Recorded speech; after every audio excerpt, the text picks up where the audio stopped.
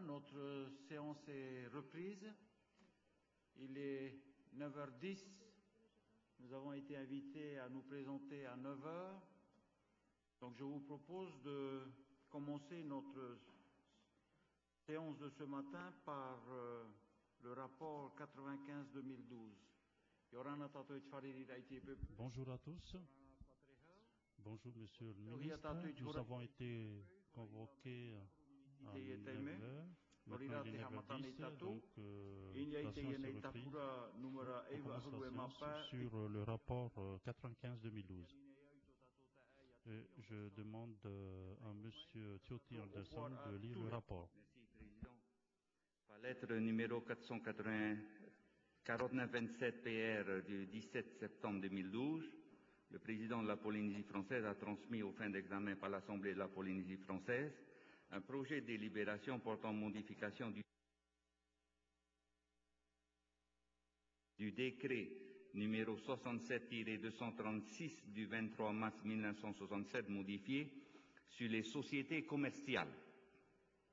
Le décret précité oblige, en ses articles 13-1, 44-1 et 293, les sociétés en nom collectif SNC, dont tous les associés indéfiniment responsables sont des sociétés à responsabilité limitée, SARL, ou des sociétés par action, SA, les SARL et les SA, à déposer leur compte annuel au greffe du tribunal mixte de commerce.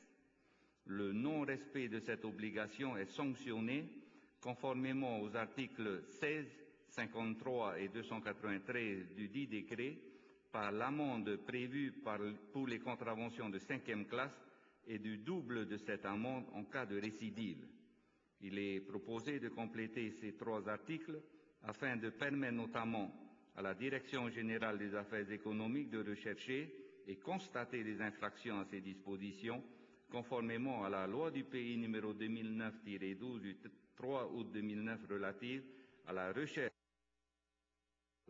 recherche et à la constatation des infractions en matière économique. Donc, euh, tel est l'objet du projet de libération 6 juin que je propose à mes collègues au nom de la Commission des affaires économiques, du tourisme, de l'agriculture, de la mer et des transports d'adopter. Merci, Monsieur le représentant. Dans, dans la conférence des présidents, il est prévu un temps de parole de 60 minutes pour examiner ce rapport, puisque les représentants du groupe Tota Tota Huira Tira ainsi que les non-inscrits ne sont pas là. Donc, euh, ils n'ont pas euh, d'intervention dans ce rapport. Concernant la majorité, nous sommes là et je vous félicite chaleureusement. J'aimerais euh, donner euh, la parole à notre ministre, monsieur, monsieur le ministre, ou sinon nous passerons euh, sur la lecture des articles. Merci, Monsieur le Président. Bonne journée.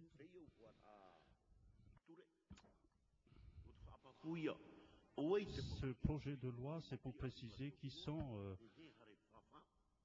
les, chefs euh, dans ce service pour, cons- pour consulter ces, ces- ces sociétés? Ils ont fait euh, certaines choses concernant les codes de commerce, mais euh, cela est entre les mains du tribunal. Nous savons que ceux qui sont au tribunal, ils, sont, ils, ont de nombreux, ils ont de nombreux travaux et ce projet est resté tel quel.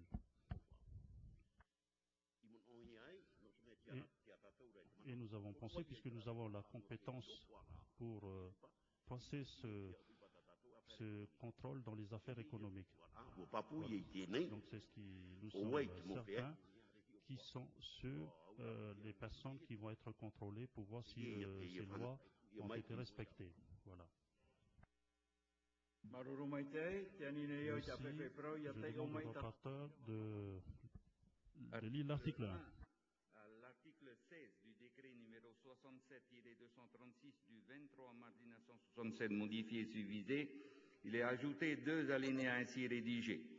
Les infractions prévues à l'article 13-1 ci-dessus sont recherchées et constatées conformément aux dispositions de la loi du pays numéro 2009-12 du 3 août 2009 relatives à la recherche et à la constatation des infractions en matière économique sont notamment habilités pour rechercher et constater ces infractions les agents assermentés de la Direction générale des affaires économiques. Y a-t-il des interventions? Oui. Nous passons au vote. 16 voix pour, pas de voix contre, pas d'abstention. Cet article 1 est adopté. Article nu- 2. à l'article 53 du décret numéro 67-236 du 23 mars 1967 modifié suvisé, il est ajouté deux alinéas ainsi rédigés. Les infractions prévues à l'article 44 ci-dessus sont recherchées et constatées conformément aux dispositions de la loi du pays numéro 2009-12 du 3 août 2009 relative à la recherche et à la constatation des infractions en matière économique sont notamment habilités pour rechercher et constater ces infractions les agents assermentés de la Direction générale des affaires économiques. Merci. Bonjour, euh, monsieur le député, d'être là. Y a-t-il des interventions sur euh, cet article 2 Pas d'intervention, nous passons au vote. Même vote. Adopté. Article, numéro, article 3. L'article 293 du décret numéro 67-236 du 23 mars 1967 modifié suvisé est ajouté deux alinéas ainsi rédigés. Les infractions prévues au présent article sont recherchées et constatées conformément aux dispositions de la loi du pays numéro 2009-12 du 3 août 2009 relative à la recherche et à la constatation des infractions en matière économique sont notamment habilités pour rechercher et constater ces infractions les agents assermentés de la Direction générale des affaires économiques. Merci. Bonjour, madame euh, Iriti. Nous sommes sur euh, l'article 3. Y a-t-il des interventions? Pas d'intervention, nous passons au vote. Même vote. Adopté. Article 4. Article 4. Le président de la Polynésie française est chargé de l'exécution de la présente délibération qui sera publiée au journal officiel de la Polynésie française. Article 4, y a-t-il des interventions? Pas d'intervention. Passons au vote. Même vote adopté. Sur l'ensemble de cette euh, délibération, même vote adopté. Merci. Nous allons passer au rapport 102 de, numéro 102 2012 et je demande euh, un parmi euh, vous, euh, Madame Juliana Mati, pour la lecture du rapport. Bonjour tout le monde. Alors, par lettre numéro 5210 PR du 26 septembre 2012, le président de la Polynésie française a transmis aux fins d'examen par l'Assemblée de la Polynésie française un projet de délibération portant modification de la délibération numéro 2001-200 APF du 4 décembre 2001, modifié portant code de procédure civile de la Polynésie française. La Polynésie française est compétente en matière de procédure civile depuis 1966. Le Code de procédure civile de la Polynésie française a fait l'objet de plusieurs modifications dues à l'évolution du droit civil et notamment en matière de succession, d'autorité parentale, de la procédure de la protection des majeurs et des mineurs. La norme choisie est une délibération car les modifications apportées au Code relève en métropole du règlement. Tout ce qui touche au domaine réglementaire et qui relève de l'Assemblée de la Polynésie française ressort du domaine de la délibération. Ce projet de délibération est composé de 21 articles et vise à poursuivre la réforme de la procédure d'assistance éducative initiée par la dé- délibération numéro 2011-67 APF du 30 septembre 2011 relative aux majeurs protégés, à rendre obligatoire la constitution d'avocats pour tous les cas de divorce conformément aux dispositions du Code civil relatives à cette matière, à moderniser les procédures de notification et de signification et à insérer les dispositions d'application de la loi numéro 2010-769 du 9 juillet 2010 relative aux vi- violences faites spécifiquement aux femmes, aux violences au sein des couples et aux incidences de ces derniers sur les enfants, rendu applicable en Polynésie française. Il a fait l'objet de consultations auprès des partenaires intéressés aux matières traitées. La justice, les huissiers de justice, le bâtonnier de l'ordre des avocats de papier, le ministère de la condition féminine, le ministère en charge des affaires sociales.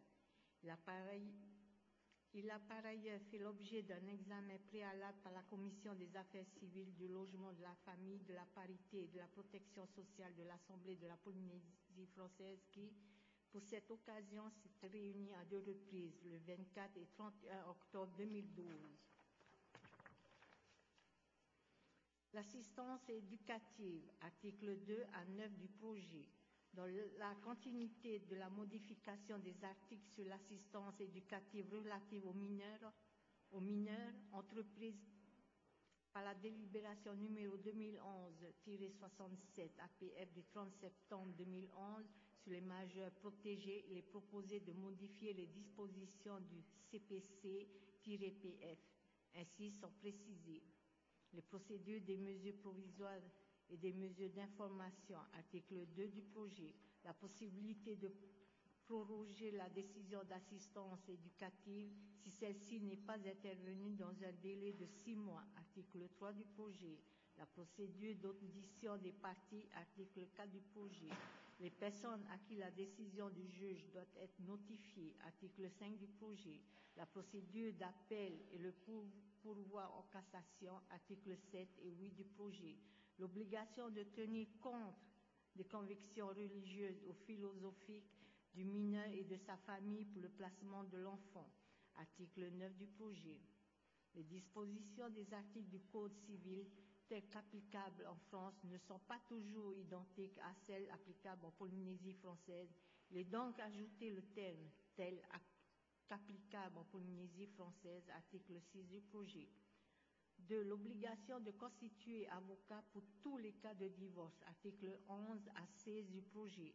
L'article 251 du Code civil précise que l'époux qui forme une demande en divorce présente par, présente par avocat une requête au juge sans indiquer les motifs du divorce. Le divorce relève de l'État et de la capacité des personnes compétentes exclusives de l'État. Ces dispositions s'appliquent de plein droit en Polynésie française et ne nécessitent pas de mention expresse à, cette fin. Article 7 du quatrièmement et 14-1 premièrement combiné de la loi organique statutaire. Le Code de procédure civile ne peut déroger à cette règle d'obligation d'avocat dans les différents cas de divorce, divorce par consentement mutuel, divorce accepté, divorce sur con, conversion de la séparation de corps. En conséquence, les articles 482, 484, 485, 486, 498, 500, 514 et 533 du CPC-PF traitant de la matière sont modifiés afin d'instaurer l'obligation d'avocat. Les significations et notifications, articles 18 et 19 du projet, suite à l'évolution des moyens de communication et au nombre de huissiers de justice, six huissiers de justice, quatre à Tahiti, un à Montréal et un à Rayatea. Les procédures de notification et signification doivent être modernisées. Une réorganisation totale du titre 10 des notifications est opérée. Certaines de ces dispositions sont une transposition et des dispositions du Code de procédure civile métropolitain. L'article 18 du projet insère un article 394-1 concernant la notification des actes aux représentants de la partie. L'article 19 du projet insère quatre chapitres. Le chapitre premier intitulé La signification est composé des articles 395 à 399. Il traite de la date de la signification d'un acte d'un acte, article 395 CPC-PF, de la signification faite à personne, article 395-1 CPC-PF, de la signification à domicile ou résidence, article 395-2 CPC-PF, du dépôt du dépôt en l'étude lorsque personne ne veut ou peut prendre l'acte au domicile du destinataire. Cette disposition remplace la signification à voisin qui n'est pas source de fiabilité et confidentialité. Le dépôt en l'étude permet une meilleure information du destinataire de l'acte. Article 395-3 CPC-PF. Du dépôt en mairie lorsqu'il n'y a personne au domicile et aucune étude dans l'île pendant un délai de trois mois. Passé ce délai, l'acte est retourné à l'huissier. Article 395-4 CPC-PF les modalités que doit accomplir l'huissier de justice si l'acte n'a pas été signifié à personne ou à domicile. Article 396 et 396-1 CPC-PF. Les modalités que doit accomplir l'huissier de justice lorsque la personne à qui l'acte doit être signifié n'a ni domicile, ni résidence, ni lieu de travail connu.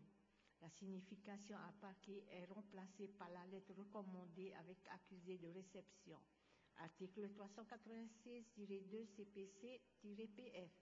De la signification d'un acte à une personne demeurant dans un territoire français autre que la Polynésie française.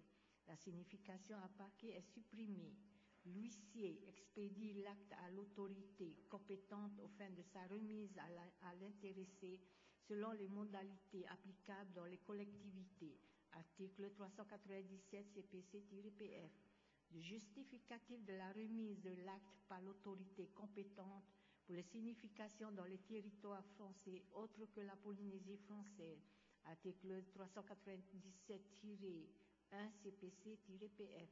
La signification d'un acte à une personne demeurant à l'étranger. La procédure reste inchangée. La signification se fait à parquet, procureur de la République, qui envoie l'acte au ministère des Affaires étrangères. Article 397-2 CPC-PF. Le justificatif de la remise pour les significations à l'étranger. Article 397-3 CPC-PF. La possibilité donnée au juge de prescrire toute diligence complémentaire s'il est établi que les destinataires de l'acte n'a pas été avisé. Article 397-4 CPC-PF de l'obligation de faire figurer sur les originaux de l'acte la mention des formalités et diligences, diligences accomplies par l'huissier de justice. Article 398 CPC-PF des heures pendant que lesquelles les significations ne peuvent être faites. Article 399 CPC-PF le chapitre 2 intitulé La notification des actes en la forme ordinaire est composé des articles 399-1 à 399-10. Il précise le contenu de la notification, article 399-1 à 399-3 Les formes de notification par voie postale ou par remise de l'acte contre émargement article 399-4 CPC-PF. Le point de départ de la notification, article 399-5 à 399-7 CPC-PF. L'obligation de signifier l'acte lorsque le destinataire de l'acte a refusé de signer le récépissé, article 399-8 CPC-PF. Les modalités de notification d'actes dans un territoire français autre français autre que la Polynésie française et à l'étranger, article 399-9 et 399-10 CPC-PF. Le chapitre 3, intitulé Le lieu de notification, est composé des articles 400 à 402. Il précise le lieu de notification pour les personnes physiques. Article 400 CPC-PF, le lieu de notification par l'État les collectivités locales et les établissements publics ou privés, article 401 et 402 CPC-PF. Le chapitre 4 intitulé Dispositions diverses est composé des articles 403 et 403-1. Il traite de l'interdiction pour les huissiers de justice d'instrumenter pour eux-mêmes leurs conjoints, leurs parents et alliés et ceux de leurs conjoints en ligne directe à l'infini, de même que pour leurs parents et alliés collatéraux jusqu'au degré de cousins issus du germain. Article 403 CPC-PF. De la fausse probante des mentions et signatures portées sur, les actes, article 403-1 CPC-PF.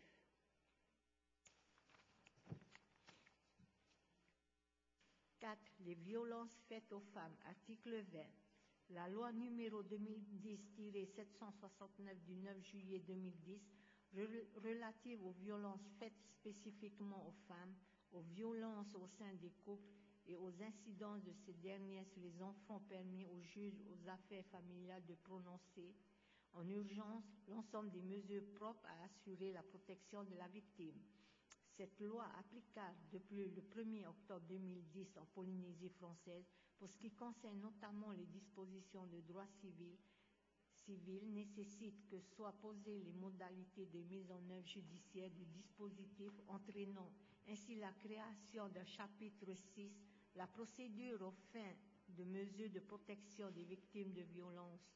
Dans le titre 3 du divorce du livre 2, procédure relative aux personnes du Code de procédure civile de la Polynésie française.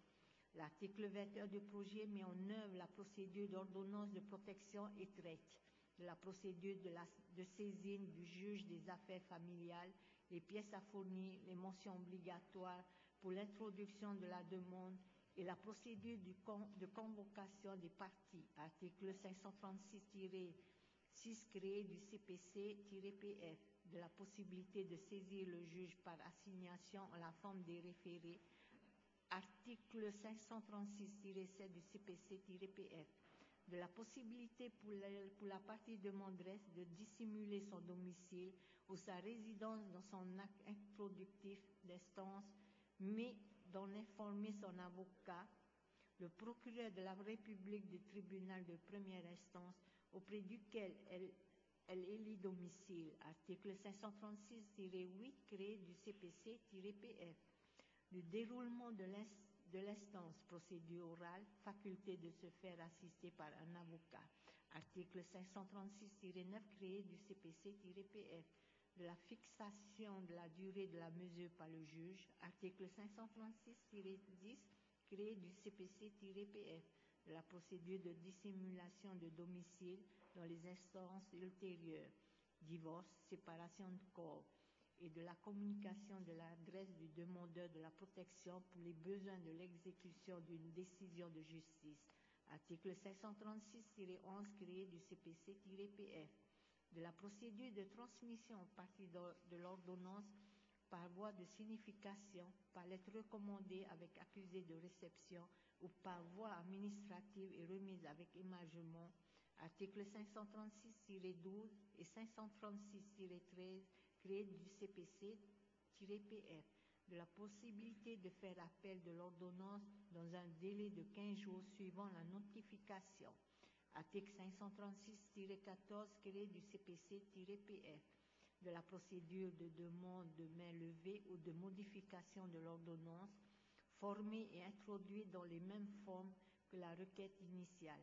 Mais lorsqu'il y a appel, la demande est formée devant la Cour d'appel article 536-15 créé du CPC-PF, de la poursuite des effets de l'ordonnance, alors, même qu'une demande en divorce ou, ou une séparation de corps est introduite avant l'expiration de la durée de l'ordonnance. Article 536-16 créé du CPC-PF.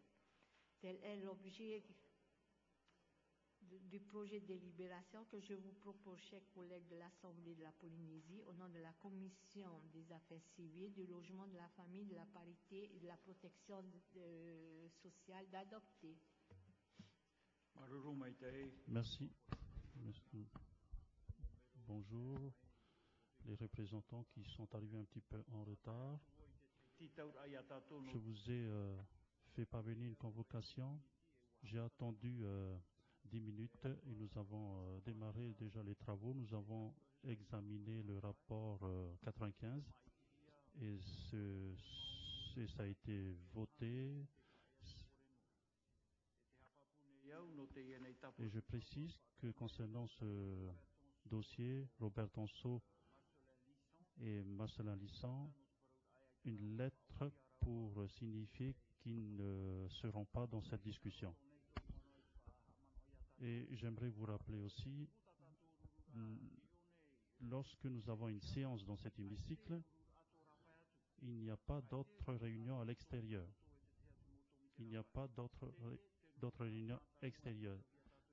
C'est ici, c'est la première réunion. Donc c'est une information que je lance à tous. Dans ce rapport, notre ministre, Monsieur le ministre, est là pour répondre aux questions. 60 minutes euh, est prévu pour le temps de parole et chaque groupe dispose de 10 minutes et je demande euh, Madame Chavez s'il a une intervention. Non. Yora Tefinoua, Monsieur Tekipoli, vous avez la parole. Voilà. Bonjour tout le monde.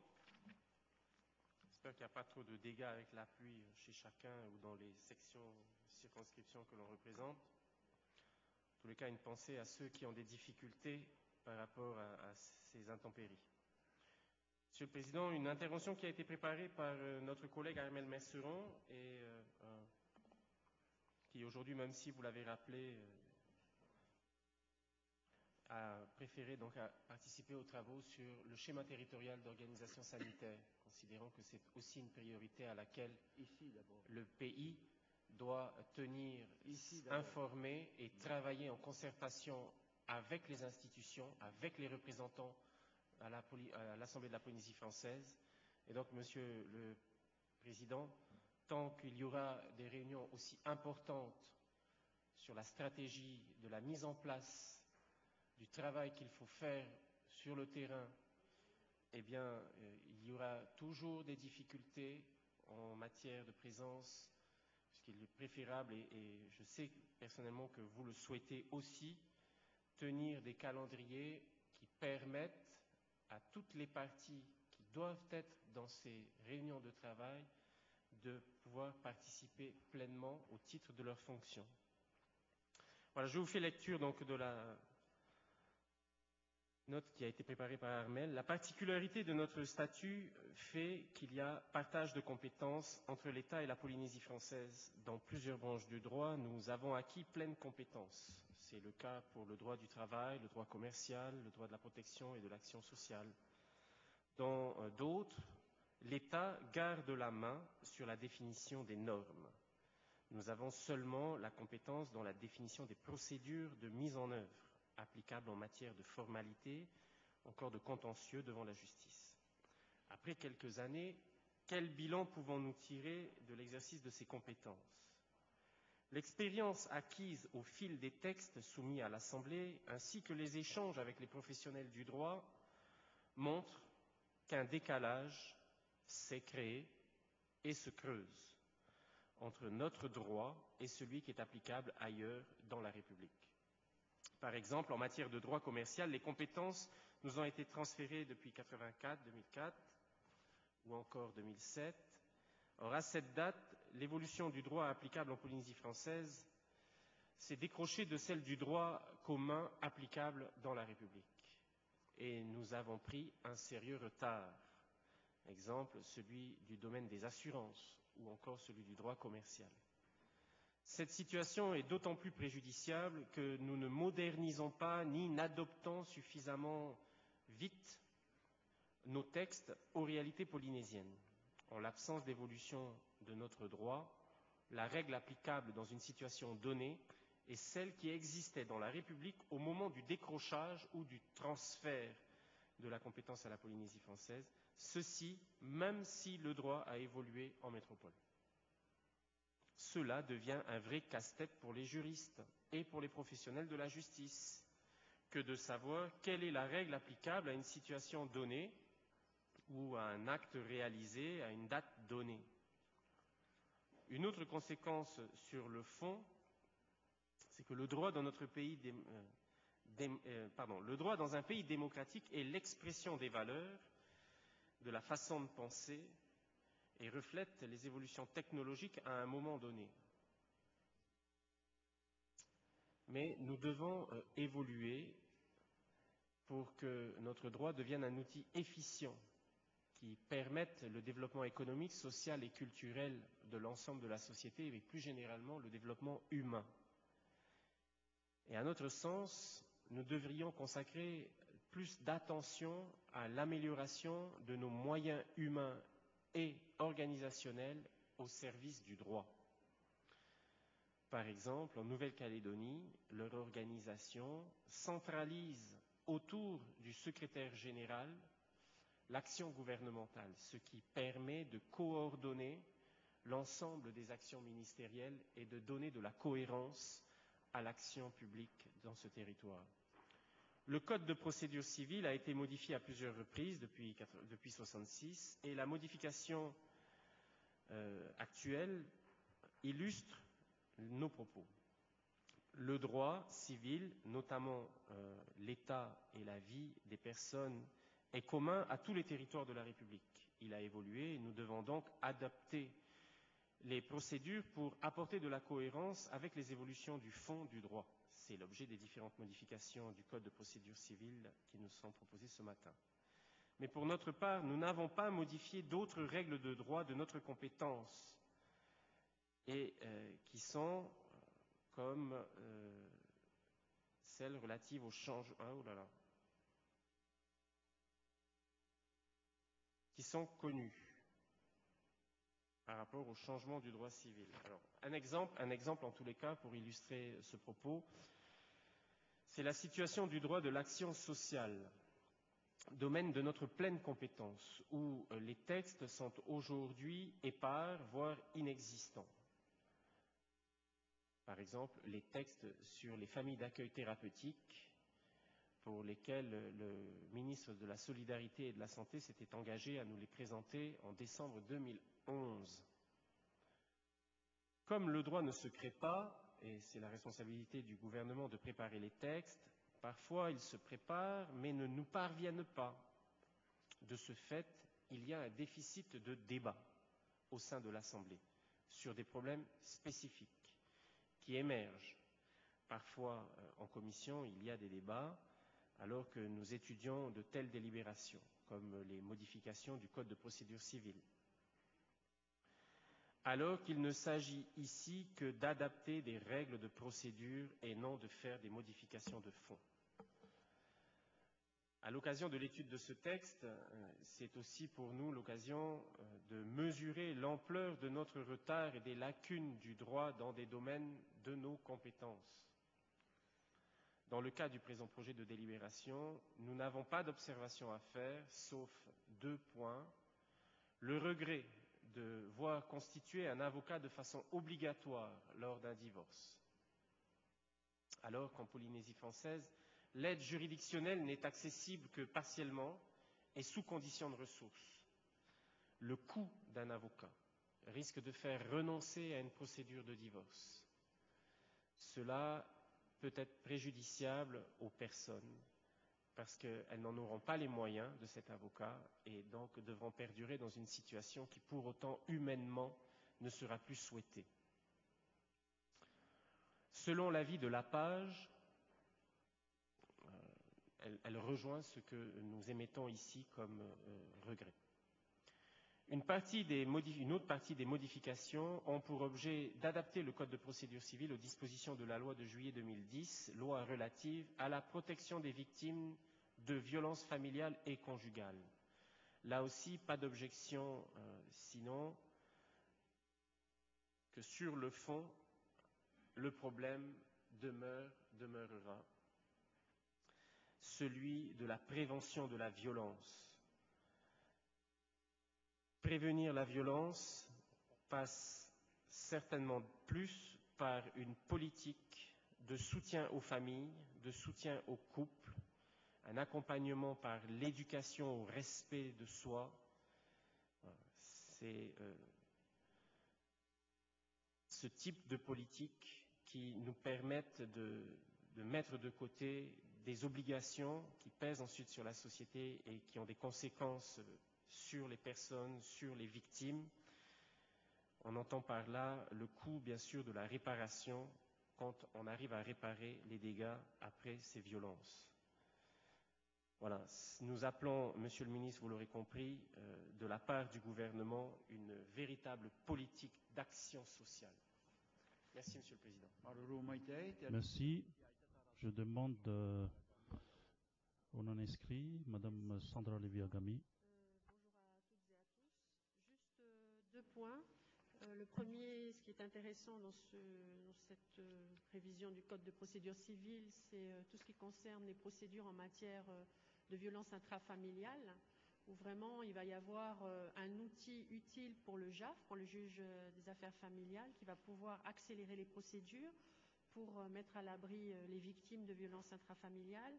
Le deuxième point concerne, lui, le divorce et plus particulièrement l'obligation d'avoir un avocat en matière de divorce. C'est sur ce point-là que euh, mon collègue Georges Anderson et moi-même aurons l'occasion de nous exprimer ultérieurement par rapport à des amendements, sachant que si on, fait un copier-coller de ce qui se passe en métropole en matière d'obligation d'avoir un avocat euh, pour la conciliation et également pour euh, le, divorce en lui-même, on aura de grandes difficultés dans nos îles, qui sont complètement éclatées sur la Polynésie française, pour avoir euh, l'exécution réelle de cette obligation. Donc on aura l'occasion d'en reparler ultérieurement. Merci. Pour ceux qui nous suivent sur Internet, je vous précise que c'est bien Sandra Lévy-Agami qui est là, hein, pas Monsieur Gaston Floss, hein, qui n'a pas changé de sexe, pas plus que Sandra n'a changé de sexe. Hein. Merci beaucoup. Euh, Est-ce que Taho Rahuiratira a un commentaire à faire Monsieur le député? Eh, Yorana. Bonjour Monsieur le Président de l'Assemblée d'être là ce matin, ainsi que notre ministre, Monsieur Frébeau, Messieurs les journalistes et, et tous ceux qui sont ici. Monsieur le Président,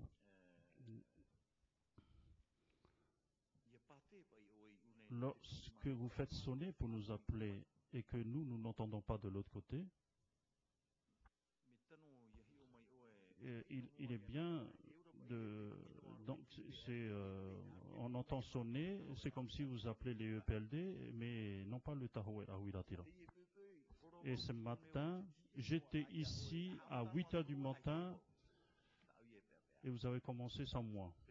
Monsieur le Président, est-ce que c'est possible de mettre euh, une sornie de notre côté? Sur, euh, concernant notre rapport ce matin, nous n'avons pas euh, des, comme euh, monsieur, monsieur, le ministre euh, a expliqué dans ce rapport, on a interrogé les personnes qui utilisent ces, ces, moyens, ces codes civils que nous avons, et j'espère que cela a été rendu plus facile. Mais nous, nous ne pouvons pas euh, nous introduire à l'intérieur parce que c'est un peu, il est, c'est un peu difficile pour nous de comprendre.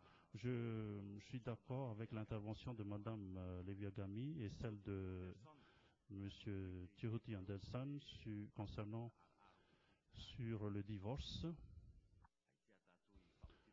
Nous n'avons pas encore pris euh, de décision, mais ici, euh, je ne pense pas que l'imposition de l'obligation de la loi de, de, France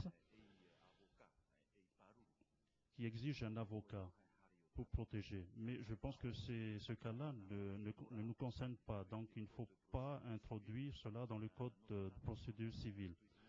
Euh, concernant notre, nos collègues dans les îles, il est difficile pour eux de trouver un avocat parce que je vous dis que j'ai déjà rencontré euh, ces difficultés. Donc il faut sortir, il faut débourser euh, beaucoup d'argent pour avoir un avocat.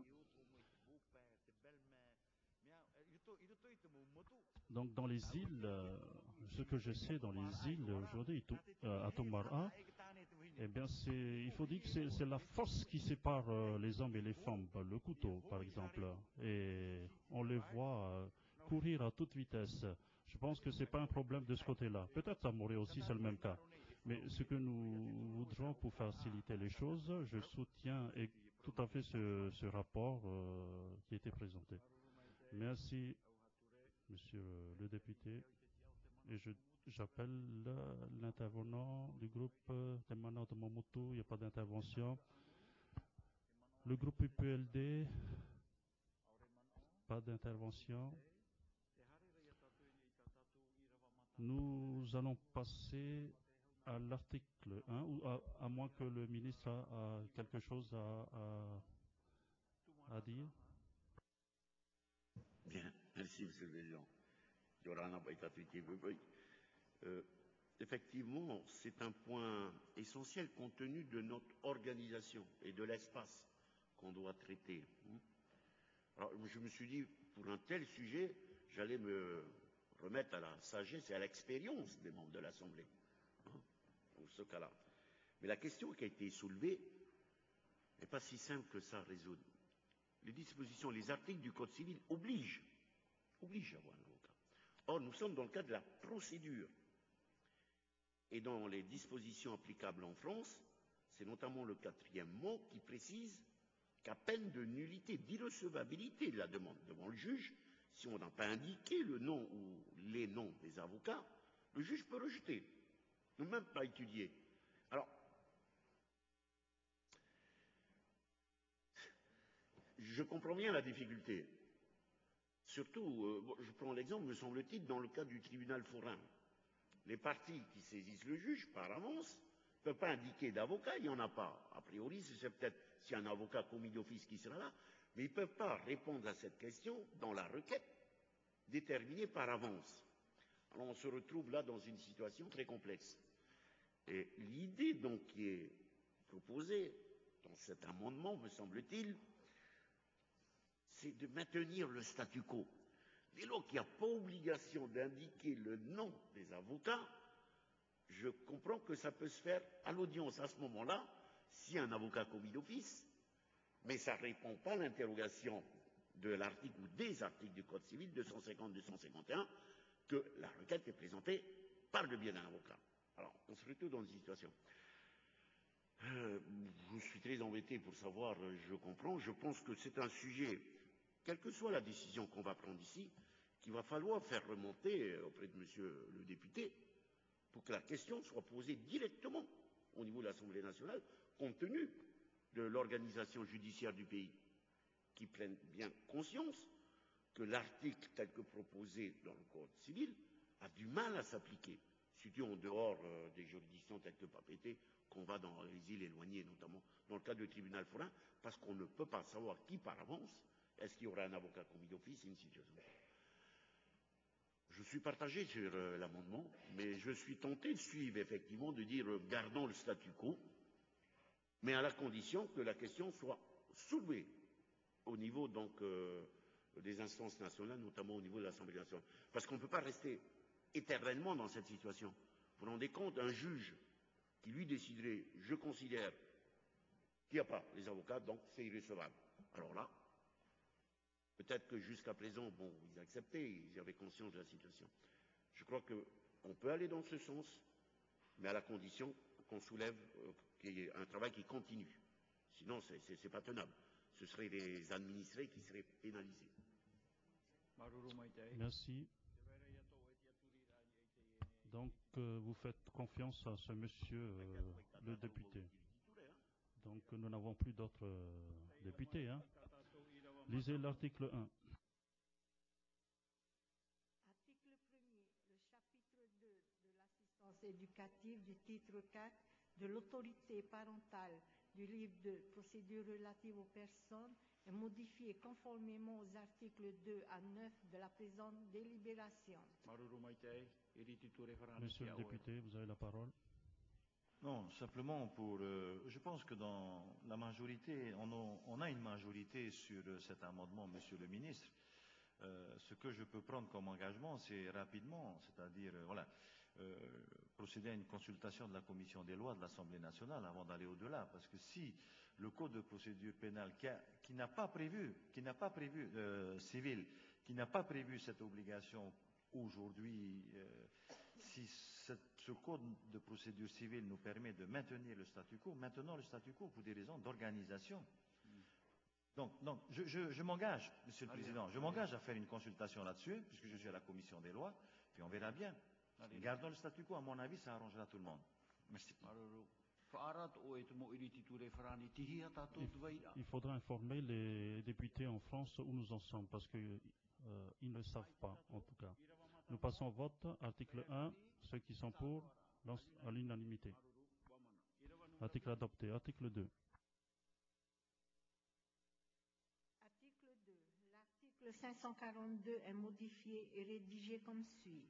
Article 542. Les mesures provisoires prévues au premier alinéa de l'article 375-5 du Code civil telles qu'applicables en Polynésie française, ainsi que les mesures d'information prévues à l'alinéa 3 de l'article 541 du présent Code, ne peuvent être prises hors le cas d'urgence spécialement motivé que s'il a été procédé à l'audition prescrite par les alinéas 1er et du 2 et 2 de l'article 541 du père, de la mère, du tuteur, de la personne ou du représentant du service à qui l'enfant a été confié et du mineur capable de discernement.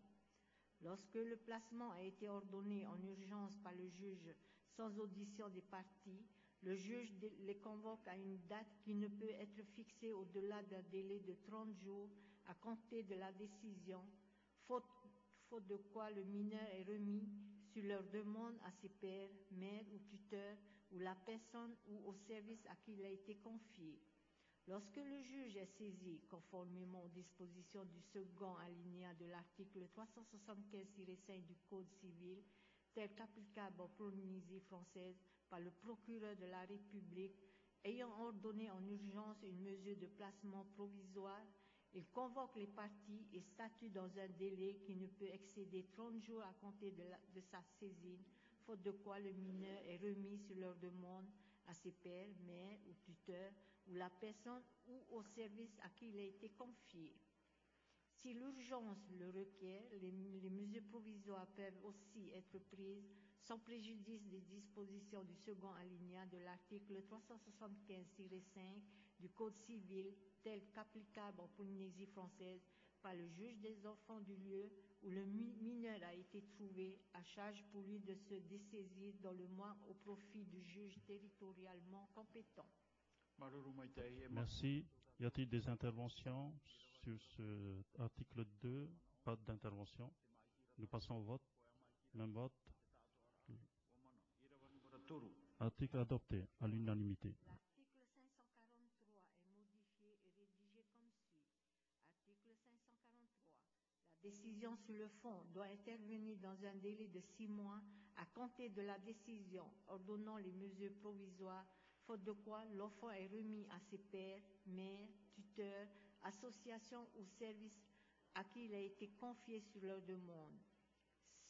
Si l'instruction n'est pas terminée dans le délai prévu à l'alinéa précédent, le juge peut, après avis du procureur de la République, proroger ce délai pour une durée, durée qui ne peut excéder six mois. Merci. Sur l'article 3, pas d'intervention. Nous passons au vote. Même vote. L'article adopté. Article 4. Article 4. L'article 547 est modifié et rédigé comme suit. Article 547. À l'audience, le juge entend le mineur, ses pères et mères, tuteurs ou personnes ou représentants du service à qui l'enfant a été confié, ainsi que toute autre personne dont l'audition lui paraît utile. Il peut dispenser le mineur de se présenter ou ordonner qu'il se retire pendant tout ou partie de la suite des débats. Les conseils des parties sont entendus en leur observation. L'affaire est instruite et jugée en chambre de conseil après avis du ministère public. Merci. La discussion est ouverte. Pas d'intervention. Nous passons au vote. Même vote. L'article est adopté. Article 5. Article 5. L'article 548 est modifié et rédigé comme suit. Article 548. Les décisions du juge sont notifiées dans les huit jours au père, mère, tuteur ou personne ou service à qui l'enfant a été confié, ainsi qu'au conseil du mineur s'il en a été désigné un. Le dispositif de la décision est notifié au mineur de plus de 16 ans, à moins que son état ne le permette pas. Toutefois, la décision écartant certaines pièces de la consultation en application du cinquième alinéa de l'article 545 est notifiée dans les huit jours à la seule partie qui a demandé celle-ci. Dans tous les cas, un avis de notification est donné au procureur, procureur de la République. La discussion est ouverte. Pas d'intervention. Nous passons au vote. Même vote adopté. Article 6. Article 6. Aux articles 550 et 553, après les thèmes du Code civil, sont ajoutés les thèmes tels qu'applicables en Polynésie française. Même vote. 44 voix pour. L'article est adopté.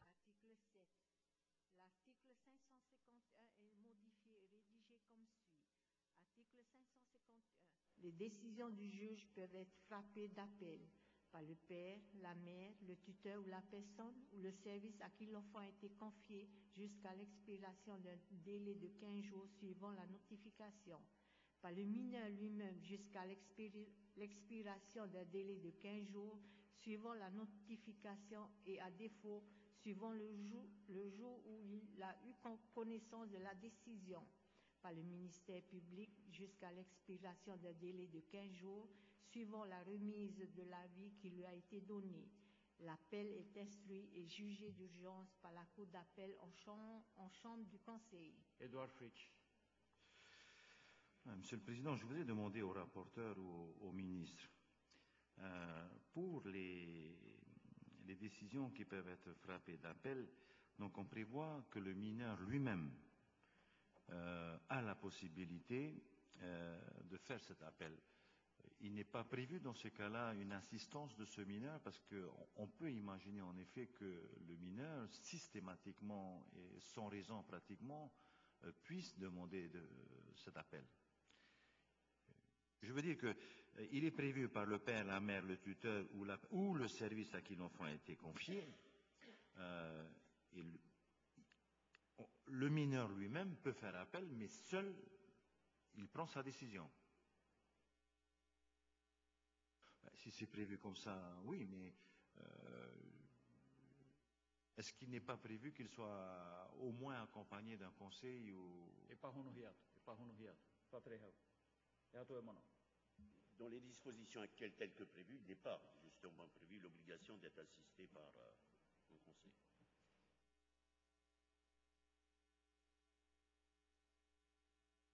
prend la décision de former appel. Oui.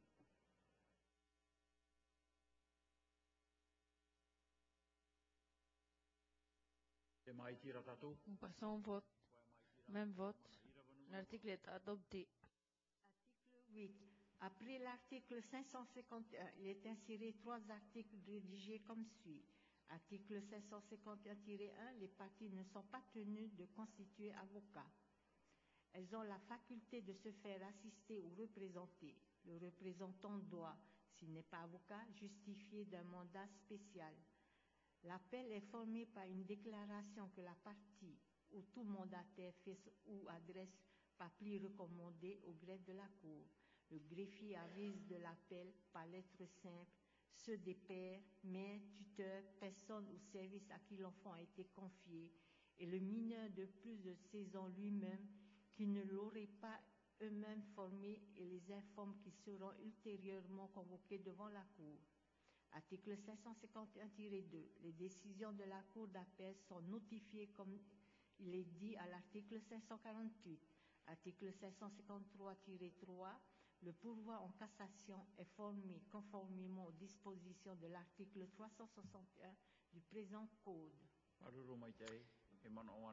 La discussion est ouverte sur l'article 8. Pas d'intervention, nous passons au vote. Même vote, l'article est adopté. Article 9. Après l'article 553, il est inséré un article 553-1 rédigé comme suit. Article 553-1. Dans l'application de l'assistance éducative, il doit être tenu compte des convictions religieuses ou philosophiques du mineur et de sa famille. La discussion est ouverte. Pas d'intervention. Nous passons au vote. Même vote. L'article est adopté. Article 10. Le titre 3 du divorce du livre 2, procédure relative aux personnes, est modifié conformément aux articles 11 à 16 de la présente délibération. Pas d'intervention, nous passons au vote. Même vote adopté. Article 11, le quatrième mot de l'article 482 est modifié et rédigé comme suit. Quatrièmement, le nom des avocats chargés par les époux de les représentants ou de celui qu'ils ont choisi à cet effet de commun accord. Sur cet article, nous avons reçu un amendement et nous sont adressés par Georges Anderson et Madame Sandra Leviagami. Donc, euh, cet amendement euh, euh, propose d'abroger l'article 11 du projet de délibération Sur la recevabilité, unanimité. Merci. Présentez-nous l'exposé Oui, sommaire. Donc, euh, euh, l'abrogation de l'article 11, euh, il s'agit dans cet article notamment euh, de modifier le code de, procédure civile qui oblige les époux à constituer avocat pour les demandes en divorce. Euh, or, une telle disposition nouvelle va empêcher les habitants des îles éloignées de divorcer, faute d'avocats disponibles pour se rendre dans leur île, sauf à en prendre en charge les frais. Actuellement, un grand nombre de, demandes en divorce est effectué devant la juridiction foraine sans qu'aucune constitution d'avocat ne soit possible ni souhaitable. Donc la modification du Code de procédure civile proposée n'est pas adaptée à la Polynésie française. En conséquence, il est préférable de maintenir le statu quo actuel. La discussion est ouverte. Monsieur le ministre, Oui, Président, c'est ce dont on évoquait donc euh, précédemment dans le débat. Alors, ce n'est pas l'article LP11 qui fait obligation aux époux de constituer avocat. C'est bien l'article du Code civil, l'article 250, qui rappelle ceci, la demande en divorce est présentée par les avocats respectifs des parties ou par un avocat choisi d'un commun accord. On est dans le divorce par consentement. Ensuite, il y a l'article 251 qui, lui, euh, rappelle que l'époux qui forme une demande de divorce présente par avocat une requête au juge. Donc c'est bien dans le corps même du Code civil que cette disposition est prévue. Dans la situation donc du Code de procédure, c'est quelle formalité, quelle modalité. Et c'est là où justement il est indiqué, vous l'avez, vu dans le, l'article 482, me semble-t-il, cette précision qui est quand même importante, c'était donc l'ancien article 1090, la requête qui n'indique pas les faits à l'origine de la demande doit contenir à peine d'irrecevabilité. Vous dire. Hein? Quatrièmement, le nom des avocats chargés par les époux de les représenter. Effectivement, si on retire ça, il n'y a pas le nom des avocats, mais euh, l'article de base ou les articles de base obligent à avoir l'avocat. Alors on est dans une situation, mais je comprends tout à fait. C'est pour ça que je disais tantôt, il faut faire remonter cette situation euh, au cœur même euh, du Code civil pour que soit exposé, euh, tenu compte de la situation euh, de la Polynésie française compte tenu de son éparpillement. Dans l'immédiat, si l'on retire cela, d'accord, il n'y a pas obligation de présenter le nom des avocats. Euh, pour autant, un juge pourrait dire, écoutez, en application des dispositions du Code, euh, où sont les avocats C'est le statu quo qui est demandé. Mais on ne peut pas rester éternellement sur cette position. Il faudra faire évoluer la source même du droit. Donc, euh, sur cet amendement, je suis favorable dans la mesure où on va pousser le débat plus loin. hein. et donc, euh, si notre député demandera de modifier plus haut, voilà, merci. Merci, Monsieur le Président. Euh, bien évidemment, là, on fait référence à l'article 11, puisqu'il s'agit d'une modification dans le cadre de cette délibération, qui porte les modifications justement du Code civil. Euh, ce que je voulais dire, c'est que cet amendement n'est pas anodin dans le sens où il émane vraiment des personnes qui ont à statuer sur ce type d'affaires dans les îles. Ça émane également des avocats eux-mêmes qui n'ont pas forcément envie de prendre en charge euh, un déplacement sur plusieurs jours. Hier, on a nos élus qui, disaient qu'eux-mêmes, pour venir travailler sur Tahiti, euh, des fois, ils sont bloqués 3-4 jours. Dites-vous bien qu'un avocat n'ira pas euh, dans une petite île des Tuamotu se bloquer une semaine pour, euh, pour une personne qui va divorcer. Donc ça, c'est la réalité. Ensuite, on a bien évidemment la possibilité euh, d'avoir ce fameux tribunal forain dans lequel il y a un avocat qui siège pour l'ensemble des, des, cas et les personnes ont la garantie de toute façon d'être défendues. Donc les droits de la défense sont assurés. Il y aurait, je pense, un problème si les droits de la défense n'étaient pas assurés du tout. Là, on a quand même un système qui existe, qui est un peu dérogatoire au, système français, on le sait, puisqu'on a vraiment ces juges forains qui, eux, d'ailleurs, euh, si on allait jusque-là, sont aussi limites par rapport à ce qui se passe actuellement. Donc, il y a eu une adaptation du Code de procédure civile à la Polynésie française par rapport à notre géographie, par rapport à l'éclatement de nos îles. Aujourd'hui, euh, dans ce texte, on, la, demande qui est faite initialement, c'est de dire collons à ce qui se passe en métropole. Et nous, on a tendance à dire avec Choti, non, restons justement, on est, en Polynésie française, on a nos réalités, faisant en sorte que ce code de procédure civile puisse s'appliquer et, euh, que l'ensemble des îles puissent être euh, bien défendues. Et la dernière chose que je voulais dire, c'est que de toute façon, là, il, par cet amendement, on enlève l'obligation d'avoir un avocat. Mais rien n'empêche un couple de demander à avoir un avocat. C'est ce qui se passe dans la pratique. Les gens qui ont les moyens demandent un avocat. Mais nous, notre souci, c'est de faire en sorte que les gens qui n'ont pas forcément les moyens ne se retrouvent pas avec l'obligation d'avoir un avocat. On le sait, euh, dans certaines îles, il y a, beaucoup de trocs. J'achète du poisson, je te donne ça. Il n'y a, a, pas vraiment de, il n'y a pas vraiment d'argent qui circule parce que les gens euh, vivent de la pêche et d'autres choses. Ceux qui ont un peu de copra, ils arrivent à récupérer de l'argent, mais pour payer un avocat, ça se passe de façon financière et, et on risque de porter préjudice euh, à, à, certaines personnes qui se retrouvaient dans cette situation, au niveau des îles en tout cas. Voilà. Alors, autrement dit, on pourrait payer mettre le borne avec un touille de II, par exemple. Particulier. Particulier. Ce qui m'étonne, c'est par rapport à ce que disait le ministre, que c'est pas un problème pour euh, les divorcés, mais c'est quand c'est euh, le juge qui oblige de revenir sur euh, le code civil, c'est peut-être là où nous serons en difficulté. Eh, je pense que c'est pour cela que c'est important que notre Assemblée adopte cet amendement pour justement euh, parce que les débats, les débats vont être retranscrits et, transmis euh, à qui de droit. Euh, mais je crois qu'il est important que l'Assemblée de Polynésie formule euh, ce vœu de rester sur le statu quo.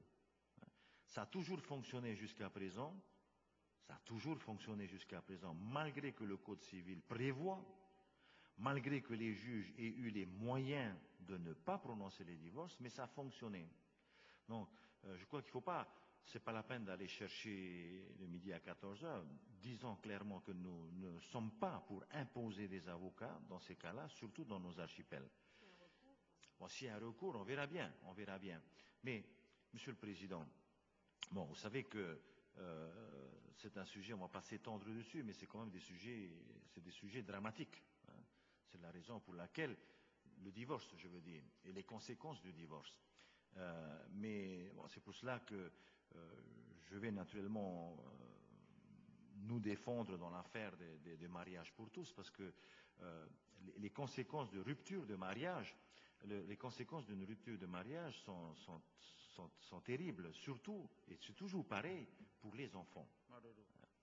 Euh, ce que je voulais, Monsieur le Président, je ne sais pas si c'est le moment opportun parce qu'on en parle ici, mais pourquoi pourquoi n'imaginerions-nous pas, euh, à l'instar de ce qui se fait pour euh, régler les problèmes de foncier, que dans nos îles éloignées où euh, il n'y a ni avocat, voire même ni juge, puisque c'est le juge forain qui vient juger lorsqu'il est en déplacement, c'est-à-dire lorsqu'il a de l'argent, lorsque les indemnités sont payées, donc quand l'État aura fourni les moyens, ceci veut dire que ce n'est pas souvent on le sait très bien. Mais pourquoi ne pas imaginer, est-ce que l'Assemblée ne peut pas au travers d'une commission, imaginez de constituer dans nos îles, euh, autour des maires, premiers magistrats des communes, des comités de conciliation qui assisteraient, bon, des, comités de conciliation pas réellement techniques, mais où on pourrait voir en effet, vous savez, si on peut éviter, si on peut éviter, euh, je crois que c'est mieux, hein, le divorce, c'est mieux. Et donc, je ne sais pas, euh, là, plutôt que d'aller plus loin par rapport à ce qui se fait aujourd'hui, donc euh, je propose plutôt, en effet, il faut peut-être reculer un petit peu, mais profiter de l'occasion pour adapter plus notre code de procédure civile à la réalité polynésienne. Et cette histoire, cette histoire de comité de conciliation, je ne sais pas, je pense qu'on devrait y réfléchir. Merci, votre avis est très intéressant hein, et il faudrait renvoyer en commission pour euh, cette question en commission et je suis tout à fait d'accord. Hein. Mais en tous les cas, il ne faudra pas renvoyer aux mains du maire, hein, mais auprès, mais aux ex, auprès d'experts, parce que si on renvoie au maire, eh ben, il risque d'instrumentaliser cela. Bonjour à tous. Avant de poser la question, ma question au ministre, je suis un peu d'accord euh, avec ce que disait Edouard. Parce que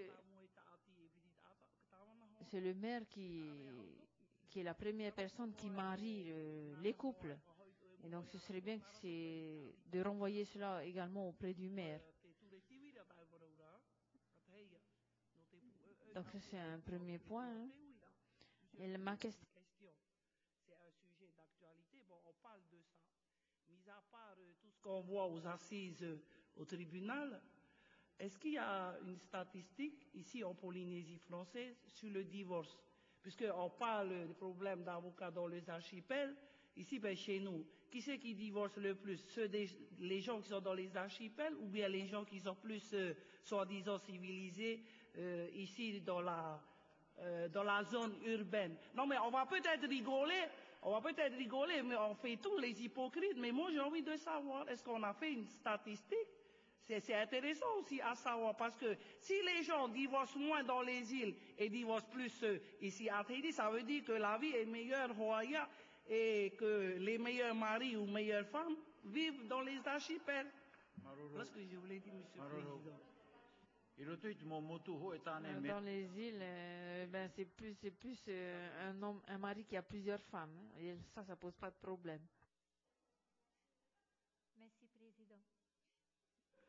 Euh, effectivement, euh, l'amendement ne peut être que favorable parce que c'est une réalité, hein, ce, qui est, ce qui est dans cet amendement.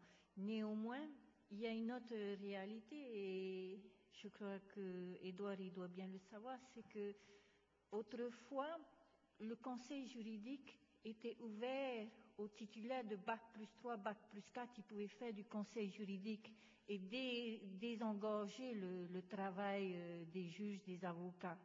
Et il y a un texte qui est passé, une délibération qui a réservé le conseil juridique aux avocats, ce qui fait que euh, le fait d'aller conseiller des couples sur euh, comment faire le partage euh, de leurs biens, les successions, etc., est illégal quand on n'est pas avocat. Donc, il faut aussi remettre le, re, remettre le conseil juridique, ce qui va donner du travail à beaucoup de nos jeunes qui sont aujourd'hui titulaires d'un bac plus 3, bac plus 4, bac plus 5, Tel que moi-même, je suis bac plus 5, on ne peut pas dire qu'un avocat est, plus diplômé qu'un juriste. Il y a des juristes qui sont beaucoup plus diplômés que des avocats, mais qui n'ont pas le droit d'exercer le conseil juridique. Donc il faut remettre en place la possibilité pour nos juristes maoris qui parlent le réo maori d'exercer le conseil juridique pour pouvoir aider ces familles qui souhaitent se séparer à régler le problème des biens, le problème des enfants, le problème foncier aussi parce que c'est ça aussi. On a, réservé le conseil juridique aux avocats pour euh, garder la part du gâteau juteux, mais en réalité, on a besoin de permettre à, nos, nos, étudiants qui ont fait des études de droit d'avoir du travail et de ne pas être contraints d'aller être pigistes dans un cabinet d'avocats pour gagner 50 000 francs par mois alors que c'est eux qui font tout le boulot. Voilà le truc. Il faut remettre ce texte.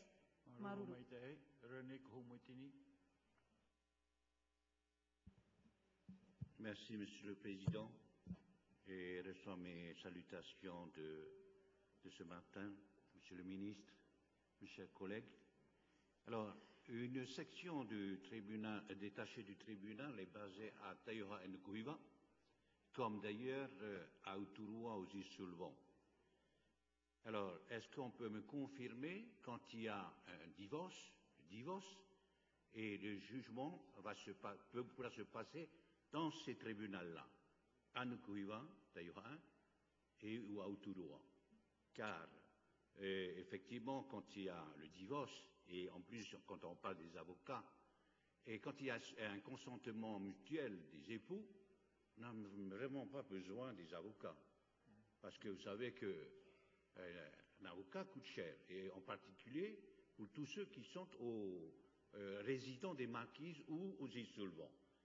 Or, maintenant, il semblerait que euh, tout cela se passera à Tahiti.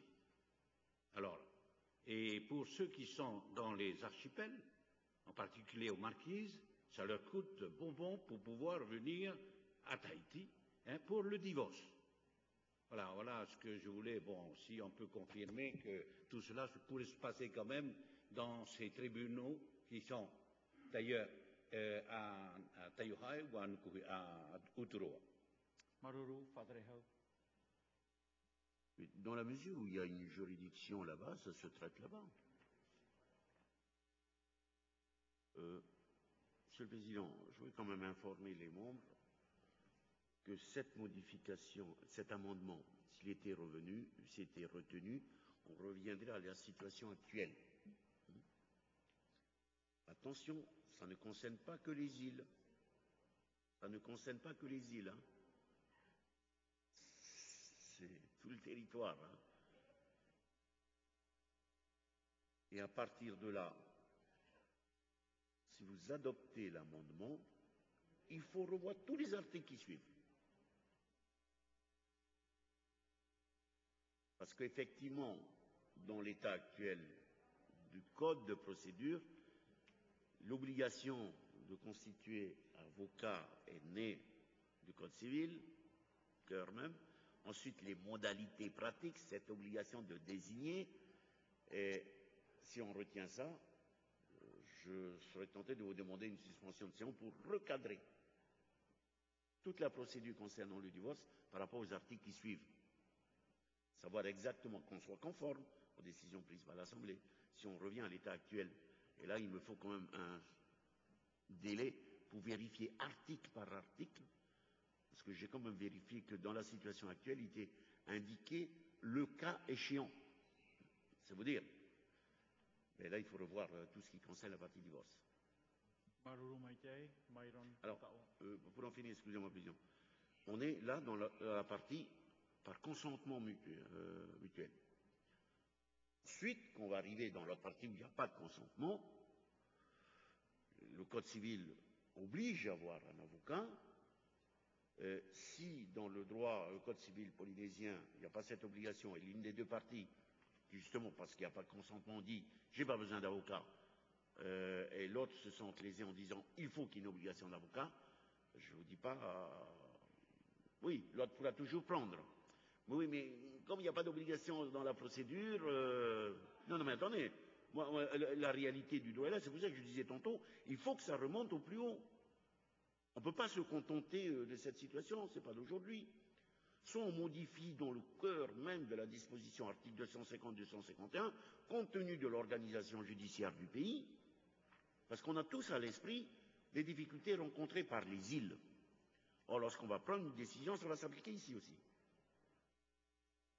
Je peux comprendre que dans l'organisation des ponts entiers, euh, je dirais, de l'espace géographique ne peuvent pas être traités, donc il faut trouver des méthodes adapté. Mais on ne peut pas se contenter d'un simple, vote ici à l'Assemblée. Euh, il faut faire remonter le sujet plus haut. Voilà. Maruru mai te, mai rona te awe. Maruru Brikteni. Yorana pat o tato whare ai te, te man. Bonjour à tous. Moi, je soutiens les interventions de nos amis à côté. Sandra. René des marquises. Ils Il y a n'ont pas tort. Donc il ne faut pas, par la loi, obliger euh, de constituer avocat. Parce qu'il coûte cher. Nous, on n'a pas les moyens pour les payer. Comme cela a toujours été fait, eh bien, il y a toujours eu un consentement entre les époux qui divorcent. Et on doit s'arrêter là. Il ne faut pas venir obliger euh, de constituer avocat. C'est très difficile pour nous. Et je souscris également à l'intervention de René parce que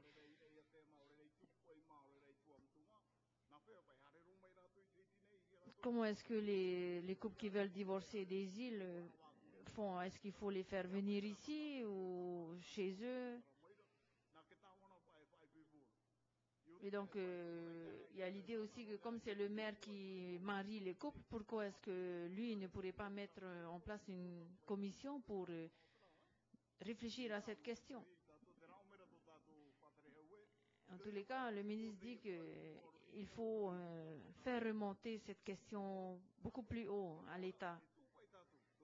Et donc, je pense que nous devons euh, donner notre avis sur cette question et la faire remonter jusque là-bas. Et là-bas, ils verront, euh, ils nous donneront une décision.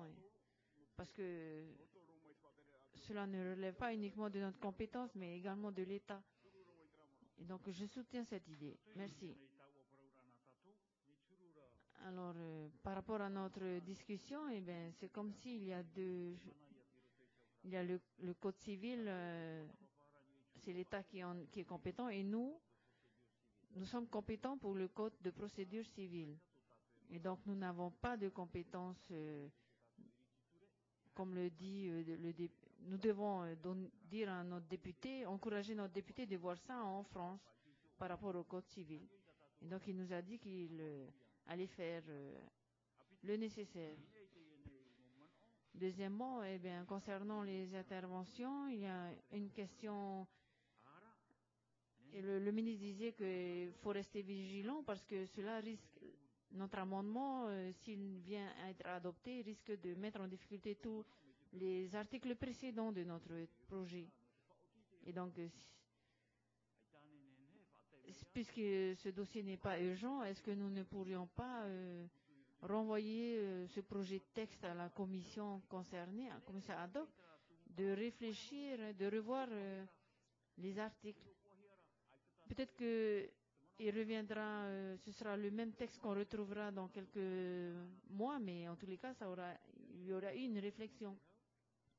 Et par rapport à la question de Madame Lana, attendez, Monsieur le ministre. Alors, dans la question de Lana Tetouanoui, les représentants souhaiteraient savoir, avoir les statistiques euh, au sujet des divorces par rapport aux, aux, arch- aux archipels, par rapport à Tahiti, les hommes et les femmes. Et donc, je souscris à la demande de la Natétouanoui. Est-ce que vous pourriez nous transmettre euh, des chiffres? Parce que un divorce, c'est grave, hein, ça met en difficulté toute une famille et ça désoriente euh, les enfants concernés.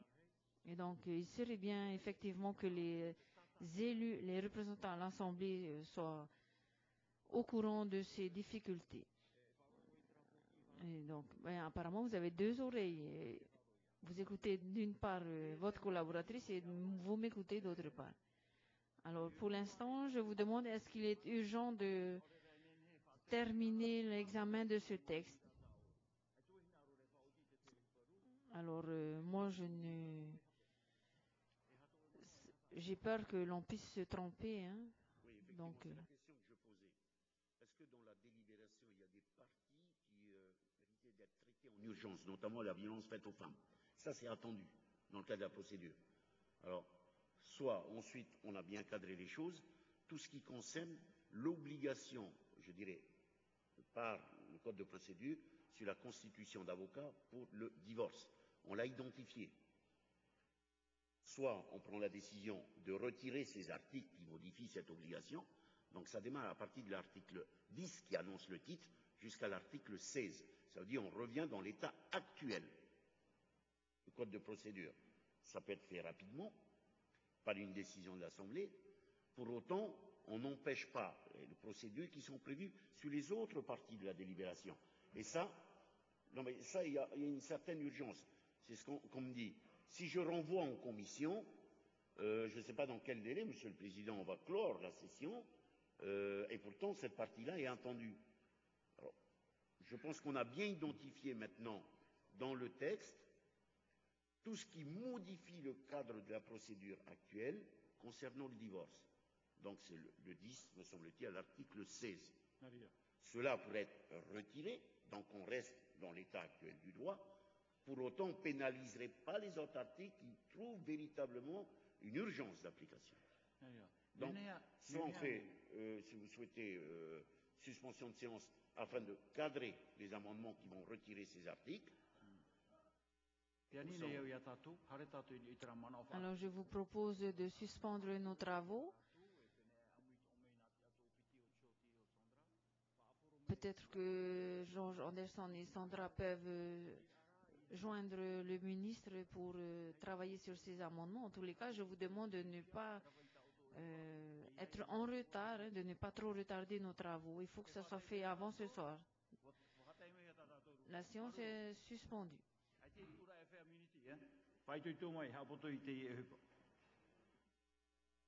La séance est suspendue pour quelques minutes.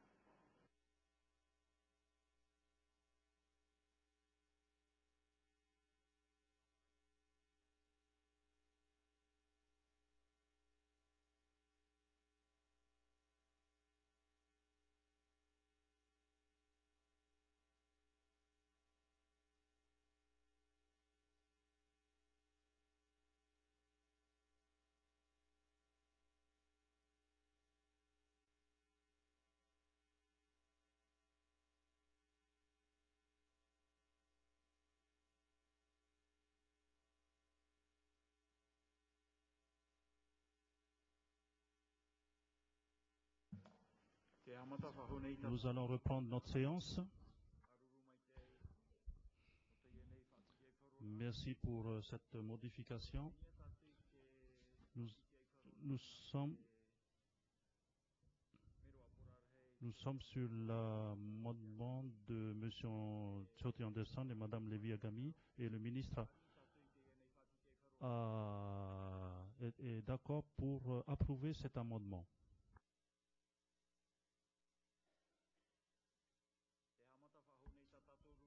Donc nous reprenons notre séance. Monsieur le ministre, merci beaucoup. Nous sommes sur l'amendement de Monsieur Choti Anderson et Madame Leviagami et d'après ce que j'ai entendu, vous êtes d'accord pour euh, approuver cet amendement? Donc euh, on va passer au vote pour euh, pour cet amendement numéro 14727.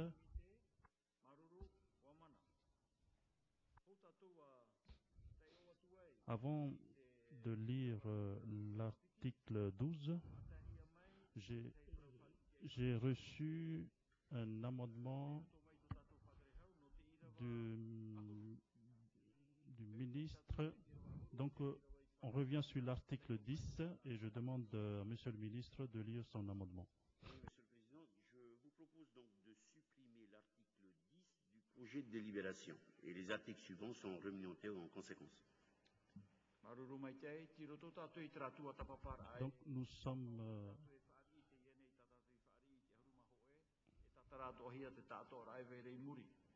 donc les, les, détails seront expliqués par la suite.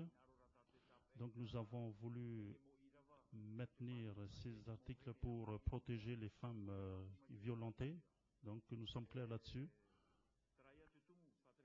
Donc, euh, c'est la raison, euh, c'est cette raison, Monsieur le ministre, on n'a pas la peine de revenir. Nous passons au vote.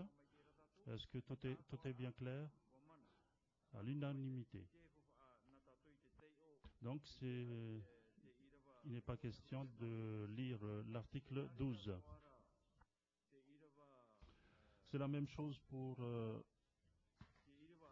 l'article 10. Nous avons, cet article a été retiré. Nous avons un amendement numéro 14770 pour l'article 12. Et c'est la même chose. Donc, euh, cet article est retiré. Euh, l'article 13, euh, numéro 14, euh, concernant l'amendement 14772, pour retirer l'article 13. L'amendement 14773, concernant l'article 14, pour annuler l'article 14, ainsi que l'ar- suit l'article 15 avec l'amendement 14774. Nous, nous, reviendrons sur l'article 16 et c'est l'amendement de monsieur- Madame euh, et Monsieur Tiotti Anderson.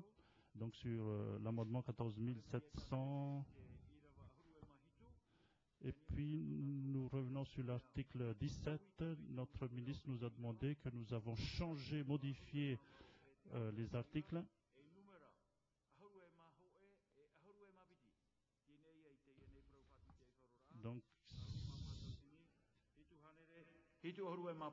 Donc, les modifications sont dans la- l'amendement 14 14775.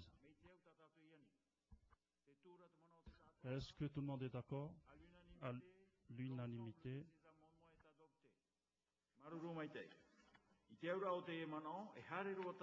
Donc nous allons jusqu'à l'article 18.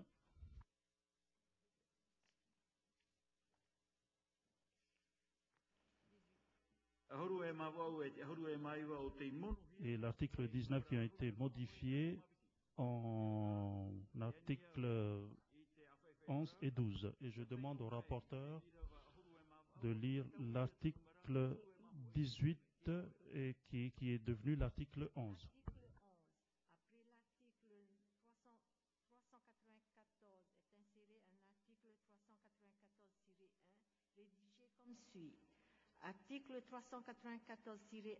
Lorsqu'une partie a chargé une personne de la représenter en justice, les actes qui lui sont destinés sont notifiés à son représentant sous réserve des règles particulières à la notification du jugement.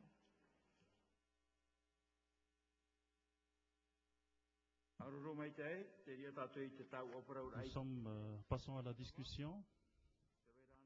Y a-t-il des interventions? Nous passons au vote. Même vote à l'unanimité. Article 12 qui a remplacé l'article 19. dispositions des articles 395 à 404 sont remplacées par les dispositions suivantes. Chapitre 1. La signification. Article 394 15. La date de la signification d'un acte d'huissier de justice est, est celle du jour où elle est faite à personne, à domicile, à résidence ou, dans le cas mentionné à l'article 300 396-2, celle de l'établissement du procès verbal. Article 395-1, la signification doit être faite à, une personne. La signification à une personne morale est faite à personne lorsque l'acte est délivré à son représentant légal, à un fondé de pouvoir de ce dernier ou toute autre personne habilitée à cet effet.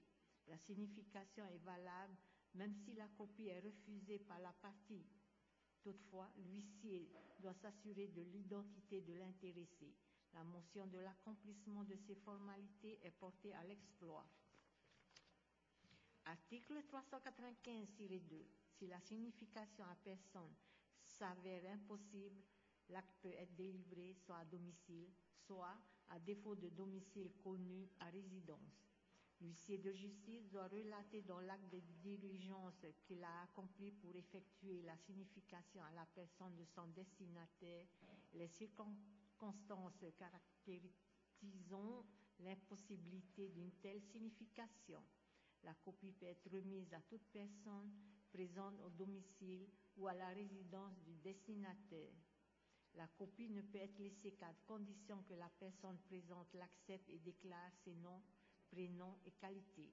L'huissier de justice doit laisser dans tous ces cas, au domicile ou à la résidence du destinataire, un avis de passage daté l'avertissant de la remise de la copie et mentionnant la nature de l'acte, le nom du requérant, ainsi que les indications relatives à la personne à laquelle la copie a été remise.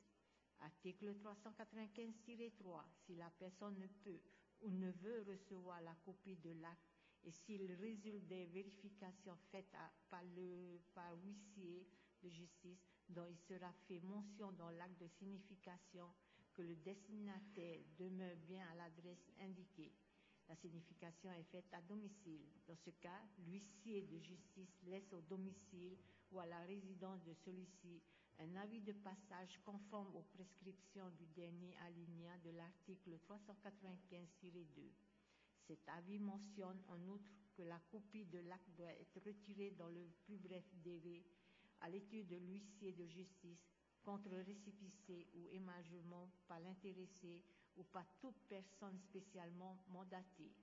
La copie de l'acte est conservée à l'étude pendant trois mois. Passé ce délai, l'huissier de justice est déchargé. L'huissier de justice peut, à la demande du destinataire, transmettre la copie de l'acte à une, autre étude où celui-ci pourra le retirer dans les mêmes conditions. Article 395-4. Dans les îles où il n'y a pas d'étude d'huissier de justice, l'huissier peut remettre la copie au maire, au maire délégué ou à un adjoint. La copie de l'acte est conservée à la mairie pendant trois mois. Passé ce délai, le maire, le maire délégué ou l'adjoint au maire retourne la copie à l'huissier. Article 396. Lorsque l'acte n'est pas délivré à personne, l'huissier de justice mentionne sur la copie les conditions dans lesquelles la remise a été effectuée. La copie de l'acte signifié doit être placée sur enveloppe fermée, ne portant que l'indication des noms et adresses du destinataire de l'acte et le cachet de, l'huissier apposé sur la fermeture du pli. Article 386-1.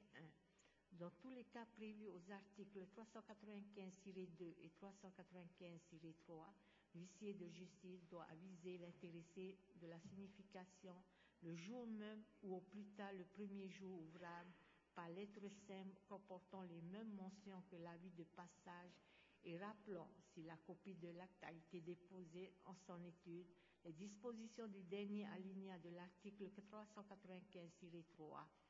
La lettre contient en outre une copie de l'acte de signification. Il en est de même en cas de signification à domicile élu ou lorsque la signification est faite à une personne morale. Le cachet de l'huissier est apposé sur l'enveloppe. L'article 396-2. Lorsque la personne à qui l'acte doit être signifié n'a ni domicile, ni résidence, ni lieu de travail connu, l'huissier de justice dresse un procès verbal où il relate avec précision les diligences qu'il a accomplies pour rechercher le destinataire de l'acte. Le même jour ou au plus tard le premier jour ouvrable suivant, à peine de nullité, l'huissier de justice envoie au destinataire à la dernière adresse connue par lettre recommandée avec demande d'avis de réception une copie du procès verbal à laquelle est jointe une copie de l'acte objet de la signification. Le jour même, l'huissier de justice avise le destinataire par lettre simple de l'accomplissement de cette formalité. Les dispositions du présent article sont applicables à la signification d'un acte concernant une personne morale qui n'a plus, qui n'a plus d'établissement connu au lieu indiqué comme siège social par le registre du commerce et, des sociétés. Article 397. Si la partie habite dans, dans un territoire français autre que Polynésie française et au moins que la signification ait pu être faite à une personne, l'huissier de justice, expédie l'acte à l'autorité compétente au fin de sa remise à l'intéressé selon les modalités applicables dans la collectivité où il demeure. L'huissier de justice doit, le jour même ou au plus tard, le premier jour ouvrable suivant, expédier au destinataire par lettre recommandée avec demande d'avis de réception la copie certifiée conforme de l'acte. Article 397-1. L'autorité compétente informe l'huissier de justice des diligences faites. Elle lui, transmet le cas échéant tout procès verbal ou récépissé constatant la remise de l'acte. Ces documents sont tenus par l'huissier de justice à la disposition de la juridiction. Article 397-2. Si la partie habite à l'étranger, les notifications qui doivent être légalement faites par exploit d'huissier ont lieu au parquet du procureur de la République près le tribunal saisi, lequel, après visa de l'original, envoie la copie au ministère des Affaires étrangères ou à toute autre autorité déterminée par les conventions diplomatiques. diplomatiques. Les autres notifications peuvent être faites par lettre recommandée avec avis de réception. L'huissier de justice doit, le jour même ou au plus tard, le premier jour ouvrable suivant, expédier au destinataire par lettre recommandée avec demande d'avis de réception la copie certifiée conforme de l'acte. Article 397-3. Le procureur de la République, après retour de récépissé, transmet celui-ci à l'huissier pour être annexé à l'original. Article 397-4.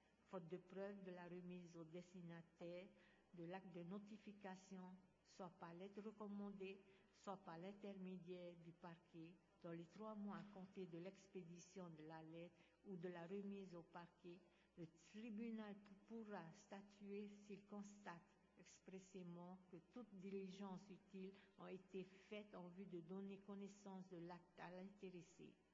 Le cas échéant, il en prescrira de complémentaires et ordonnera aux besoins d'office toute mesure provisoire utile en vue de sauvegarder les droits des parties.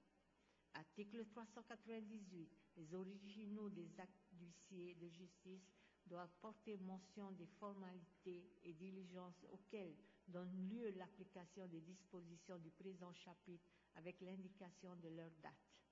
Lorsque la signification n'a pas été faite à personne, l'original de l'acte doit préciser le nom et qualité de la personne à laquelle la copie a été laissée.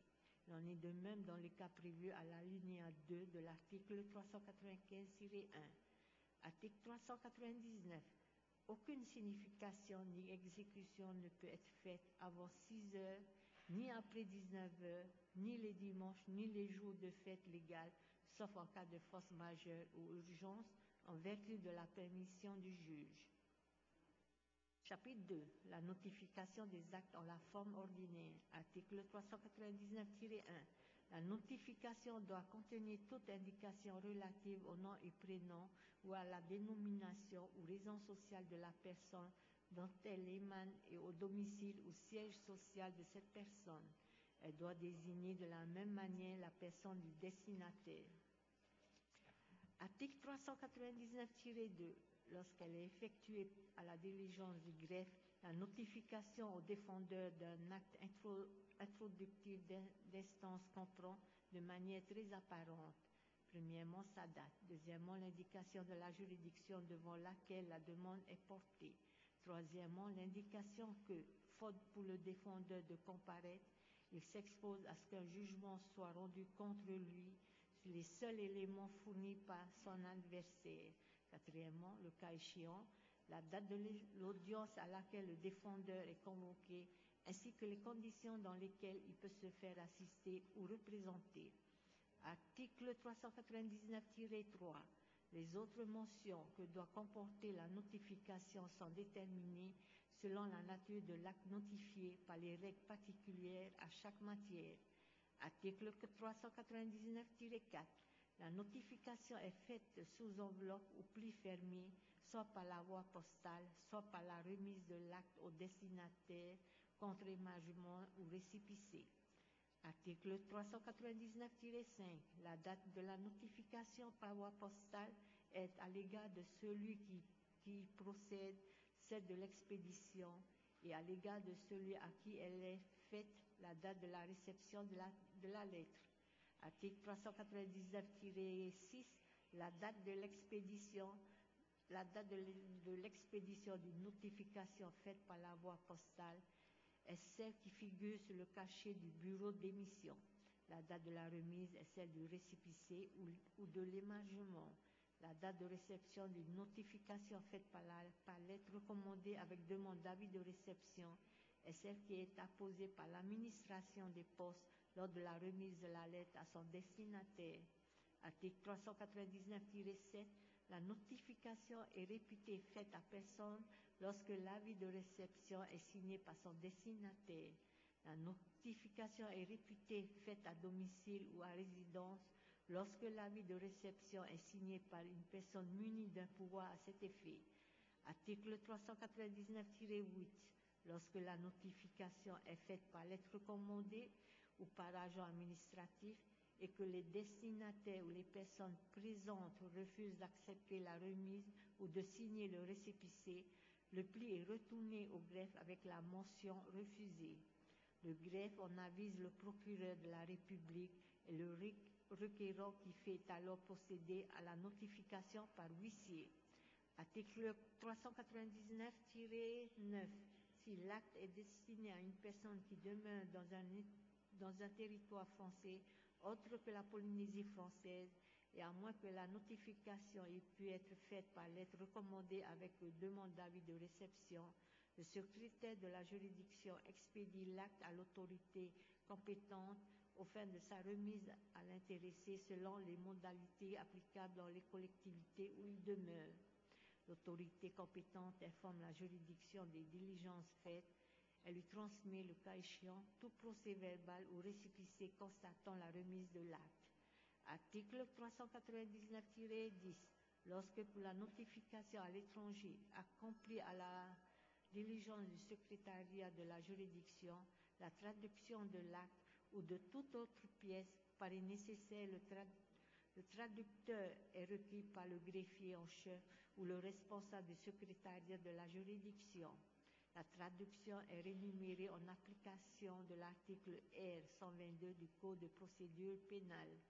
Les frais occasionnés par la notification d'un acte à l'étranger à la diligence du secrétariat de juridiction sont taxés, avancés et recouvrés au titre des frais prévus par l'article R 96, 16e du Code de procédure pénale.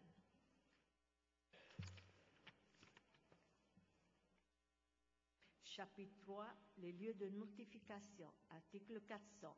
Les notifications sont faites au lieu où demeure le destinataire s'il s'agit d'une personne physique.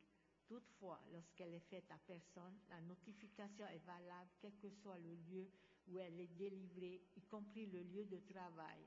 La notification est aussi valable faite au domicile élu lorsque la loi l'admet ou l'impose. Article 401. Les notifications ont lieu, premièrement, pour l'État en la personne du représentant local de l'agent judiciaire du Trésor, lorsque l'action tend à faire déclarer l'État débiteur pour des causes étrangères à l'emploi ou au domaine, en la personne ou au bureau du haut-commissaire de la République dans les autres cas. Deuxièmement, pour la collectivité en la personne ou au bureau du président de la Polynésie française. Troisièmement, pour les communes en la personne ou au bureau du maire. Quatrièmement, pour les personnes morales de droit public ou de droit privé, à la personne de leur représentant légal ou d'un fondé de pouvoir de ce, dernier, de ce dernier ou de toute autre personne habilitée à cet effet, sinon en leur bureau. Dans les cas ci-dessus, l'original de l'exploit d'huissier ou le récépissé est signé par celui à qui copie est laissée. En cas d'absence ou de refus, le visa est donné par le procureur de la République et copie lui est laissée. Article 402. Les notifications faites à des personnes publiques préposées pour les recevoir sont visées par elles sans frais sur l'original si l'huissier se présentant au bureau de ces personnes publiques à une heure légale les trouve fermés, mention en effet sur l'exploit qui, dans ce cas, eu égard au délai, est valablement notifié le premier jour ouvrable suivant. Chapitre 4, dispositions diverses. Article 403. Les huissiers ne peuvent instrumenter pour eux-mêmes leurs conjoints, leurs parents et alliés, et ceux de leurs conjoints en ligne directe à l'infini, ni pour leurs parents et alliés collatéraux jusqu'au degré de cousins issus de germains inclusivement. Article 403-1. Les mentions et signatures portées sur les, avis postaux et administratifs de réception ou sur les documents dressés par l'huissier auxiliaire en force probante jusqu'à preuve contraire. Les, constatations mentionnées par les huissiers ou les agents désignés pour en assurer les fonctions font foi jusqu'à inscription de faux. Merci. Donc c'est un petit peu lent la lecture. Avez-vous euh, des interventions, Madame Sabrina Berg? Maruru, Président. Oui, euh, je pense que vous allez être d'accord avec, avec moi, avec nous. Euh, vous êtes conscient quand même que en Polynésie, il y a à peu près 30% d'illettrés et qu'il y a beaucoup de personnes euh, qui n'arrivent pas à lire ces textes, non seulement parce qu'ils n'arrivent pas à lire tout simplement, mais aussi parce que c'est dans une langue barbare, c'est du jargon juridique. Alors, il serait bien de suggérer, lorsque, puisque la loi est censée être comprise par tout le monde pour qu'elle soit équitable, hein, il y a le devoir d'équité devant la justice, donc cette obligation que ceux qu'on va informer, notifier, signifier, comprennent la signification, la notification. Euh, il serait bien que euh, cette signification soit accompagnée peut-être d'un enregistrement en. Je dis enregistrement et pas une écriture parce que je tiens compte justement des illettrés. Et si l'huissier arrive devant quelqu'un qui n'arrive pas à lire et qui ne comprend pas très bien le français, peut au moins lui faire écouter l'enregistrement qui traduit. Pourquoi? Parce que je vois, on, on, rencontre régulièrement des personnes qui sont victimes de notre justice parce qu'ils n'ont pas compris ce qui est écrit dans la notification qui leur a été signifiée. Et ils n'ont pas réagi à temps, ils n'ont pas fait le recours à temps, ils n'ont pas compris le jargon juridique et donc de ce fait-là, ils ont été victimes et la justice va trancher contre eux. Et donc, moi je dis, c'est véritablement une, une violation du principe d'équité devant la justice, le fait de ne pas informer bien comme il faut euh, ceux qui reçoivent ces significations et ces notifications. Et je plaide en faveur d'un enregistrement parce qu'il y a le problème des illettrés chez nous. Maruru. Et pourtant, Merci. nul n'est censé ignorer la loi. Nous passons au vote. Madame Sandra Yagami. Euh, j'ai choisi d'intervenir sur euh, quasiment le dernier article, juste pour euh, peut-être répondre à quelques interventions. Euh, tout d'abord, euh, sur le conseil juridique, j'ai eu l'occasion de m'en expliquer avec euh, mademoiselle Sabrina Burke-Lévy. Euh, je, je, ne partage pas sa vision. Moi-même, j'ai une formation de juriste, mais j'avoue qu'en matière de procédure, à un moment donné, il faut quand même avoir des professionnels face à soi. Donc, autant j'accompagne les gens sur des premiers conseils pour au moins les orienter, au-delà, je pense qu'il faut quand même avoir euh, la formation adéquate parce que c'est une grosse responsabilité euh, d'orienter les gens. Pourquoi est-ce que, à l'époque, le législateur a un peu changé son fusil d'épaule pour permettre justement que ces, conseils juridiques qui fleurissaient un peu partout ne puissent plus exercer C'est parce qu'on a eu quand même pas mal d'escrocs. Et euh, vous les avez peut-être vus passer. Moi, j'ai vu beaucoup de gens euh, qui étaient conseillés, euh, souvent ce qu'on appelle les figariri, des gens qui sont assez euh, enclins à croire ce qu'on leur raconte, avec des tarifs, mais qui étaient beaucoup plus chers que ceux pratiqués par des avocats, et avec des requêtes qui n'avaient ni queue ni tête et qui n'étaient même pas rédigées en bon français. Je pense quand même que le recadrage en la matière a permis de remettre du sérieux et a permis de protéger davantage les victimes voire même les personnes qui se prévalent d'un droit et qui ont le droit tout à fait d'être protégées dans les meilleures conditions par les meilleurs professionnels. Ça, c'est la première chose. Je ne veux pas défendre la profession d'avocat, mais c'est une profession. Et je pense que ça, il faut, euh, il faut bien le, redire. Euh, ensuite, euh, juste pour rebondir sur ce que disait tantôt le, député Edouard Fritsch quand il parlait de divorce, pourquoi pas devant le maire, je voulais juste euh, rappeler à votre attention que à un moment, en métropole s'est posé la question, notamment quand ils ont revu la notion de divorce, du démariage. Puisque le mariage se faisait devant le maire, est-ce que le divorce ne pouvait pas se faire devant le maire Ce fameux démariage? Et ce qui a été opposé euh, à l'époque à, à, ceux qui l'ont proposé, c'est tout ce qui est liquidation des biens, euh, autorité parentale, et que ça supposait quand même d'avoir une certaine technicité, un certain pouvoir en la matière, détenu actuellement par les juges, hein, pour pouvoir statuer. Mais je pense euh, fondamentalement que ça peut être une piste et qu'on pourrait en effet dissocier les, deux choses pour accélérer les procédures. Et euh, voilà, donc en tout cas, je vous remercie tous de, de ce qu'on vient de faire aujourd'hui. Je pense qu'en la matière, en matière de divorce, par rapport à ce qui était proposé, vaut mieux laisser le temps au temps. C'est l'option qui a été prise euh, par M. Frébeau pour qu'il euh, revoie leur copie au niveau des services euh, de la, du, du secrétariat général du gouvernement et euh, pour permettre de, de rester dans le statu quo actuel, sauf bien évidemment s'il devait y avoir un recours à venir, à ce moment-là, euh, tout serait tranché. Merci bien.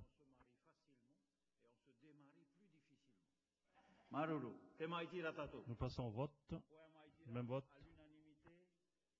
Article, nouvel article 13, l'ancien article 20. Taïomai. Article 13.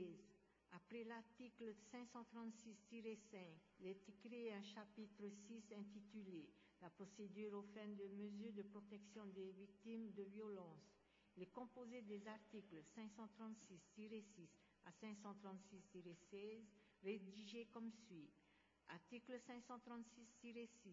Dans les cas prévus aux articles 515-9 et 515-13 du Code civil, le juge est saisi par une requête remise ou adressée au greffe. Outre les mentions prescrites, par l'article 18 du présent code, la requête contient un exposé sommaire des motifs de la demande et, en annexe, les pièces sur lesquelles celle-ci est fondée. Ces exigences sont prescrites à personne de nullité. À moins qu'il ne soit l'auteur de la requête, le ministère public en est aussitôt avisé par le greffier. Chaque, partie est convoquée par le greffier à l'audience. La convo convocation des parties, à l'exception du ministère public, est faite par lettre recommandée avec demande d'avis de réception ou par la voie administrative en cas de danger grave et imminent pour la sécurité d'une personne concernée par une ordonnance de protection ou lorsqu'il n'existe pas d'autre moyen de notification.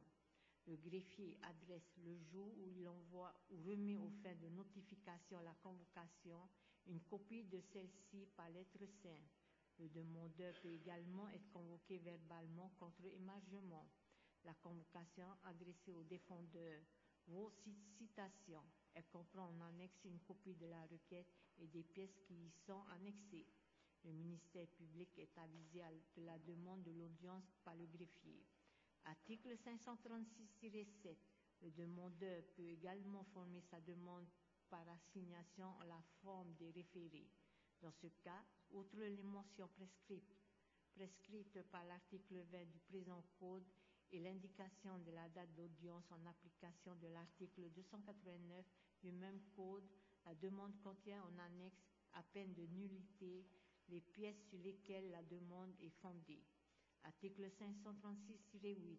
Le, le demandeur qui sollicite en application du, du sixième mot de l'article 515-11 du Code civil, l'autorisation de dissimuler son domicile ou sa résidence est dispensée d'en indiquer l'adresse dans son acte introductif d'instance sous réserve de porter cette information à la connaissance de l'avocat qui l'assiste ou le représente ou du procureur de la République près du tribunal de première instance auprès duquel il élit domicile. L'acte mentionne cette élection de domicile.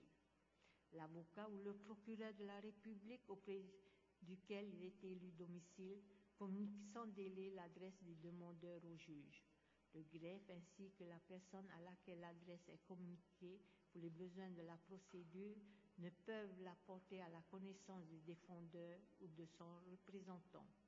L'article 536-9 les parties se défendent elles-mêmes.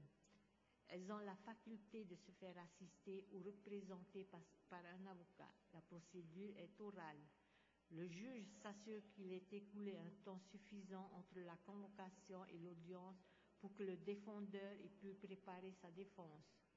Le juge peut, à tout moment de la procédure, par simple mention au, au dossier, ordonner la comparution personnelle d'une partie pour l'entendre séparément ou en présence de l'autre partie.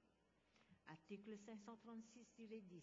L'ordonnance qui statue sur la demande de mesures de protection des victimes de violences est exécutoire à titre provisoire à moins que le juge en dispose autrement. L'ordonnance fixe la durée des mesures prises en application des articles 515-11 et 515-13 du Code civil. À défaut, celles-ci prennent fin à l'issue d'un délai de quatre mois suivant la notification de l'ordonnance sous réserve des dispositions de l'article 536-16 du présent Code. En effet, mention dans l'acte de notification. Article 536-11. La dissimulation du domicile ou de la résidence dans les instances civiles ultérieures autorisée en application du sixièmement de l'article 515-11 du Code civil obéit aux conditions et modalités prévues par l'article 536-8 du présent Code.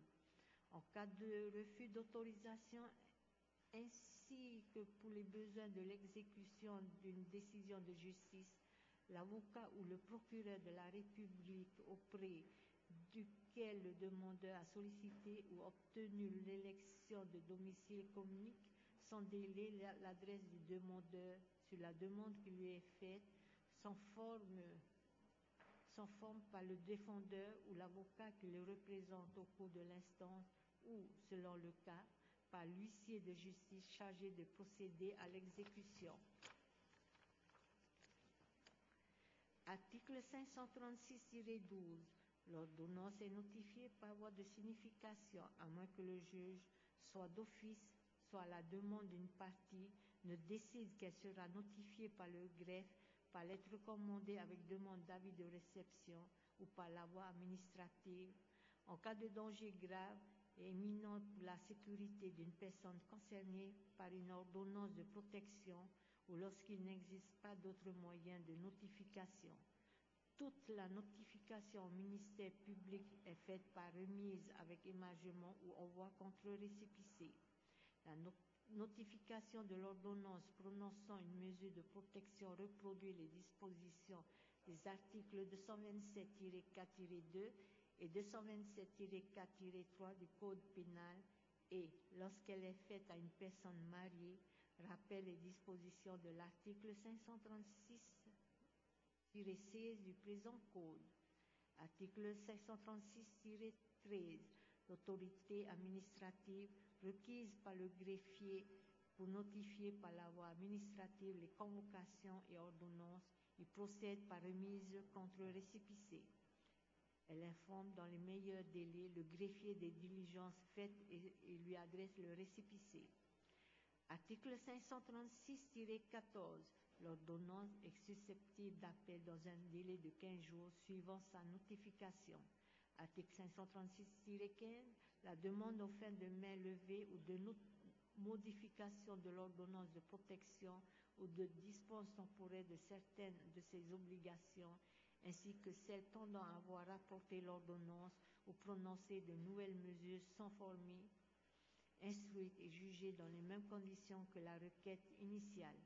Toutefois, lorsqu'un appel a été interjeté, la demande est formée par requête remise ou adressée au greffe de la Cour d'appel. Il est statué sur celle-ci, selon le cas, par le premier président de la Cour d'appel, le conseiller de la mise en état ou la formation de jugement. Article 536-16. Lorsqu'une demande en divorce ou en séparation de corps est introduite avant l'expiration de la durée des mesures de protection ou que l'ordonnance de protection est prononcée alors qu'une procédure de divorce ou de séparation de corps en est en cours, les mesures de l'ordonnance de protection continuent de produire leur effet jusqu'à ce qu'une décision statuant sur la demande en divorce ou en séparation de corps soit passée en force de chose jugée, à moins que le juge saisi de cette demande en décide autrement. Toutefois, les mesures prises en application des troisièmement, quatrièmement et cinquièmement de l'article 515-11 du Code civil et prononcées antérieurement à l'ordonnance de non-conciliation cessent de produire leur effet à compter de la notification de celle-ci. À compter de l'introduction de la procédure de, de divorce ou de séparation de corps, la demande aux fins de mesures de protection ainsi que les demandes mentionnées au premier alinéa de l'article 536-15 du présent code sont présentées devant le juge saisi de cette procédure. La demande est formée, instruite et jugée selon les règles du présent chapitre et le juge statue par décision séparée. Merci. Y a-t-il des interventions?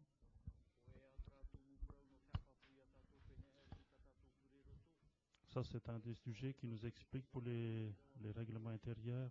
Peut-être que nous allons euh, supprimer la lecture euh, par la suite. Même vote, article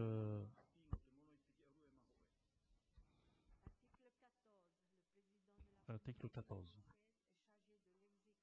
de la présente délibération qui sera publiée au journal officiel, officiel de la Polynésie française. Merci. Nous passons au vote. À l'unanimité, 44 voix pour sur l'ensemble de la délibération. Est-ce que tout le monde est d'accord? 44 voix pour. Dernière pensée, Madame Sabina Berg. Merci, Monsieur le Président. D'abord, remercier notre ministre pour euh, avoir su euh, nous entendre et adapter ce texte euh, pour que pour, pour qu'il ne soit que meilleur demain, Maruru. Et euh, surtout parce que comme j'ai été euh, prise à partie, comme on dirait, c'est pour répondre, c'est pour répondre rapidement à, à mademoiselle Sandra Agami. Je lui invite à, aller devant l'université et de dire ça à nos étudiants en droit qui ont fait de longues études en droit Maria. et de leur dire non, ne faites pas du conseil juridique, vous allez devenir des escrocs et des ânes. Je trouve ça un peu déplorable quand on voit des étudiants qui font des longues études en droit, ils ont le droit d'enseigner, de faire du conseil juridique aussi. Je vous invite à, à aller vous rendre sur place parce que ça vient des étudiants cette demande. Merci. Que la paix soit avec nous. Non, non, non, je vous redonne plus la parole, ça suffit. Sabrina Berfevi, que si je l'ai offensée, je m'en excuse, mais je pense qu'elle n'a pas forcément bien compris mon, mon intervention. Merci. Aimez-vous les uns les autres? Maruru, maruru maitei. Merci, Monsieur le Ministre. Dernière intervention, vous avez la parole.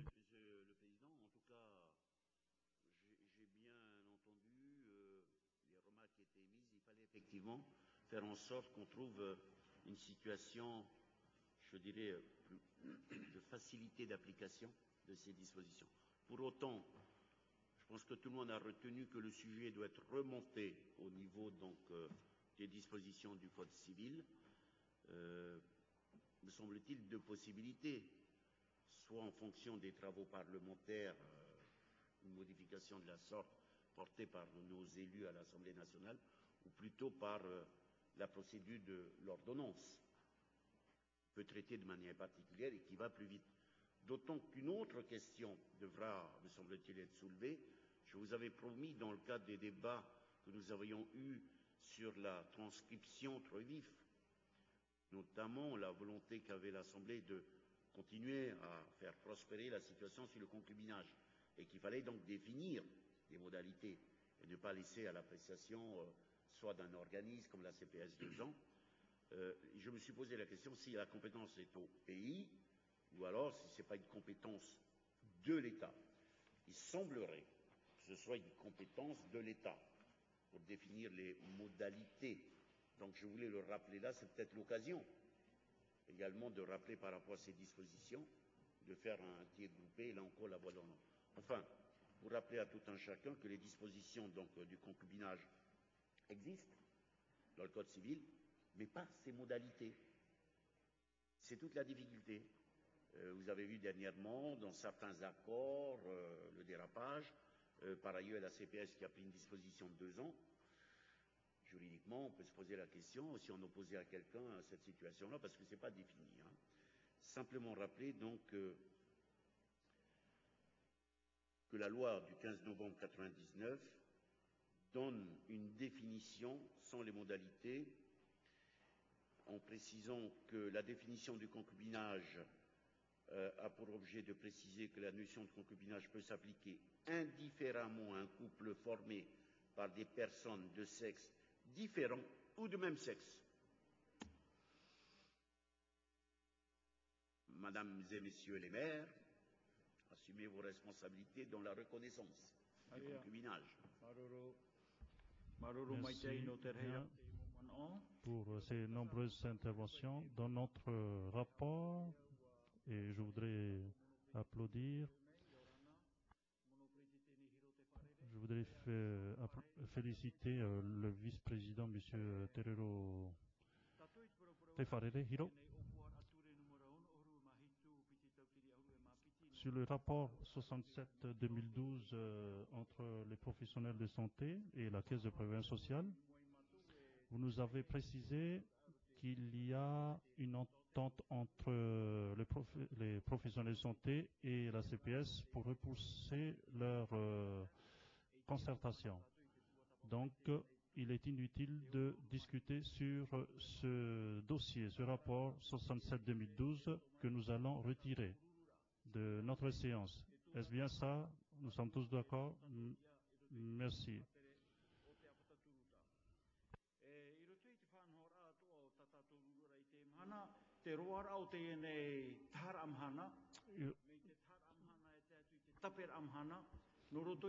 e to. Aujourd'hui, donc nous allons nous allons euh,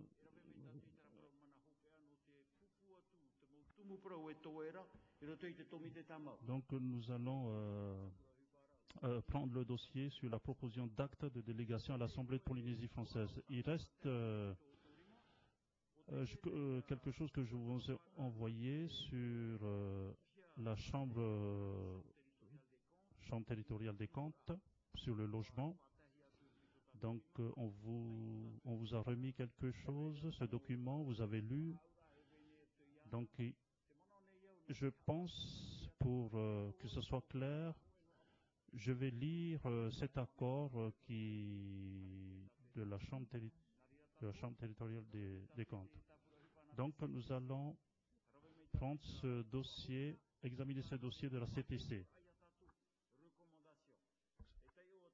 Donc, nous allons voir ces recommandations.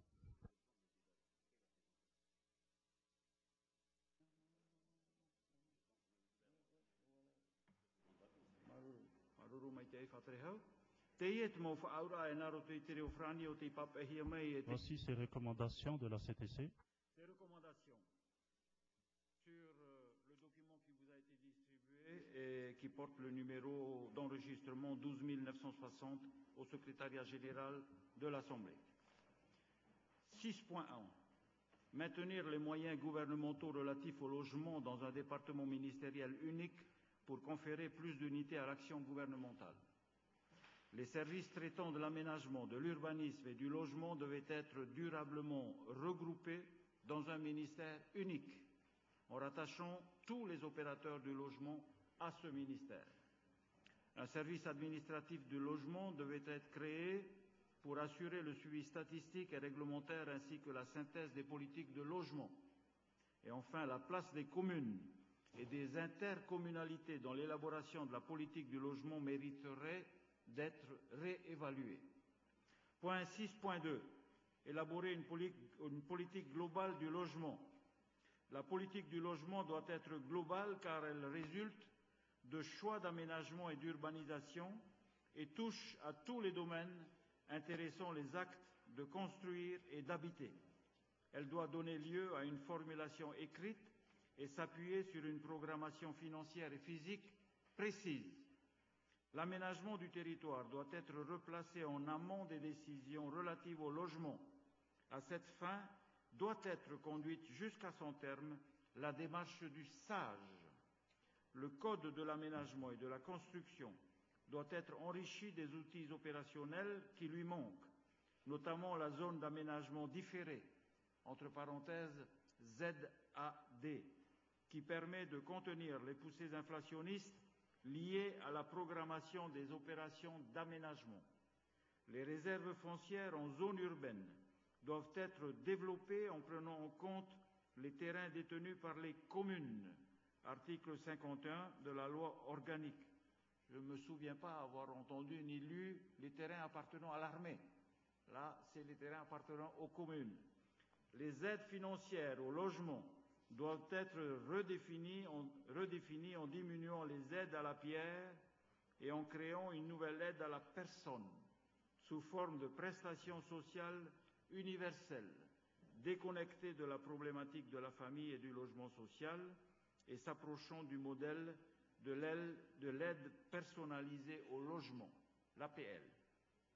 Une mise en concordance des moyens consacrés au dispositif d'aide au logement avec les possibilités budgétaires de la collectivité doit être opérée, en privilégiant notamment la gestion en enveloppe fermée et la sélectivité accrue des bénéficiaires. Enfin, au point 6.3, prioriser les moyens consacrés au logement social. Un effort prioritaire vers le logement social en habitat groupé dans les îles du Vent est indispensable, notamment en termes de moyens. L'efficacité des opérateurs doit être améliorée par la mise en œuvre de nouveaux outils tels que la signature d'un contrat d'objectifs et de moyens entre la collectivité et les opérateurs, comportant notamment des engagements fermes en matière de foncier opérable et une professionnalisation accrue des dirigeants. La configuration des opérateurs de logement social, notamment construction et gestion, doit être achevée rapidement pour mettre fin à l'expectative dans laquelle sont plongés les acteurs de la construction sociale à un an de la fin du contrat de projet. Telles sont les recommandations de la CTC.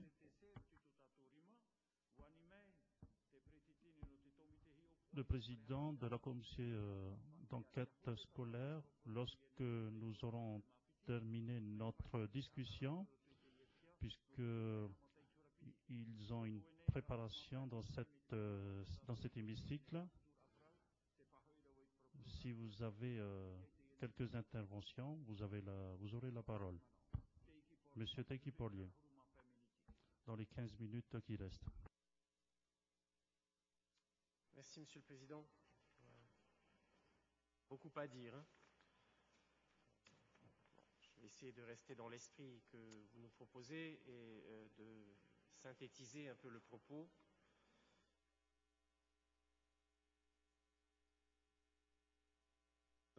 Ce rapport est encore une fois, comme les précédents rapports, une mine d'informations et de pistes. Vous avez rappelé les différentes euh, préconisations de ces conclusions. Ce qui est sûr, c'est que jusqu'en 1984, la compétence en matière de logement était assumée euh, par l'État et depuis pleinement assumée par le pays. Des constats, des rapports, des études, on en a plusieurs. On va se souvenir notamment de ceux faits par l'OPH, par l'EAD, euh, les États généraux du logement en 2005, les États généraux de l'outre-mer 2010, alors, si nous vivons une période d'instabilité politique depuis euh, maintenant huit ans, il y a quand même une certaine continuité que l'on constate et tous ces rapports mettent en évidence une continuité certaine en matière de politique publique pour le logement, c'est que la Polynésie française n'en a pas encore. Un seul indicateur, le plus récent, pour illustrer ce propos, c'est le volet financier ouvert au titre du contrat de projet. Au départ, 23,6 milliards. Au 30 novembre 2011, on a réduit cette enveloppe à 22,7 milliards. Souvenons-nous, gardons en tête, nous sommes à la fin de 2012, 60 logements ont été réalisés au titre du contrat de projet. 60. Il en est prévu 1803. Et comme vous l'avez dit, Monsieur le Président, il reste un an. La capacité annuelle de production du pays est de l'ordre d'une centaine. Il en reste 1803. Alors bien sûr, le schéma d'aménagement est en cours d'élaboration. Nous avons pu ici à l'Assemblée rencontrer deux des bureaux d'études chargés de l'élaboration de ce schéma. Bien sûr que ce schéma permettra de définir des espaces dédiés à la construction de logements, mais ensuite, il faudra s'assurer que ces terrains soient effectivement disponibles pour la construction des logements, car un des freins historiques aux opérations de logement, c'est le foncier. Souvenons-nous, il y a des opérations de logement qui ont démarré il y a plus de dix ans. Alors oui, il y a des outils réglementaires pour lever ces freins fonciers, et ces outils sont difficiles à utiliser, ils sont difficiles notamment pour les politiques, parce que faire une déclaration d'utilité publique, c'est difficile, c'est douloureux. Mais cet outil, ce mécanisme juridique qu'on appelle la déclaration d'utilité publique existe parce que face à des problèmes d'intérêt général, il faut des solutions. Est-ce que le logement n'est pas un problème d'intérêt général? Est-ce qu'au sein de la République, le logement n'est pas un droit ouvert à toutes les familles? Allons-nous continuer à construire les logements sociaux dans les fonds de vallée, sur les hauteurs, isolés de tout, obligeant les familles euh, à avoir une voiture, à payer l'assurance, payer l'essence,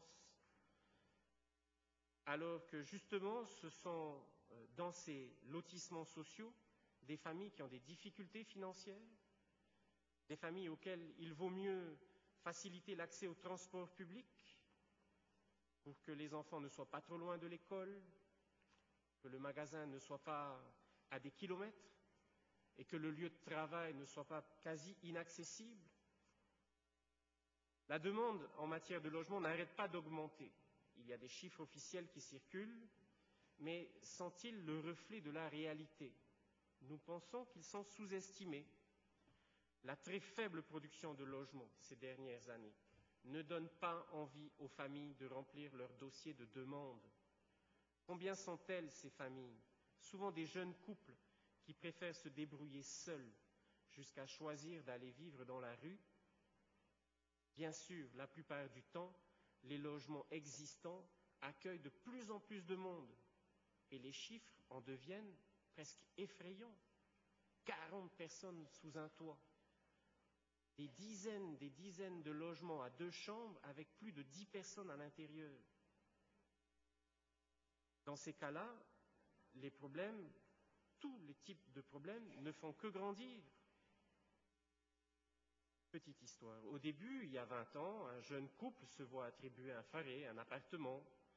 Il s'y installe, le père travaille comme manœuvre dans une grande entreprise du BTP, la mère fait des travaux menus à domicile, leurs revenus sont modestes, mais leurs trois ou quatre enfants sont épanouis, vont à l'école, prennent le truc de la mairie souvent pour aller à l'école.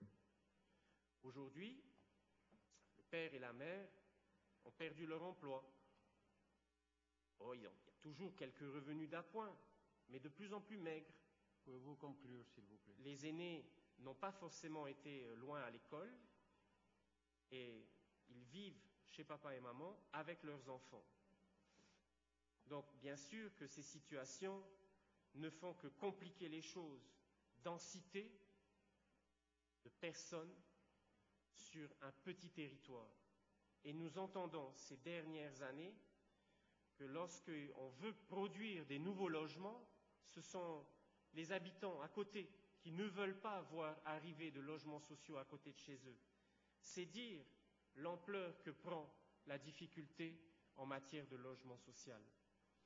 Et pourtant, il revient au pouvoir public de trouver des solutions et de les adapter. Je voudrais par contre, Monsieur le Président, si vous me le permettez, être encore sur quelques minutes. Il y a d'autres intervenants aussi, alors. Très pratique. Oui, mais c'est un dossier important, je crois, Monsieur le Président. Je sais, je sais. Donc, euh, il y a des choix qu'il faut faire.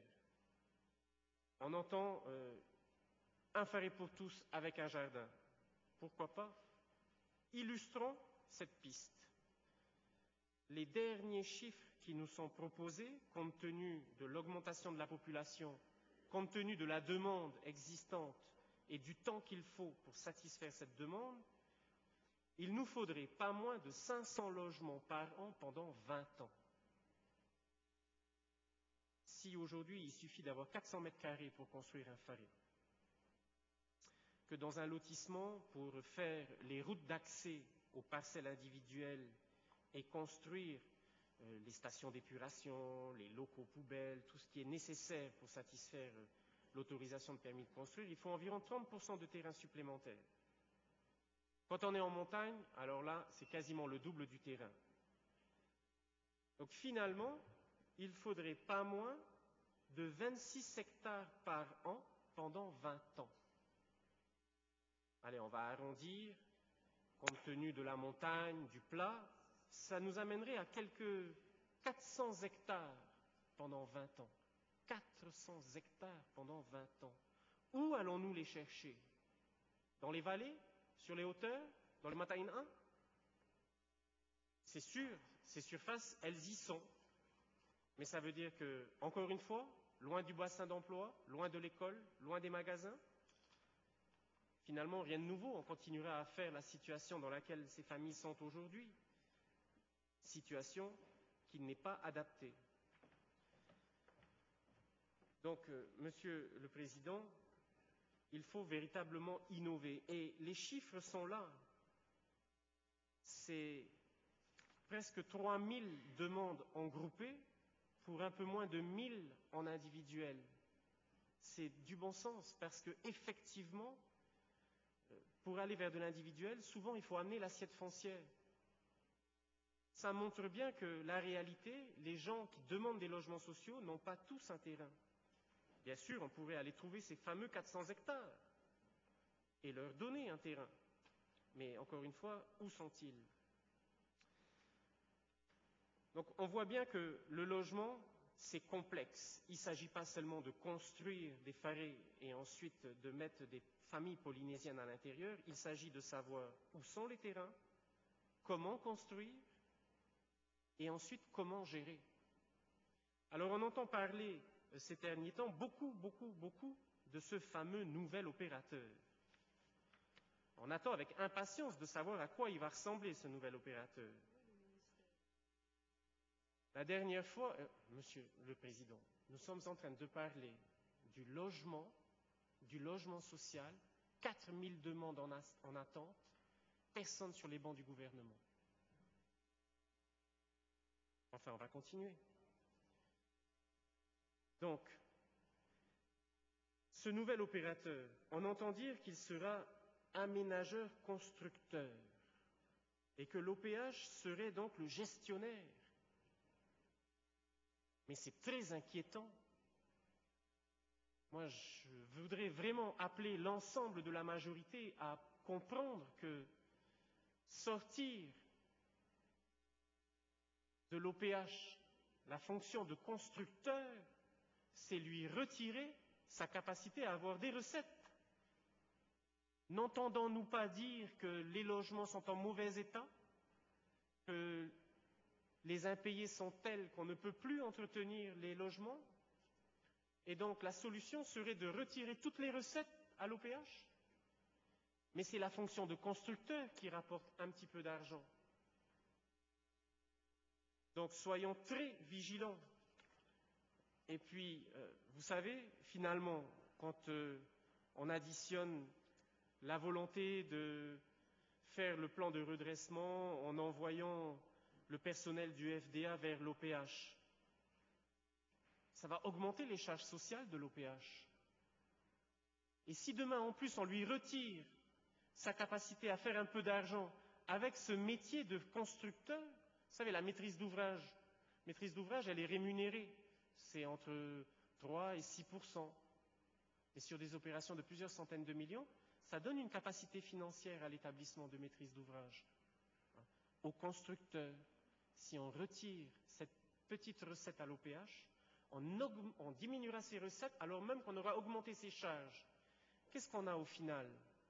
Une volonté de fermer l'OPH C'est bien ça dont il s'agit peut-être mais qu'on nous le dise clairement et qu'on nous propose une date et que l'on sache véritablement si demain le nouvel opérateur ne fera que des recettes et le pays aura toutes les charges.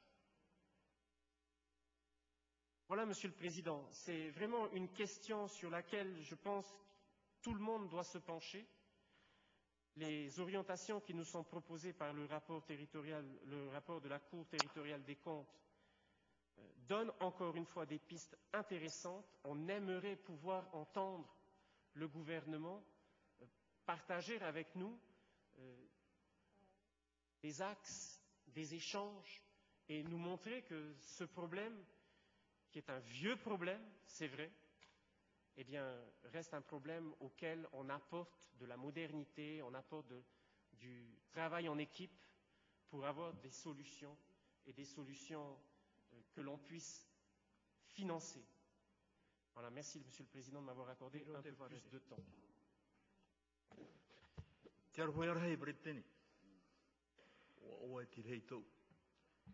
Je suis très heureux Alors, je, vous ai, je suis parti pendant 12 jours hein, pour un déplacement très important pour nous. Et j'en discuterai avec euh, notre président du pays hein, sur les orientations que nous devrions euh, nous fixer. Et les Kanaks nous saluent. Alors,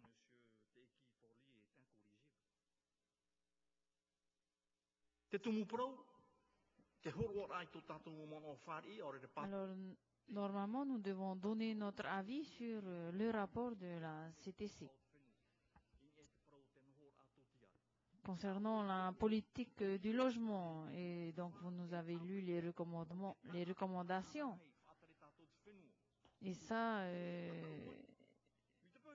c'est pas la peine de venir euh, blablater. Eh s'il le souhaite, eh bien, je le rappelle que le ministre qui, a chargé, qui s'est chargé de ce secteur pendant euh, plus de dix mois, c'était Jean-Christophe Buissou.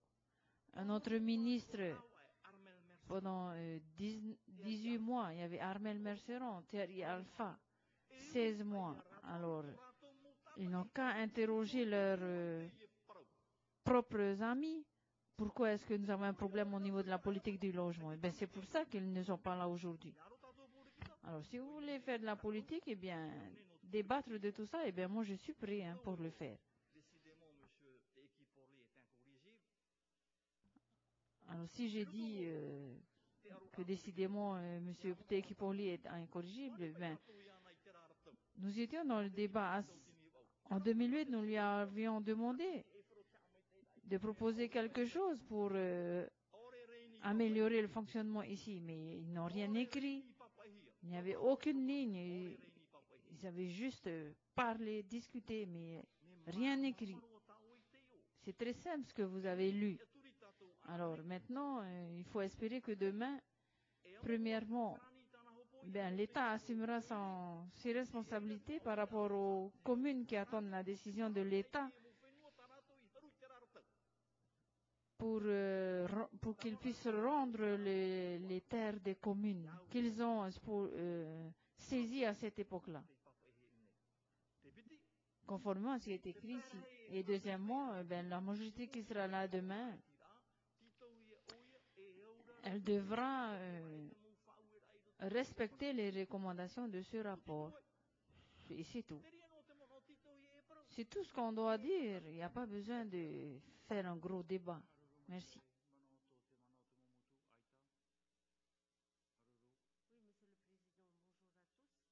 Ben, tout, tout vient d'être dit. Et vous avez lu les recommandations de la CTC. Donc je pense que, comme on est en train de, de voir, que le prochain gouvernement, il n'a qu'à les suivre, en faire son livre de chevet. Voilà.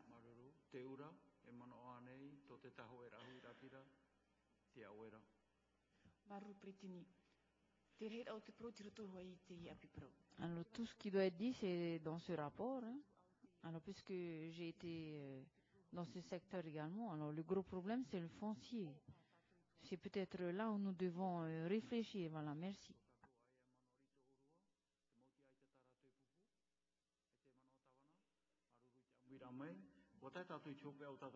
Alors, nous sommes arrivés au terme de nos travaux de ce matin. Nous reprendrons à 14 heures avec euh, la commission d'enquête. Euh. Alors, j'avais invité euh, l'ensemble des ministres pour cet après-midi. Merci. Je suspends nos travaux.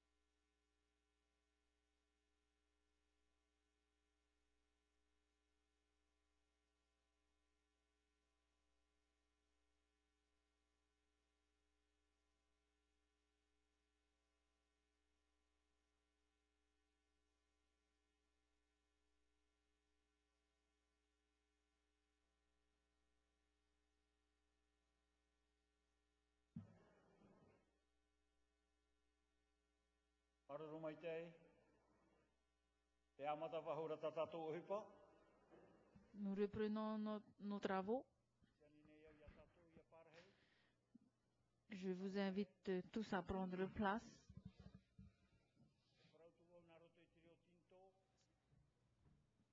Peut-être dois-je vous parler en chinois.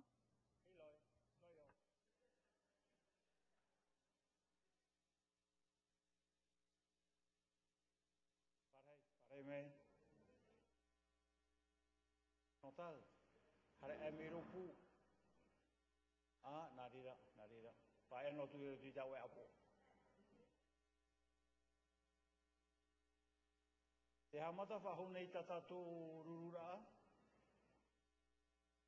Mai te no te tapapara ai chorei whatahia, kom da bitud. E, te nia tatu i te tua Nous reprenons nos travaux et comme et étudions, passons à l'examen du rapport euh, de la commission d'enquête visant à évaluer l'impact de la scolarité hors noyau familial sur la réussite éducative et scolaire des élèves. Je donne la parole au président de la commission et je viens prendre place parmi vous. Après la lecture du rapport, la discussion, euh, nous ouvrirons la discussion. Donc, euh, Monsieur Jean-Marie Raputo, vous avez la parole. Merci, Président.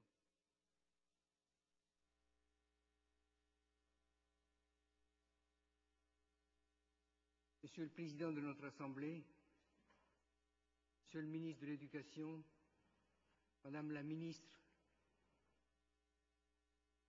Chers collègues, le grand public qui est présent parmi nous aujourd'hui, la presse, e.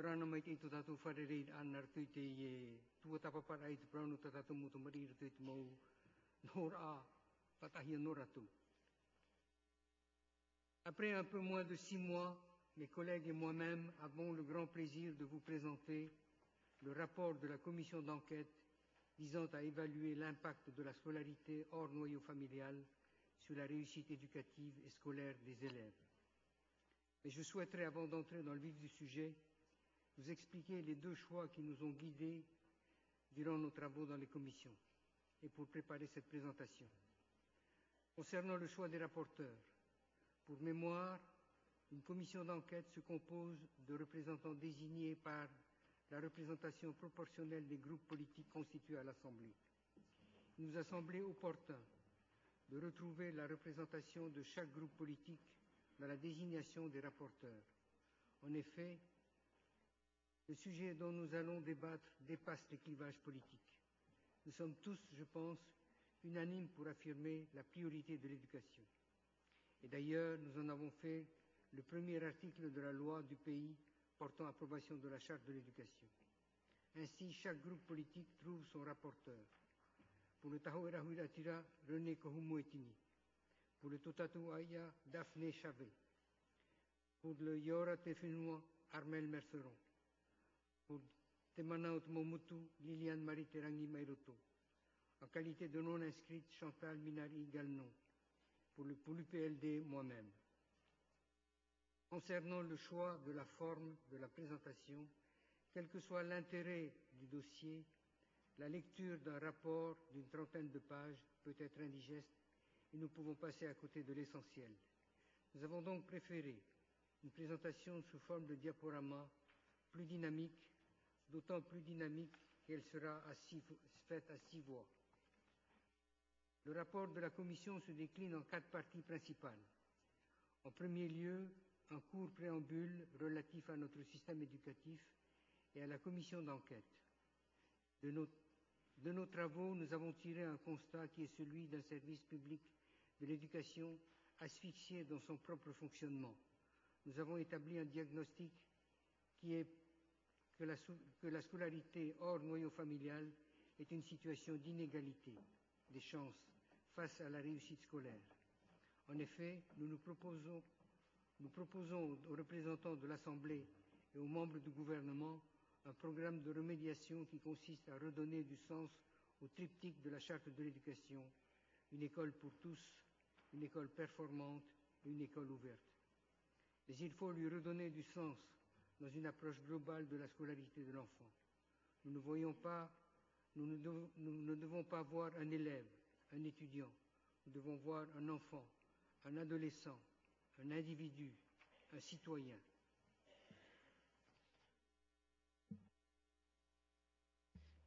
Tout le monde. Donc, dans cette partie, dans cette première partie, deux points seront successivement abordés.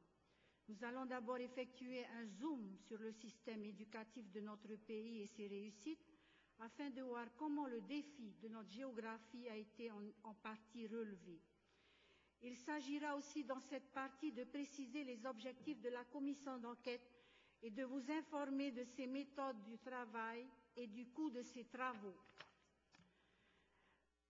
La Polynésie française, avec ses 18 îles dispersées, la Polynésie française,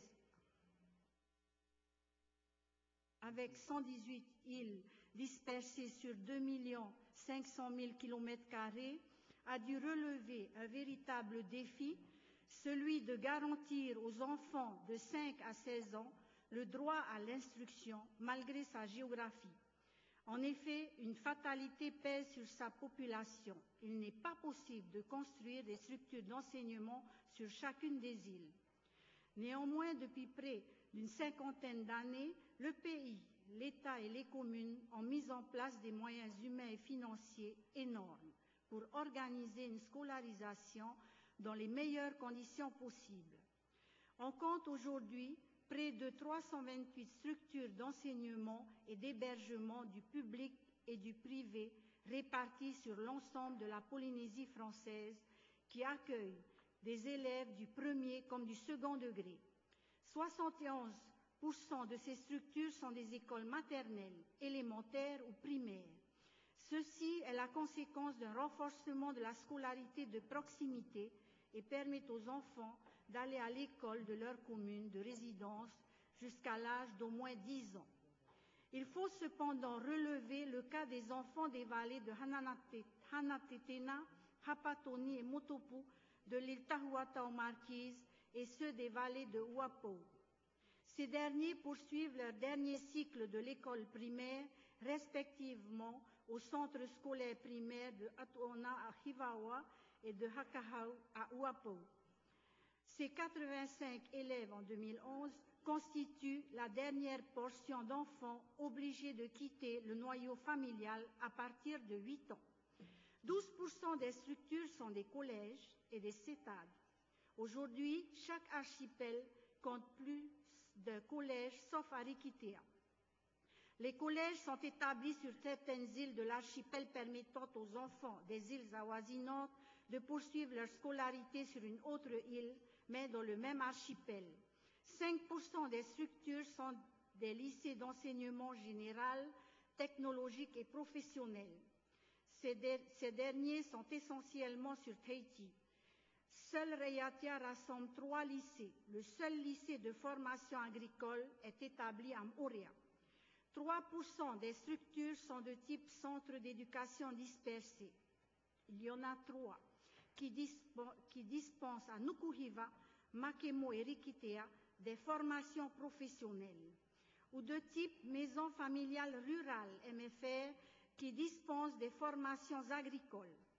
8% des structures sont des internats. Deux CSP aux Marquises accueillent des élèves du premier degré. 15 internats accueillent des élèves du collège et 10 internats pour les élèves du lycée. Alors je continue.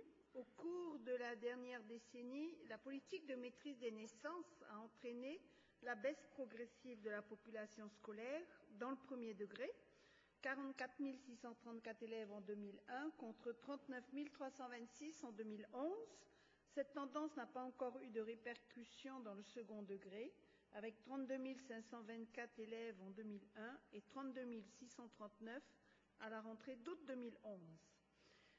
L'essentiel de la population scolaire se concentre à Tahiti, avec 68% des élèves. 32% des élèves sont répartis sur l'ensemble des autres archipels, avec 13% aux îles Soulevent, 6% au Tuamutu et à Moorea, 4% aux Marquises, 2,5% aux, aux, aux Australes et 0,5% aux Gambiers.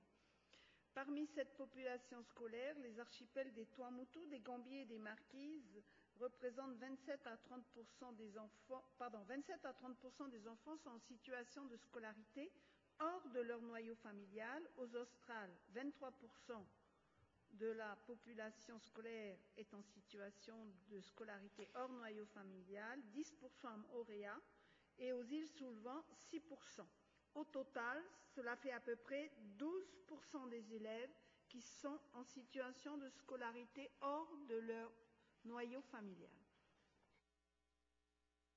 Dans le cadre de notre enquête, nous avons décliné la population scolaire de la manière suivante. Les élèves qui ne quittent pas leur famille pour poursuivre leurs études. Ces derniers résident et sont scolarisés dans leur commune de résidence. Et les élèves qui sont dans l'obligation de quitter leur famille pour leurs études. Néanmoins, dans cette catégorie, nous avons identifié les élèves en situation de scolarité hors noyau familial, scolarisés dans le même archipel de résidence. 7% des 12% de la population scolaire hors noyau familial sont concernés. Parmi eux, 4% quittent leur famille à partir de 11 ans pour le collège. C'est le cas pour les enfants originaires des Australes, des Marquises et des Tuamutu Gambier. 3% quittent leur famille à partir de 14 ans pour le lycée. C'est le cas pour les enfants originaires des îles Soulevant et de Moorea. Les élèves en situation de scolarité hors noyau familial, scolarisés dans un archipel autre que celui de résidence, 5% des 12% de la population scolaire hors noyau familial sont concernés. Originaires des Australes, des Marquises, des Tuamutu Gambier, de Moorea et en nombre restreint des îles sous le vent, les élèves se scolarisent essentiellement sur Tahiti ou Moorea, en formation agricole aussi au lycée. Pour certains, ils sont en situation de scolarité hors noyau familial depuis l'âge de 11 ans. Sur la dernière décennie, il faut relever que les effectifs des élèves scolarisés sur Tahiti et originaires des archipels éloignés ou de Moorea ont doublé. Pour les élèves originaires et scolarisés aux îles sous le vent et pour ceux des Gambiers scolarisés au Tuamutu, leur nombre est en hausse. La tendance est à l'inverse pour les élèves originaires et scolarisés aux Australes, aux Marquises et au Tuamutu. Le coût du système éducatif en Polynésie française est estimé à près de 69,5 milliards de francs par an, supporté essentiellement par l'État. Pour le coût de la scolarité du second degré dans les archipels éloignés de Tahiti, pour l'année 2011 et 2012, les estimations suivantes ont été faites. Concernant les moyens humains, près de 1200 personnels d'encadrement, d'enseignement administratif et technique ont été affectés dans les établissements publics et privés du second degré des archipels des Marquises, des Australes, des Tuamutu et des îles sous le vent et sur Moria. Cette masse salariale annuelle supportée par l'État est estimée à près de 13 milliards de francs et pour le pays à presque 1 milliard de francs. Concernant les transports scolaires, le coût s'élève à 550 millions de francs par voie aérienne et 330 millions de francs.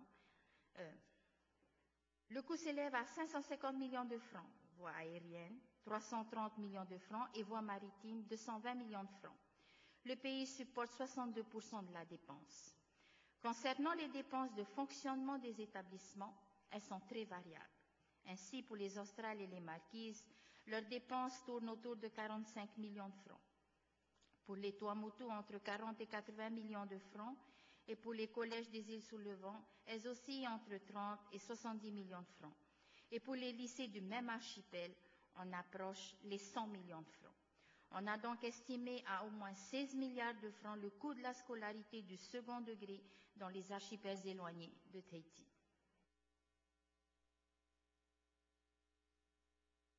Chers collègues,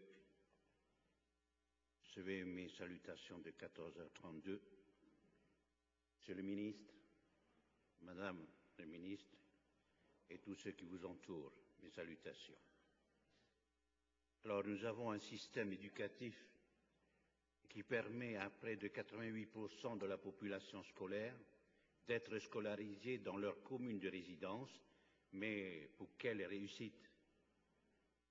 Sur la base des chiffres du recensement de la population effectué en 2007, un portrait portrait le plus réaliste possible des individus a été esquissé. Ainsi, une analyse du niveau scolaire et de la proportion des diplômés par archipel ou île a été effectuée sur deux tranches d'âge, les 19 à 29 ans et les plus de 50 ans.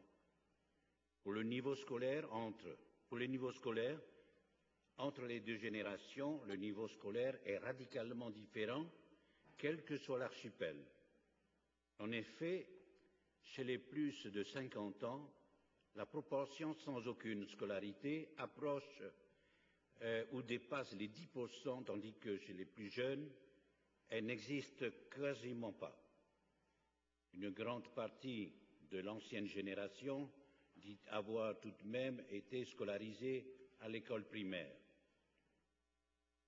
On peut donc dire que les dispositifs de scolarisation massive de notre population portent leurs fruits. Néanmoins, on remarque qu'environ 10%, 20% au Gambier, de la tranche de 19 à 29 ans, tous, euh, tous archipels confondus, n'a qu'un niveau école primaire. Cette tendance est plus forte dans les archipels éloignés et elle se réduit sur Tahiti et Montréal. Un autre constat peut être fait, la proportion du niveau études supérieures est plus grande sur Tahiti, presque 30%, que dans les archipels, tels que les Australes, les Marquises et les Tuamotu Gambier, 10%. Pour la proportion des diplômés, l'écart entre les deux générations est grand, avec plus de 60% des plus de 50 ans sans diplôme dans les archipels éloignés. Cette tendance est à la baisse dans l'archipel de la société, 50% à 40%. Cependant, on constate chez les 19 à 29 ans une proportion assez importante de sans diplôme, presque 40% pour les Tuamotu-Cambier contre 20% pour Tahiti. Concernant les réussites scolaires, diverses comparaisons ont été faites et aboutissent aux conclusions suivantes.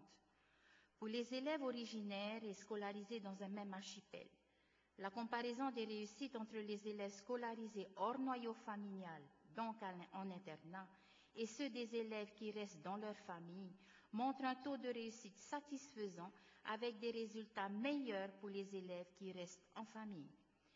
Pour les élèves scolarisés dans un autre archipel que celui de résidence, la comparaison des réussites entre les élèves hors noyau familial qui sont en internat et les élèves hors noyau familial qui ne sont pas en internat montre de meilleures réussites pour les élèves en internat. De manière générale, les résultats sont satisfaisants. Néanmoins, la tentative de suivi de cohorte effectuée par la commission d'enquête montre que nous sommes encore loin de l'objectif de la charte qui est d'amener 70% d'une classe d'âge au niveau 4, c'est-à-dire au niveau bac. En résumé de cette première partie du préambule, nous pouvons dire que le système éducatif tel qu'organisé permet tout de même à près de 88% de la population scolaire d'être scolarisée dans sa commune résidence. Il faut reconnaître les moyens humains et financiers énormes consentis par le pays, l'État et les communes pour relever le défi de notre géographie. Néanmoins, 12% des élèves doivent quitter leur famille pour continuer leurs études dès l'âge de 8 ans les deux tiers à partir de 11 ans et un tiers à partir de 14 ans, afin de décrocher un diplôme. Ainsi, 12% des élèves quittent leur île, valée pour être, dans la majorité des cas, en internat et ce pour toute la période scolaire. En fonction de la distance entre leur domicile et leur lieu de scolarisation et des moyens de transport, leur retour dans leur foyer peut se faire de manière hebdomadaire mensuel ou encore deux à trois fois par an. Le coût annuel général du système éducatif est colossal. Le niveau scolaire de la population a progressé, mais l'accès au diplôme est frileux. Et l'analyse des réussites aux examens, et notamment le suivi de cohortes, semble confirmer un accès difficile au niveau 4, notamment pour les élèves des îles, qui, de par leur lieu de résidence, sont plus souvent confrontés à la scolarité hors noyau familial. Au vu de ces premières conclusions, il a semblé opportun qu'une commission d'enquête se penche sur la problématique de la scolarité hors noyau familial. Comme il a été précisé précédemment, la composition d'une commission d'enquête respecte la représentation à la proportionnelle des groupes politiques constitués à l'Assemblée. Ainsi, la présente commission compte 13 membres. Nous vous laissons apprécier le trombinoscope. Les travaux de la commission totalisent près de 81 heures de séances de travail, soit 21 heures de réunions de commission et séances de préparation des auditions, et d'auditions, soit 60 heures d'échanges avec les représentants de la communauté éducative. Il faut relever un taux de présence de participation des membres qui tourne autour de 80%, c'est dire tout l'intérêt que ces derniers ont montré pour nos travaux. Alors, il s'agissait pour les membres de notre commission, d'une part, d'effectuer une analyse globale de la scolarité hors du noyau familial, mais aussi de la scolarité par l'intermédiaire du CNED, suivant l'exemple de Rikitea puis, par le biais du présent rapport, de formuler à l'attention de l'Assemblée délibérante et du gouvernement les préconisations qui s'imposent. Aussi, nous avons eu trois étapes majeures qui ont ponctué les travaux de notre commission. Nous avons d'abord constaté, sur la base des données chiffrées recueillies auprès des organismes ad hoc, des états des lieux concernant les élèves ainsi que les acteurs et les partenaires du système éducatif. Donc nous avons élaboré ces états des lieux. Ces derniers ont permis de tirer quelques hypothèses de réflexion et de débat pour la rencontre avec les membres de la communauté éducative. Ensuite, nous avons auditionné pendant près de deux mois. Près de 200 membres de la communauté éducative ont été entendus. Des élèves, des chefs d'établissement, des représentants des personnels, des personnels de l'éducation non enseignants, des parents d'élèves, des représentants d'associations périscolaires, des services sociaux, des foyers d'hébergement, des chefs, de, division et les directeurs des directions de l'éducation. Il faut préciser que les archipels éloignés ont été représentés. Après avoir auditionné, nous avons préconisé, et la démarche de la Commission n'a pas consisté uniquement à faire des constats. Nous nous inscrivons en effet dans une démarche saine qui tente de faire de réelles propositions d'amélioration qui incombent aussi bien aux représentants qu'aux membres de l'exécutif pour les mettre en œuvre. Il faut rappeler également que lors de sa création, euh, un budget de 3 millions a été octroyé à la Commission. Les dépenses engagées ont été de l'ordre de 2 300 000 francs et l'essentiel de ces dernières ont concerné la prise en charge des frais de transport pour les auditionnés des îles et des archipels éloignés. Sur la base des conclusions de son enquête, les membres de la Commission ont établi un constat, à savoir que le service public de l'éducation est asphyxié dans son propre fonctionnement. En effet, deux problématiques ont été décelées.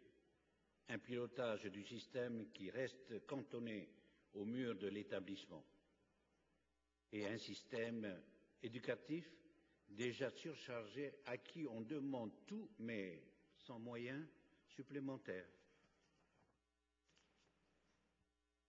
Quels sont les faits qui ont amené les membres à ce constat? Des finalités énoncées par la Charte de l'éducation.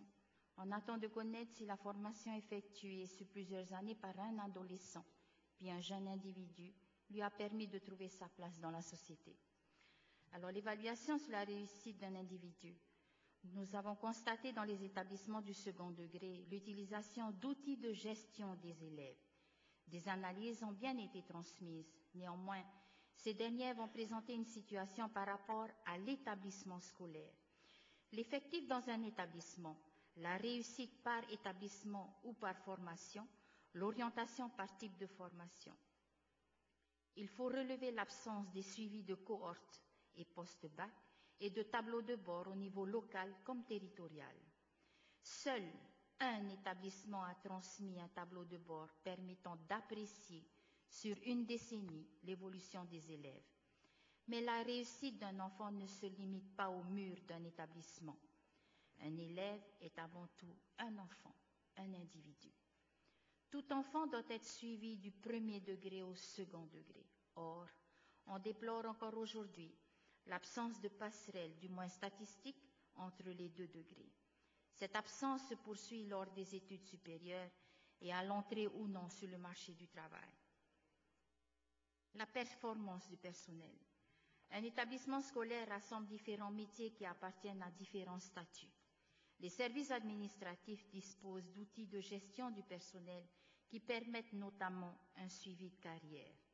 Néanmoins, les croisements relatifs à l'absentéisme des personnels ou encore au turnover ne sont pas effectués par manque de temps et de compétences.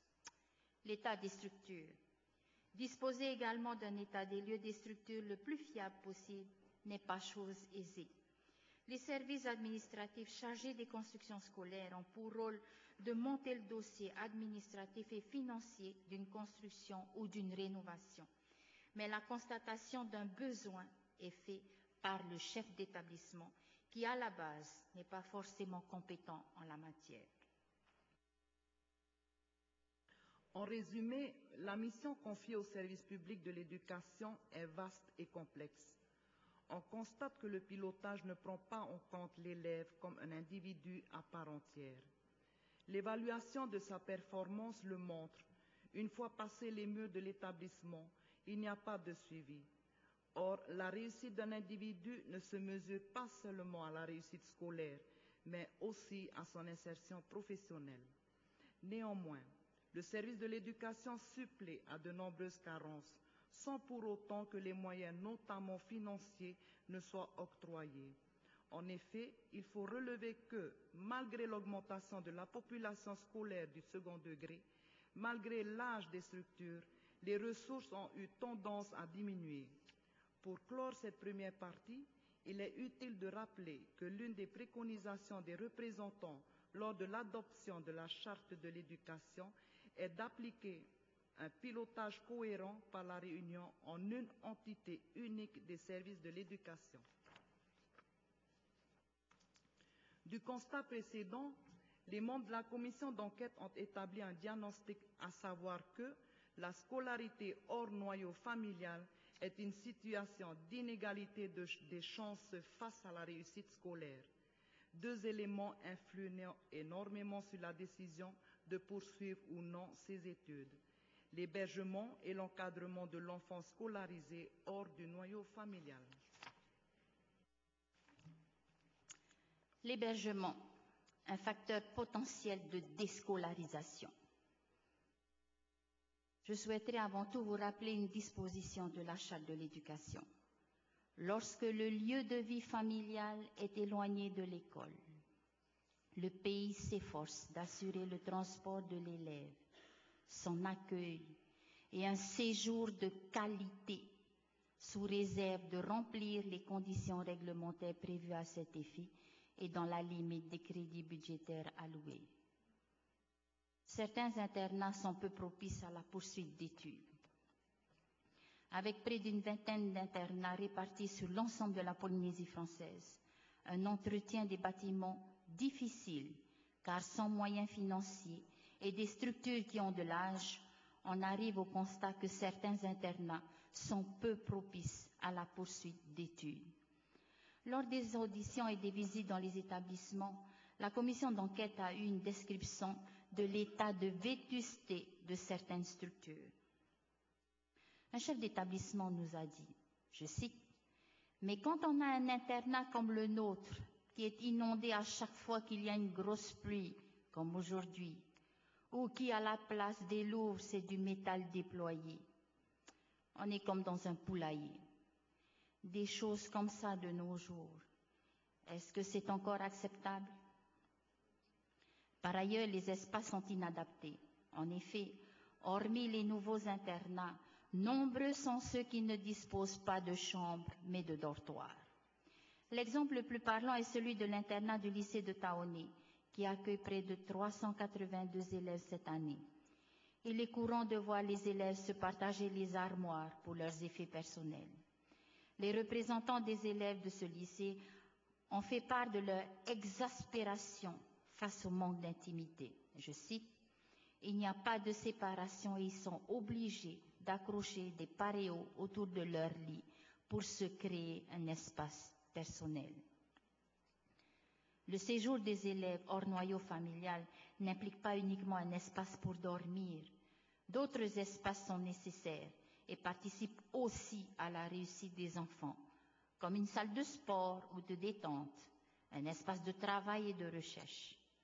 Si certains établissements disposent de ces espaces, l'équipement manque ou est usagé. On constate ainsi des organisations d'espace, la promiscuité, l'absence de rangement personnel, ces organisations d'espace qui génèrent à un moment ou à un autre des conflits entre élèves forcés de cohabiter ensemble sur toute une année scolaire et pour certains pour toute leur scolarité. Il a aussi été question de la restauration. Lors des auditions, des parents ou encore des animateurs des associations périscolaires ont dénoncé le fait que les enfants ne sont pas suffisamment nourris en internat ou le manque de qualité des repas. Après audition des chefs d'établissement, il s'avère que dans les îles, peu ont recours aux produits locaux. Les produits congelés et les conserves semblent composer la plupart des repas. Dans les lycées de Tahiti, notamment ceux de Papeete, la restauration scolaire souffre aussi du fléau du gaspillage, mais les raisons sont différentes. En effet, la prolifération des roulottes ou des marchands ambulants aux alentours incite les élèves à délaisser la cantine en fonction des menus proposés. Il faut néanmoins relever la situation très difficile du service de restauration. En effet, la première préoccupation des chefs et gestionnaires des établissements est de servir un repas pour les élèves en demi-pension et trois pour les internes, avec un budget restreint. Or, on l'a évoqué précédemment, le coût de la restauration est corrélé au montant de la bourse. Cette aide aux familles versée directement aux établissements est essentiellement utilisée pour payer les frais de restauration.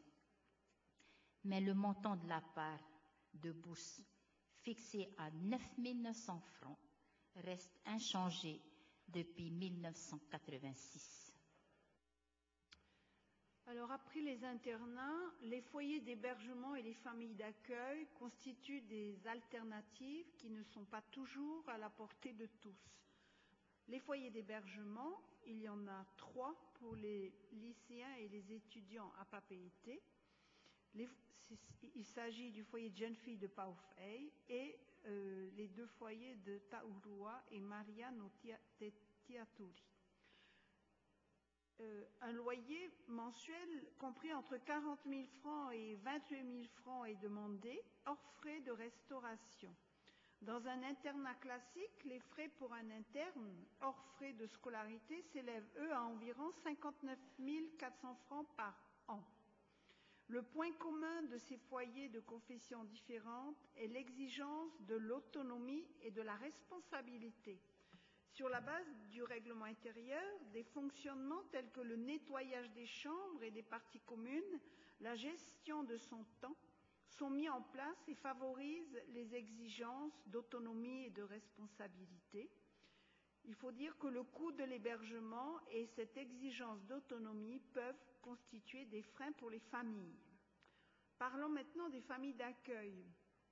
On dispose de peu d'éléments chiffrés concernant les familles qui accueillent les élèves scolarisés hors de leur noyau familial dans les autres îles, appelés communément des correspondants. Souvent, il s'agit de membres de la même famille, mais qui ne connaissent pas forcément l'enfant avant de l'accueillir. Cependant, il faut retenir que les correspondants semblent incontournables pour une scolarisation à Tahitiem Auréa. Ils peuvent intervenir notamment lorsque l'élève, sort de l'internat le week-end ou encore pour un hébergement de 7 jours sur 7 pour toute la période scolaire. Dans le premier cas, plus fréquent, cela peut être une condition sine qua non pour poursuivre ses études. Autrement dit, l'établissement euh, impose d'avoir un correspondant. En effet, certains internats sont fermés le week-end. À Tahiti, seuls quatre internats des lycées, à savoir Taravo, Papara, le lycée hôtelier et le lycée de Taoné, gardent des internes qui le souhaitent ou qui sont sans correspondant le week-end. Les raisons de ces fermetures sont essentiellement économiques. Peu ou pas de moyens humains ou encore des coûts de fonctionnement générés, euh, restauration, logistique, personnel d'encadrement, sont trop importants au regard du nombre peu élevé d'internes. Ainsi, près de 90% des internes se retrouvent chaque week-end chez leur correspondant qui ne reçoit officiellement aucune compensation financière. Les conditions d'accueil diffèrent selon les moyens et la volonté de chacun. L'arrivée d'un autre enfant dans une famille n'est pas sans conséquence. On perçoit dans les échanges avec les parents les efforts que font les familles des îles par l'envoi notamment de denrées alimentaires. Mais il faut dire qu'au fil du temps, le poids de l'entretien et l'éducation d'un enfant, je dirais d'un adolescent, qui n'est pas le leur, entraîne souvent l'exaspération du correspondant. La séparation et les conflits semblent alors inévitables.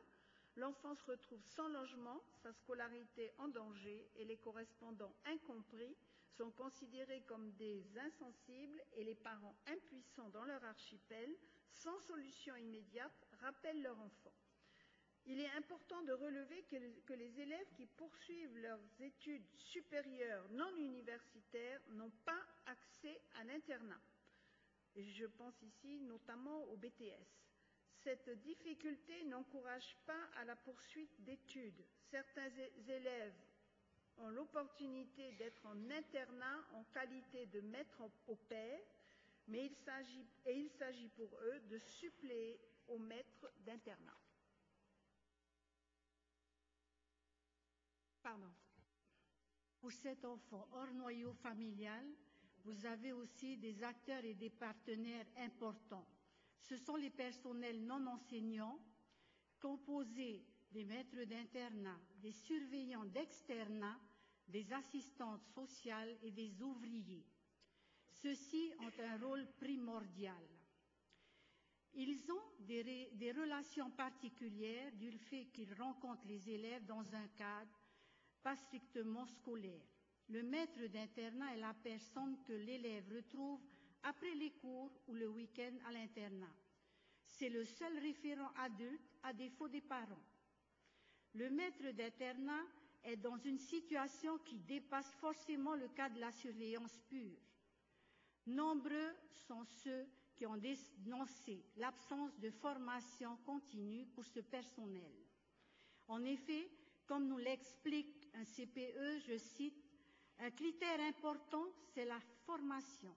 Et nos enfants, j'en reviens toujours, toujours moins au mal-être, les enseignants qui pourront transmettre les connaissances sont suffisamment formés. Mais tout ce qui est du domaine du ressenti, ce qui est du domaine du mal-être, c'est compliqué. Les maîtres d'internat sont amenés à gérer des élèves construisant leur personnalité, loin de leur famille, loin de leur île, de leur vallée. Autant considérés, ils doivent tout de même se substituer aux parents sans pour autant considérer les élèves comme leurs propres enfants. L'assistante sociale offre une oreille attentive à l'élève sur des sujets comme le sexe ou les drogues. Vous avez aussi les animateurs des associations périscolaires. Ceux-ci interviennent sur la période dite hors temps scolaire notamment pendant les petites vacances, dans le cadre des programmes de loisirs d'éducation en internat. Ces programmes destinés aux internes des lycées de Tahiti et des collèges des îles permettent à ces derniers de bénéficier d'activités de loisirs encadrées par des animateurs diplômés. Ces, activ ces activités interviennent essentiellement lorsque les internes ne sont pas en mesure de retourner dans leur foyer pour les vacances palliant un peu sans doute à l'éloignement. Vous avez les parents d'élèves. Ceux-ci constituent le premier partenaire de l'établissement. Les représentants des parents d'élèves auditionnés mesurent parfaitement l'importance de la scolarité de la réussite de leur enfant. En effet, pour eux, le diplôme constitue le premier pas de la réussite d'un individu et donc de leur enfant. Néanmoins, les charges inhérentes à la scolarité d'un enfant, notamment sur Tahiti, constituent un souci permanent pour les parents. On constate aussi un manque d'information et de compréhension des procédures administratives ou des aides que les familles peuvent demander. Il en est de même pour les procédures relatives à la scolarité de leur enfant, comme l'orientation, ou encore en rapport avec l'inscription dans un établissement au transport. Ces démarches se compliquent dès lors que l'enfant part sur Tahiti. À la question de la pertinence d'une cellule chargée d'informer, d'apporter un soutien logistique à toutes les procédures administratives, tous répondent par l'affirmative. Enfin, de nombreux chefs d'établissement parlent du fait que certains parents ne comprennent pas l'intérêt de l'école. Face aux difficultés comme l'administration, le manque de place à l'internat, l'absence de correspondant, la démission est plus aisée. Ils ramènent alors l'enfant sur l'île ou peut-être, dans le meilleur des cas, celui-ci prendra le relais de ses parents dans l'agriculture ou l'artisanat. Des structures d'enseignement et surtout d'hébergement qui tombent en désuétude, des foyers d'hébergement en nombre limité, des familles d'accueil elles-mêmes noyées dans leur propre gestion familiale, les moyens humains dont le caractère indispensable devrait être reconnu. La scolarité des élèves hors noyau familial est une situation hors norme. En effet, les éléments qui permettent à tout enfant de se construire, de forger sa personnalité, à savoir un cadre de vie, la maison, les modèles, les parents, sont pour les élèves hors noyau familial remplacés par des substituts. Ainsi, l'internat devient leur foyer.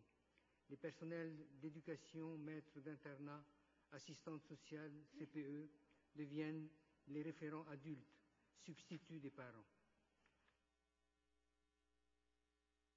Alors, pour évoquer le programme de remédiation, nous, avons, euh, nous voulons rappeler que la Charte de l'éducation affirme des objectifs et des principes généraux en les rassemblant autour d'un triptyque, une école pour tous, une école performante, une école ouverte.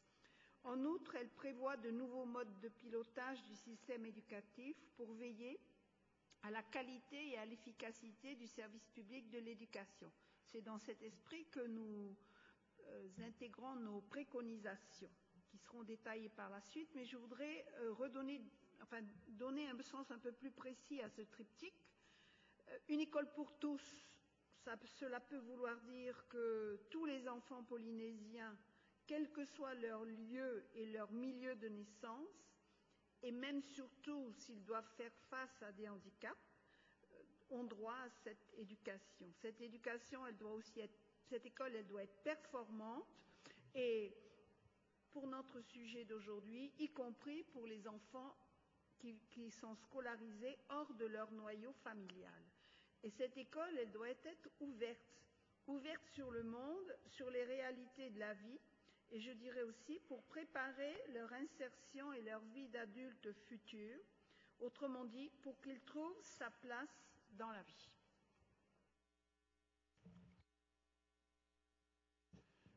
Je vais répéter une école pour tous, une école performante, une école ouverte. Alors il s'agit donc de redonner du sens au triptyque de la charte de l'éducation, en prenant la bonne mesure de la performance, en faisant de l'internat un outil de réussite, en renforçant le partenariat et en soutenant les projets novateurs. En préambule, des préconisations de la commission d'enquête. Les membres affirment la nécessité de définir des indicateurs pertinents et d'élaborer et d'utiliser des tableaux de bord. En effet, les outils existent. Des chiffres sont collectés chaque année, mais les extractions faites manquent de pertinence. Il faut favoriser le suivi de l'enfant individu et non de l'élève. La définition des indicateurs, puis la mise en place des outils de gestion et de suivi doivent prendre appui sur ce principe. Pour les membres de la Commission, il est impératif d'élaborer et d'utiliser des tableaux de bord commun à l'ensemble des établissements scolaires et des écoles. Des passerelles statistiques doivent se faire entre le premier et le second degré, mais aussi entre services ou établissements publics. En effet, les services de l'éducation ne disposent pas de chiffres concernant la société ou encore des compétences requises. Ces derniers doivent solliciter les autres administrations du pays et mettre en place des partenariats pour évaluer de manière objective l'efficacité de ces actions. Il faut aussi faire de l'internat un véritable outil de réussite. Nous savons tous l'internat est un outil formidable qui contribue à la scolarisation de notre population et aussi à son accès à la connaissance. Il nous revient donc, chers collègues, d'en faire un véritable outil de réussite scolaire et éducative. Il est important d'évaluer les besoins réels pour donner les moyens adéquats. Il est aussi important de reconnaître et améliorer les compétences des personnels non enseignants. Il faut aussi reconnaître la particularité de la scolarité de l'enfant hors noyau familial. Qu'entendons-nous par évaluer les besoins réels pour donner les moyens adéquats En termes de budget de fonctionnement et d'investissement, les membres de la Commission déplorent l'absence d'une estimation fiable du coût de fonctionnement, incluant le coût en personnel d'un internat. Par ailleurs, ils ont constaté l'absence de crédits affectés à l'entretien de l'internat. Dans un premier temps, les membres préconisent de scinder le coût de fonctionnement de l'internat de celui de l'établissement. Dans un second temps, la Commission demande au ministère en charge de l'éducation une étude détaillée du coût de fonctionnement d'un internat avec la prise en compte des spécificités, notamment géographiques, ainsi qu'une estimation des besoins financiers avec des propositions de financement. Il est obligatoire, à notre sens, que l'État assure un suivi strict et rigoureux des structures d'hébergement. Les membres de la Commission dénoncent aussi et unanimement l'urgence et le danger de certaines situations. En effet, certains internats sont vétustes et inadaptés. Les foyers d'hébergement existants et en projet sont aussi nécessaires à la poursuite des études des enfants. Ils demandent au gouvernement l'élaboration d'un vaste programme quinquennal de réhabilitation des internats et des foyers. Un plan de construction de structures nouvelles doit aussi être mis en place. Ces projets doivent aussi répondre à une exigence de cohérence entre la carte de formation et les capacités d'enseignement et d'hébergement. Par ailleurs, il faut inclure l'octroi de crédits dédiés à l'entretien et à l'équipement des structures d'hébergement. Ces études devront faire l'objet d'une transmission avant la fin de la présente année scolaire à l'ensemble des représentants à l'Assemblée de la Polynésie française avant de les éclairer sur les nécessités d'inscrire ces besoins au budget du pays. Qu'entendons-nous par reconnaître et améliorer les compétences des personnels non enseignants Le métier de maître d'internat est une chance pour le pays et les structures d'hébergement. L'intégration dans le statut de la fonction publique a permis de professionnaliser le métier. Or, depuis 2006, il n'y a eu aucun concours de recrutement de ce personnel, alors que les postes sont effectifs. L'administration procède donc à des recrutements sur, un, sur une durée déterminée, et surtout de personnes qui n'ont pas forcément les qualités nécessaires. Les membres de la Commission requièrent qu'un souci particulier soit accordé au recrutement de ces personnels. Il s'agit de garantir la qualité du service public. Les chiffres montrent une réduction des effectifs des maîtres d'internat, surveillants externats. Les raisons semblent mystérieuses au regard des besoins. Les membres de la Commission préconisent aussi de favoriser le recrutement local des maîtres internats, surveillants externats. Ceci permettrait de pallier l'effet turnover des personnels fréquents dans le second degré et aussi de mettre en œuvre efficacement des projets éducatifs. Par ailleurs, on constate une absence déconcertante de formation continue à l'attention des maîtres internats surveillants externats. Le ministère en charge de l'éducation et ses services doivent considérer les maîtres d'internat surveillants externats comme des personnels qui concourent à la réussite éducative et scolaire des enfants. Et de ce fait, mettre en place des sessions de formation est nécessaire. L'amélioration des compétences passe, passe, aussi par le partage des pratiques. Les membres de la Commission encouragent l'organisation de rencontres régulières entre les personnels non enseignants. Enfin, des améliorations réglementaires en termes de répartition du temps de travail et d'octroi de congés doivent être effectuées dans le statut des maîtres internats surveillants externats. En effet, il a été expliqué aux membres de la Commission que des surveillants peuvent être en congé en même temps que les enseignants. Sans dénigrer l'importance de ces deux métiers, le temps de présence face aux élèves ne peut être réparti de la même manière, surtout lorsqu'il s'agit d'élèves internes. La Commission l'a démontré précédemment. La fermeture d'un internat le week-end peut encourager la déscolarisation. Ainsi, les membres de la Commission demandent une mise en adéquation entre les textes réglementaires et les nécessités d'un service adapté à un public précis. La qualité de vie des internes repose sur un recrutement exigeant des maîtres d'internat, surveillants externes et sur l'assurance de leur formation continue. Les membres de la Commission relèvent aussi l'importance des personnels du domaine social et de santé. Aujourd'hui, une toute petite poignée assure tant bien que mal les missions d'écoute, de conseil des élèves en construction de leur personnalité. On constate l'absence de ces personnels, assistants sociaux, psychologues, infirmières, dans certaines structures d'enseignement des îles éloignées. On apprend aussi l'envoi d'enfants en difficulté, autres que scolaires, dans ces établissements dans lesquels les personnels ne sont pas formés à les recevoir. Les membres de la Commission demandent qu'un véritable partenariat se construise avec les services sociaux et judiciaires du pays par la mise en commun des moyens humains ou par la mise en place de formations adaptées. La mutualisation des moyens doit aussi se faire au sein du système éducatif.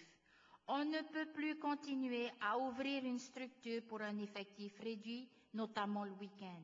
Des regroupements ou des organisations doivent être mises en place pour optimiser le service.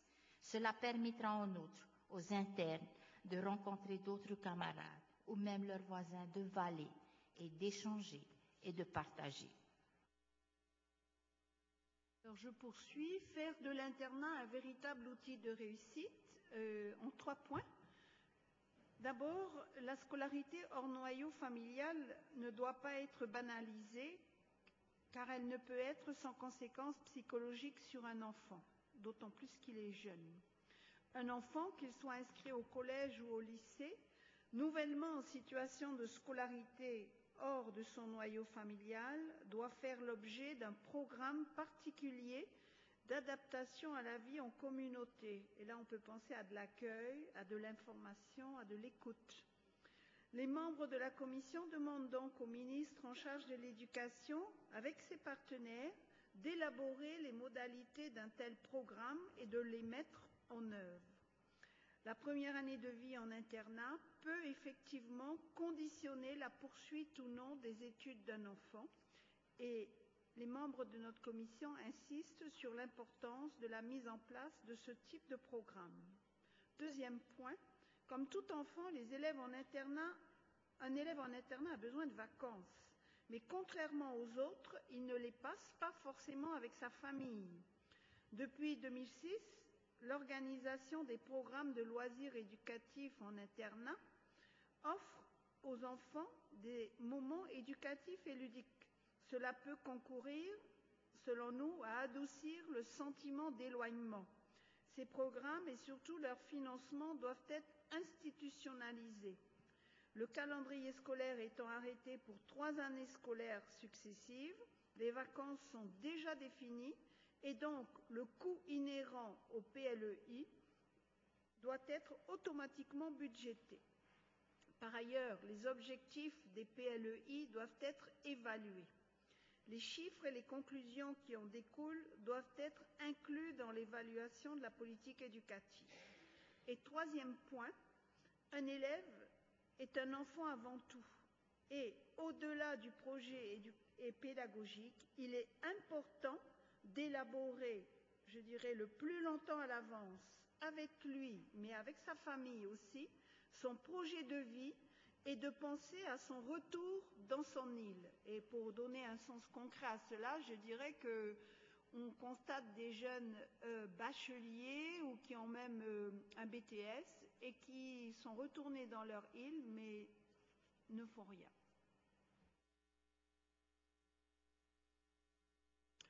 Renforcer le partenariat entre les acteurs et les membres de la communauté éducative. L'éducation, c'est l'affaire de tous.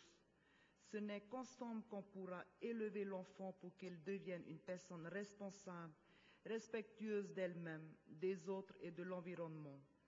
Ainsi, il est important d'encourager la participation des parents d'élèves, de reconnaître les correspondants et leur rôle et d'instaurer un partenariat constructif et efficace entre les services, les associations et les directeurs de foyers. Qu'entendons-nous par encourager malgré la distance, la participation des parents d'élèves? Les parents des élèves hors noyau familial sont éloignés de l'établissement et de la vie de leurs enfants. Cette situation n'est pas une fatalité.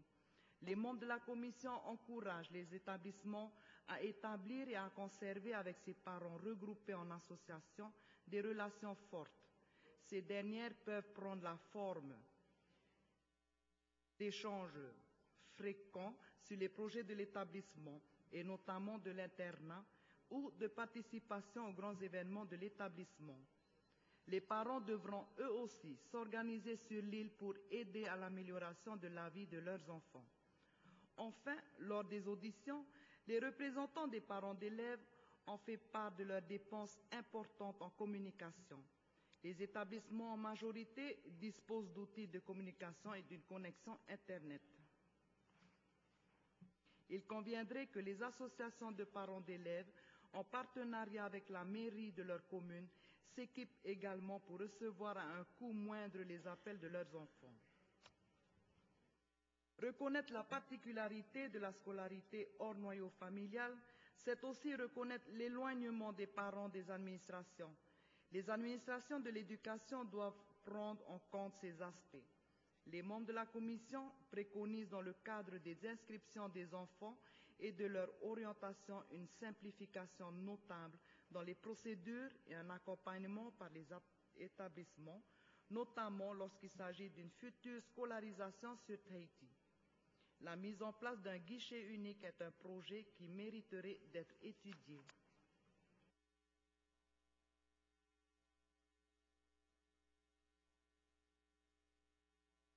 Qu'entendons-nous par reconnaître les correspondants dans leur état d'éducateur et les accompagner dans leurs tâches? Le correspondant souffre d'une mauvaise réputation qui peut paraître injuste au regard du rôle d'éducateur qu'il doit remplir et des conditions dans lesquelles il reçoit un élève hors noyau familial. Continuer à exiger qu'un élève un correspondant à tout prix, sans tenir compte des conditions dans lesquelles il peut être reçu, n'est pas responsable. L'absence de correspondant ne peut être une cause de non-scolarisation. Continuer à émettre des critiques à l'attention du correspondant qui se sépare d'un enfant est contre-productif. Accueillir un enfant au sein de son foyer demande un, une adhésion totale de l'accueillant et une connaissance de son rôle. Les membres de la, famille, de la commission d'enquête demandent que le correspondant soit considéré pour son véritable rôle, celui d'éducateur. À ce titre, l'établissement qui demande un correspondant doit porter une attention particulière à l'accueil de l'élève. Il pourra, s'il le juge utile, établir une liste de correspondants potentiels en mesure d'assurer les tâches demandées. Par ailleurs, les membres de la Commission souhaitent que les membres de l'exécutif réfléchissent à l'octroi d'une indemnité reversée à des correspondants. Qu'entendons-nous par instaurer un partenariat constructif et efficace? Entre les services de l'éducation ou autres, les représentants des associations périscolaires et les directeurs des foyers De nombreuses personnes œuvrent pour permettre aux enfants en scolarité hors noyau familial de réussir leur scolarité chacun dans leur domaine. Ces différentes personnes disposent d'une expérience en la matière qui mérite réellement d'être partagée. Les membres de la Commission encouragent la rencontre régulière de tous ces partenaires de la communauté. Un réel échange doit se faire et le partage des pratiques et des expériences qui en découlent permettra certainement l'amélioration des conditions de vie des élèves. Il est important de promouvoir l'ouverture vers les partenaires extérieurs à l'établissement, tels que les communes, les associations, les foyers, pour des activités de loisirs ou culturelles. Durant les auditions et lors des visites des établissements de Tahiti, les chefs d'établissement ont alerté les membres de la commission sur la réglementation en matière de transport. En effet, certains établissements disposent encore de trucks utiles pour les cours de PS, mais aussi pour organiser des sorties des internes et des élèves du lycée. Or, il s'avère qu'ils ont jusqu'en juillet 2013 pour se mettre aux normes, à savoir acquérir un bus. Les membres de la Commission demandent au ministre en charge de l'éducation et des transports terrestres de donner les moyens financiers aux établissements de s'adapter aux nouvelles règles. La mise en application stricto sensu des textes réglementaires tels que rédigés entraînerait de grandes difficultés pour des établissements. La réussite et le bien-être des enfants doivent primer et des solutions à court et long terme doivent être envisagées. Des dispositifs novateurs pour améliorer la scolarité des élèves peuvent voir le jour et nous ne devons pas les rejeter. Il convient de les analyser, de les reconnaître lorsque l'opportunité se présente et d'aider à leur mise en place. Un des objectifs de la commission d'enquête est d'analyser la scolarité via le CNED, qui s'est développé à Rikitea. Les membres ont décidé de l'inscrire comme un dispositif novateur qui devrait être développé. Par ailleurs, les échanges avec les directeurs de foyer nous amènent à proposer à s'inspirer de certaines pratiques. Qu'entendons-nous par le CNED, tel que mis en place à Rikitea une comme, une, réponse possible? La séparation dès l'âge de 11 ans avec leur enfant et les conditions d'enseignement et d'accueil du collège de Hao ont amené un petit nombre de parents de Rikitea à choisir la scolarité par correspondance. Ainsi, depuis six ans, le groupe de parents s'est monté en association avec l'aide de la mairie et de la paroisse. Il a développé des dispositifs qui pourraient, expliquer leurs bons résultats. Pour décrire succinctement le, le dispositif qui s'est développé à Equitea, les enfants inscrits au CNED sont regroupés par niveau d'études et répartis dans des classes distinctes, louées par la paroisse mises à disposition gracieusement par la mairie. Des répétiteurs de niveau bac recrutés sur l'île accompagnent chaque jour les élèves dans leur apprentissage sur la base des cours envoyés par le CNED et selon un emploi du temps établi par le bureau de l'association et des répétiteurs. Le calendrier scolaire est, respecté. Leur restauration est assurée par la cantine scolaire moyennant 300 francs par jour et par enfant.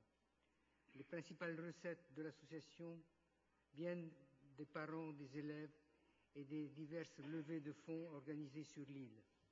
La première recette est utilisée uniquement pour le paiement des répétiteurs sur la base d'un tarif horaire d'environ 1300 francs l'heure. La seconde recette est utilisée dans le cadre du fonctionnement des structures, l'entretien des achats de matériel pédagogique les locations, etc. L'association ne reçoit aucune subvention du pays. Les membres souhaitent mettre en exergue les points suivants. On constate la contribution financière des parents, environ 30 000 francs par mois. Cette dernière les rend certainement plus attentifs au progrès de leurs enfants. Par ailleurs, on note le partenariat non négligeable de la mairie par la mise à disposition de locaux et la restauration à la cantine scolaire et de la paroisse par la location des locaux, mais aussi celui de l'école par un appui pédagogique selon les besoins. Ces éléments nous amènent à la conclusion que ce dispositif met en œuvre l'école ouverte, dans laquelle tout le monde joue un rôle, notamment les parents.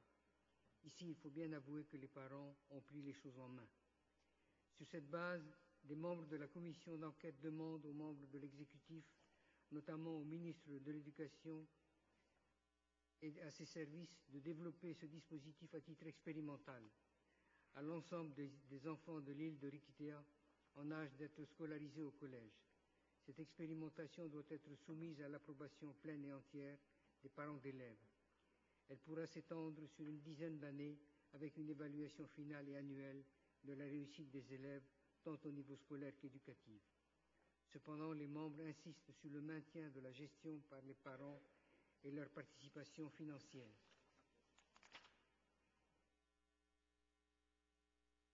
Euh, les préconisations et euh, redonner du sens au triptyque de la charte, nous proposons de nous inspirer d'une gestion euh, proche de celle des foyers, ou du moins pour certains aspects, car la rencontre avec les directeurs des foyers a permis de mettre en évidence des méthodes d'apprentissage à vivre ensemble qui favorisent la responsabilité de l'enfant. Effectuer des tâches telles que nettoyer sa chambre ou les espaces communs de vie, faire sa lessive et la cuisine concourent à la construction d'un individu. Les chefs d'établissement et leur personnel doivent mettre en place ces actions, notamment le week-end, dans le respect des heures d'études nécessaires. Par ailleurs, la réhabilitation des structures d'hébergement doit être une priorité et celle des foyers d'hébergement aussi. Les internats ne peuvent et ne pourront pas accueillir tous les élèves ou étudiants. À ce titre, le pays doit mettre en place un partenariat pérenne et efficace avec les foyers existants ou futurs, car ils participent à la réussite éducative et scolaire des jeunes, notamment les étudiants en post-bac. Il est inacceptable de ne pas donner les moyens à ces jeunes de se loger convenablement ou encore d'être pris en charge au niveau des transports. Nos jeunes étudiants des îles, de Moréa et des communes non urbaines de Tahiti sont les grands oubliés du système, selon nous. Les membres de la Commission demandent donc la mise en place urgente d'une politique d'hébergement des étudiants, et nous pensons donc notamment au, post, au BTS, et aussi la possibilité pour eux d'une prise en charge de leur transport, tout type confondu. En conclusion, chers collègues, que devons-nous faire pour la réussite de l'enfant polynésien? Nous l'avons affirmé au effort lors de l'adoption de la loi du pays sur la charte de l'éducation. Donc, nous avons tous approuvé l'éducation est la priorité de la Polynésie française. Donc, à notre sens, pour que cette éducation soit une réussite pour l'enfant, il faut absolument que les efforts soient conjugués entre le pays, l'État et les communes qui ont contribué en un laps de temps court à élever notre population et à reculer l'heure de la séparation d'un enfant avec sa famille. La scolarité hors noyau familial d'un enfant est un moyen de relever le défi de notre géographie. Néanmoins, les puissances publiques et les pouvoirs publics, les services qu'ils dispensent, doivent être à la hauteur du sacrifice des familles et de leurs enfants. Séparer un enfant de ses parents n'est ni normal ni sans conséquence. À l'exigence de scolariser un enfant hors de son noyau familial doit répondre l'exigence de la qualité de l'accueil et de l'encadrement de cet enfant. La rupture que subissent ces enfants doit être compensée. Les internats, les foyers ou chez les correspondants, ils doivent, ils doivent avoir des cadres de vie contribuent à cette réussite scolaire de l'enfant et qui participent à la construction de sa personnalité et à son épanouissement donc les personnels non enseignants, à défaut des parents, sont les seuls référents adultes proches vers qui les enfants peuvent se tourner. L'exigence de la qualité de ces personnels, tant au niveau du recrutement que de la formation, doit toujours être une préoccupation des services publics. Le système éducatif ne peut atteindre seul ses objectifs, nous le savons bien, mais l'ouverture aux partenaires nous semble indispensable dans un souci de réussite de l'individu. Enfin, pour conclure, il est important de voir en chaque enfant l'adulte qu'il sera demain pour notre Fénois et pour son île. Le principe de l'école ouverte est la clé à notre problème. Il est de notre devoir à tous d'élaborer pour nos enfants et avec nos enfants leur projet de vie.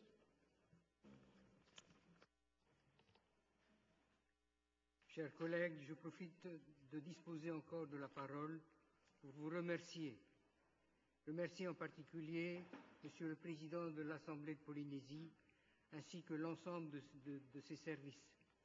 Nous sommes arrivés au bout de notre démarche grâce aussi à l'efficacité et au savoir-faire des agents de l'Assemblée et des différents départements. Je tiens aussi à remercier l'ensemble des personnes qui ont accepté d'être auditionnées, de se livrer à nous. Certains ont fait un long voyage, ils ont quitté leur île pour nous aider à comprendre. Merci aussi au service de l'éducation, des affaires sociales, de la CPS. Merci aux directeurs des foyers, aux associations et aussi aux lycéens qui se sont déplacés pour nous raconter la vie d'un interne, la vie d'un enfant qui quitte sa famille pour réussir, pour nous raconter leur vie. Une dernière pensée pour nos ministres, notamment celui de l'éducation. Je sais que votre tâche n'est pas simple. J'ai encore le souvenir et certainement les marques de ce lourd fardeau. Je souhaiterais juste que vous sachiez que notre démarche est saine. Il ne s'agit pas seulement de pointer du doigt les dysfonctionnements. Nous nous voulons constructifs. Et c'est la meilleure manière, je pense, de considérer les travaux de cette commission d'enquête et surtout le présent rapport. Soyez persuadés que nous nous joignons tous sur un point. L'éducation est la priorité de ce pays et nous tous, nous devons, avec les outils que nous avons, poursuivre la construction d'un système chargé d'élever nos enfants et notre pays. Je vous, remercie de votre infinie patience et de votre attention. Merci.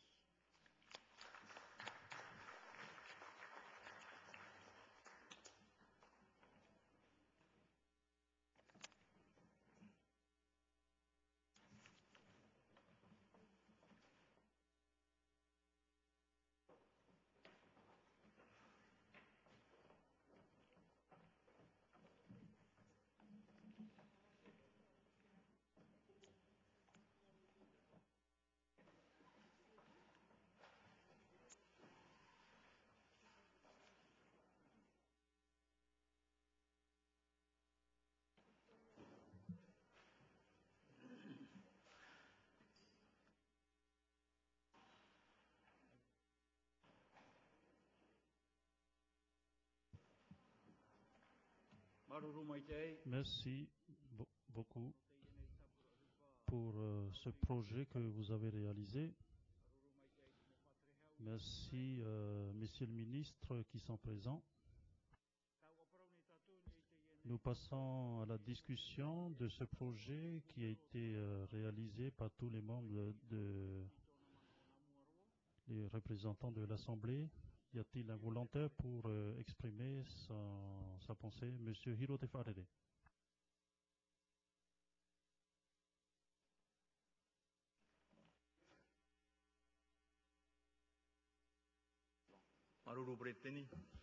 Merci, Monsieur le Président. Les deux ministres qui sont présents, veuillez accepter mes salutations.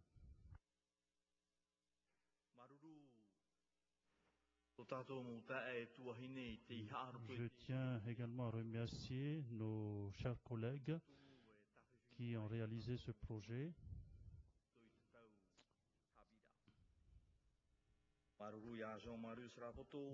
Merci, euh, Monsieur Jean-Marius Rapoton, Rapoto, Minari Galland, Amel Merceron, ainsi que les autres membres auxquels ils ont rencontré et leur posé des questions. J'ai beaucoup de questions, Monsieur le Président, euh, qui portent sur la réflexion. Nous qui avons réalisé euh, ce projet, cela signifie il ne faut pas, euh, je, n'ai pas l'intention de vous enfoncer, mais c'est une réflexion sur l'importance de ce sujet. Cela signifie que les services euh, qui fonctionnent, ne disposent pas de moyens sûrs pour euh, faire des enquêtes. Ça, c'est une première chose. La deuxième chose, Cela correspond au, au but, aux objectifs d'améliorer, d'accueillir les enfants, et de, de mettre en place euh, des enseignants capables de trouver, de chercher des moyens pour que les parents puissent euh, y avoir une entente avec les enseignants. J'ai, je vous ai exprimé en tahitien ce qui a été dit en français.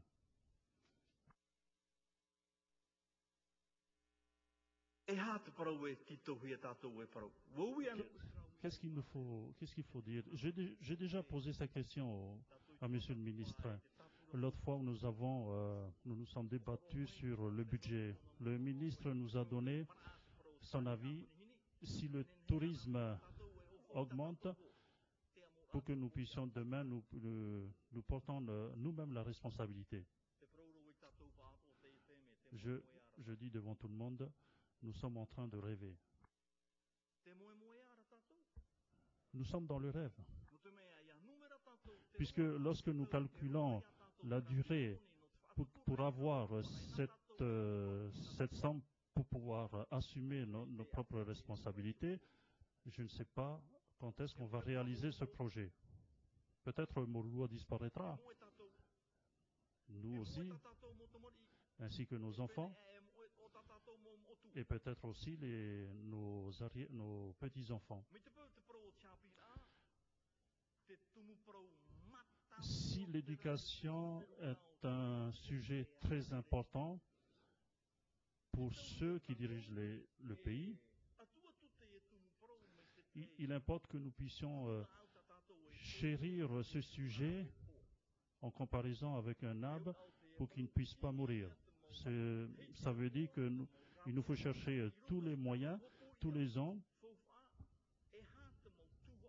Qu'est-ce qui, qu'est-ce qui, quelles sont les, les choses nécessaires que nous pouvons porter et ainsi que l'argent que nous pouvons mettre tous les ans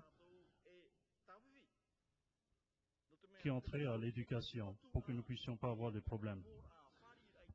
Parce que pour construire des logements euh, dans le but d'accueillir euh, nos enfants des îles, ici ou euh, dans, dans les îles, c'est notre responsabilité. Et nous savons que selon le travail qui a été réalisé par les six membres de la commission, eh bien, la question qui se pose, qu'est-ce que nous pouvons faire assumer cette responsabilité? Quelle est le- l'enveloppe que nous pouvons, qu'il faut pour réfléchir, pour que nous puissions réfléchir dans le but d'accueillir les enfants demain? On parle des dépenses. La question, qu'est-ce que nous pouvons faire pour améliorer cette enveloppe? Que nous adoptons euh, tous les ans pour euh, pouvoir réaliser ce projet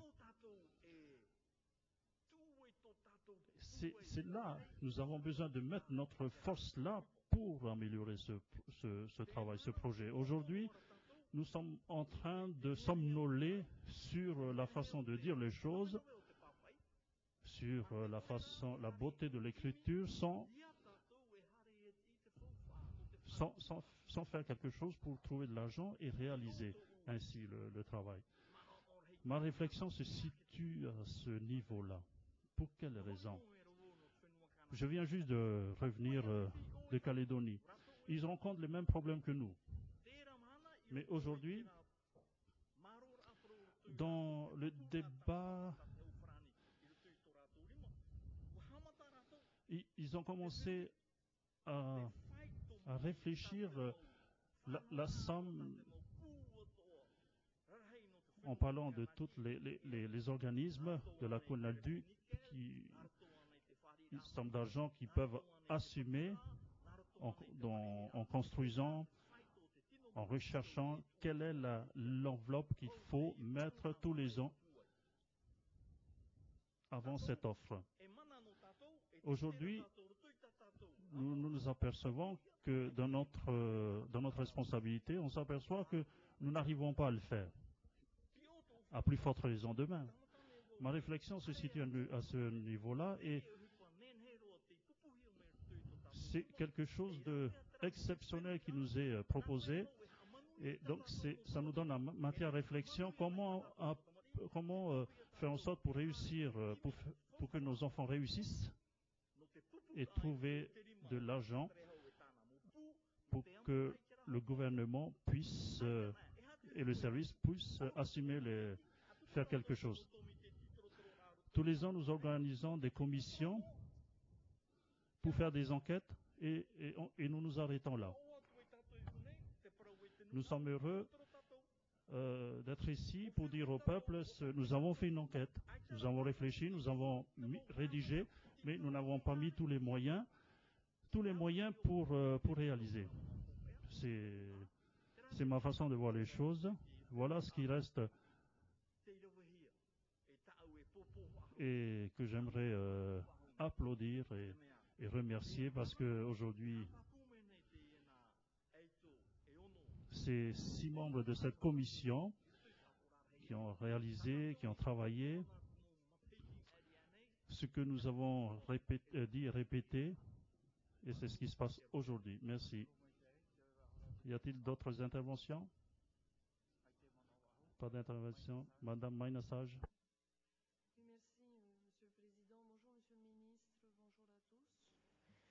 Euh, tout d'abord, eh bien, féliciter, remercier la commission d'enquête et tous ceux qui ont participé. Ça a été un gros travail qui a mis en lumière quand même euh, beaucoup de difficultés qui sont rencontrées aujourd'hui euh, par rapport à ce sujet de nos enfants euh, qui sont scolarisés en dehors de leur noyau familial.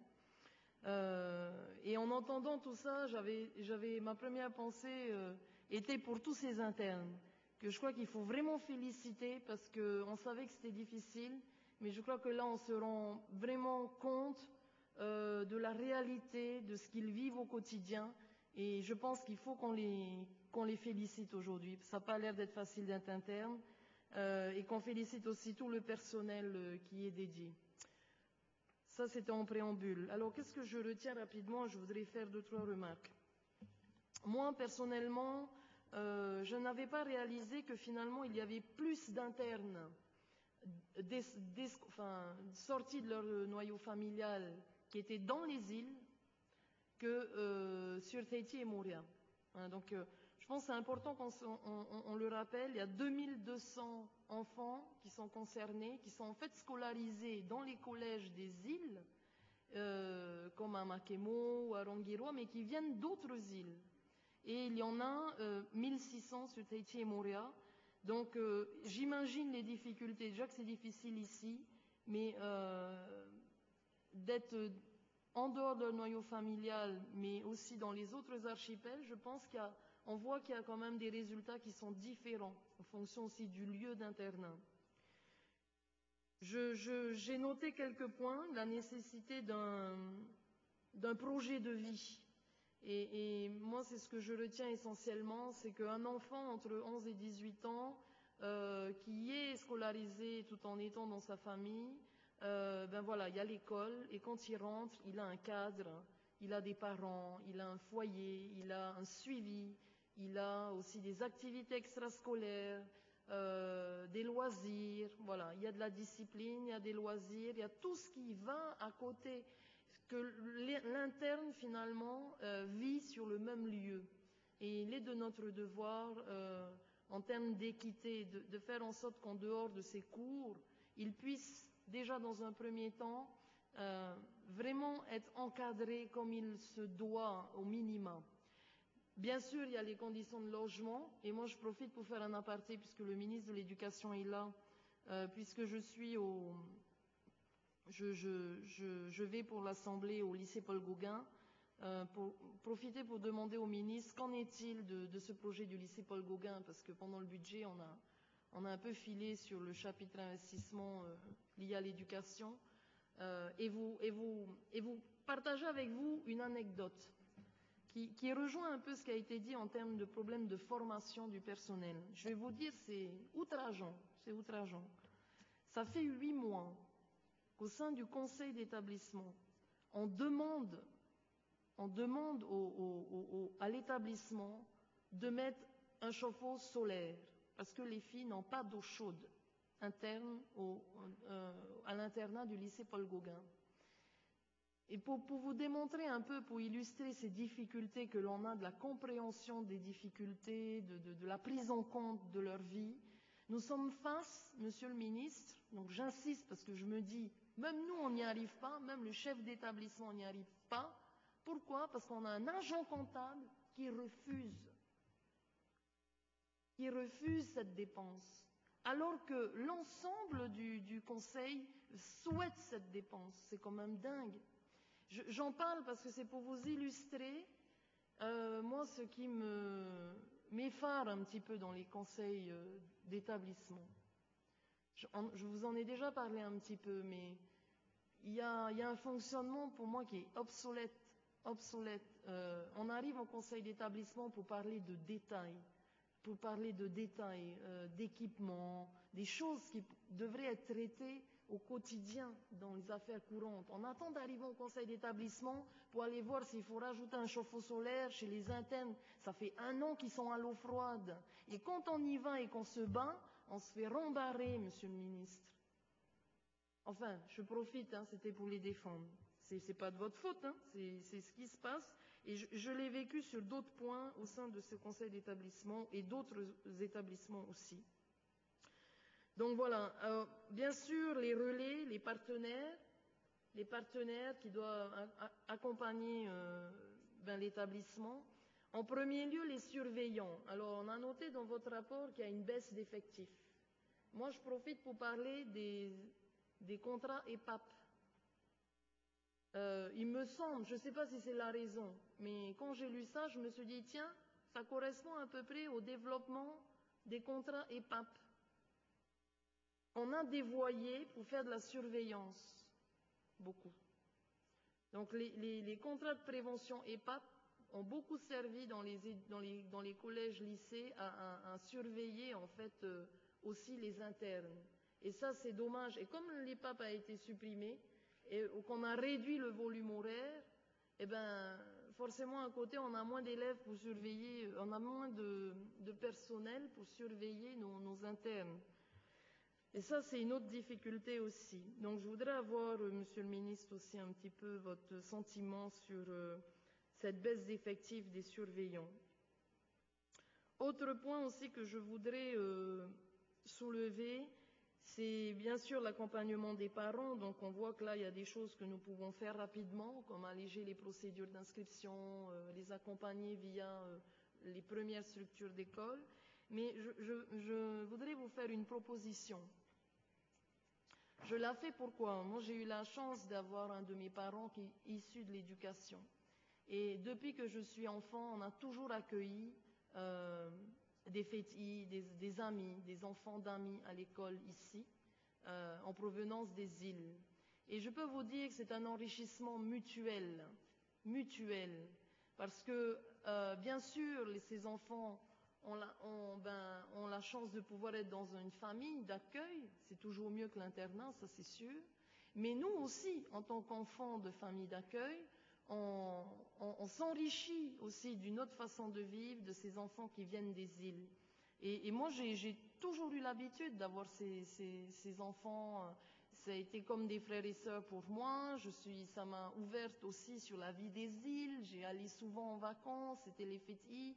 Et je voudrais vous encourager, parce que je suis persuadée qu'il y a beaucoup de familles, ici en tout cas sur Tahiti, qui seraient prêtes à accueillir.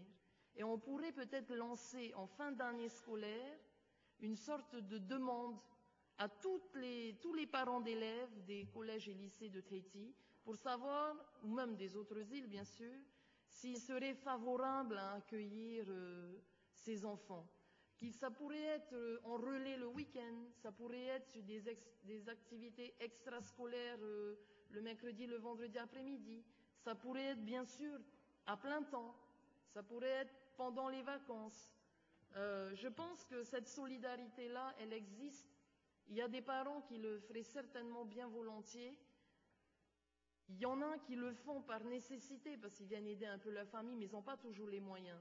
Mais je pense aussi qu'il y en a d'autres qui ne sont peut-être pas faits mais qui seraient prêts à le faire. Voilà, j'avais envie de dire ça aujourd'hui. Et féliciter encore, bien sûr, euh, tout le travail qui a été fait. Et puis terminer en reprenant un peu ce que Hiro disait, c'est que s'il faut rajouter encore quelques mois d'enquête pour affiner, en tout cas, la partie financière, le chiffrage, on voit bien qu'il y a un problème financier qui est très lourd, que ce soit pour euh, remettre à rénover les bâtiments, créer des nouveaux foyers d'accueil, euh, aider en termes de bourses, aider les familles d'accueil, les transports, etc. Euh, ça mérite quand même d'être euh, chiffré. Il faut qu'on sache combien il faut pour redoter le budget éducation. Et puis, en parallèle de cela, je terminerai là-dessus par rapport à l'exemple de Rikitea qui pour moi est l'idéal, c'est la solution idéale. On en avait déjà parlé avec Marius il y a deux ans euh, dans, la commission éducation. Bien sûr que l'idéal, c'est que l'enfant soit hors de son noyau familial le plus tard possible, qu'il puisse bénéficier d'autres solutions in situ, sur place, euh, auprès de sa famille. Et quand je regarde Rikitea, je voudrais demander euh, à M. Apoto pourquoi la commission euh, a conclu sur la nécessité de poursuivre euh, le projet pilote sur encore dix ans, parce que moi j'ai un peu le sentiment que le résultat est très bon. Ça fait déjà six ans, ils sont passés de, de 14, je crois, à 24 euh, effectifs. Pourquoi encore une si longue période d'attente? Est-ce que c'est est lié peut-être à des études pédagogiques qui doivent être liées? Moi, j'ai envie de vous dire, allons-y, généralisons pour que ça puisse se mettre en place euh, rapidement. Peut-être c'est un programme de 3 à 5 ans euh, dans un maximum d'îles. Voilà, je voudrais avoir juste des précisions sur euh, ce délai encore que vous donnez sur 10 ans. Ah, merci. Et n'attendons pas 10 ans. Et l'accueil des enfants dans les familles, c'est un peu welcome home de l'éducation.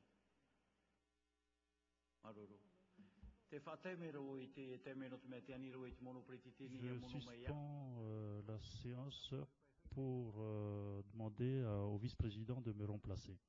Merci.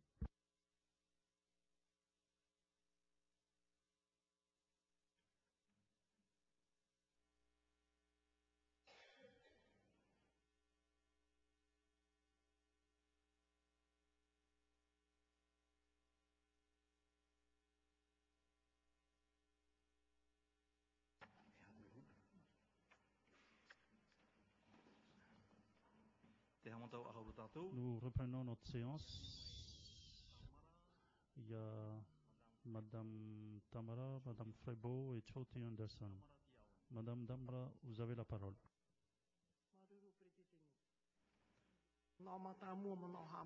Tout d'abord, je tiens à remercier euh, cette commission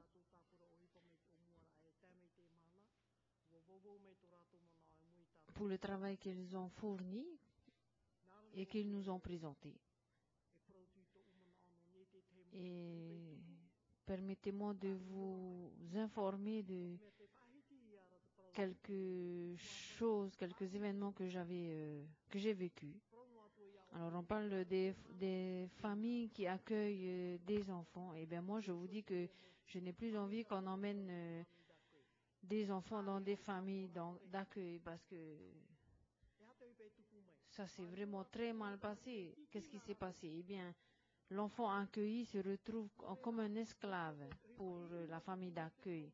Eh bien, vous savez, hein, les, les maltraitances que l'on peut subir au sein des familles.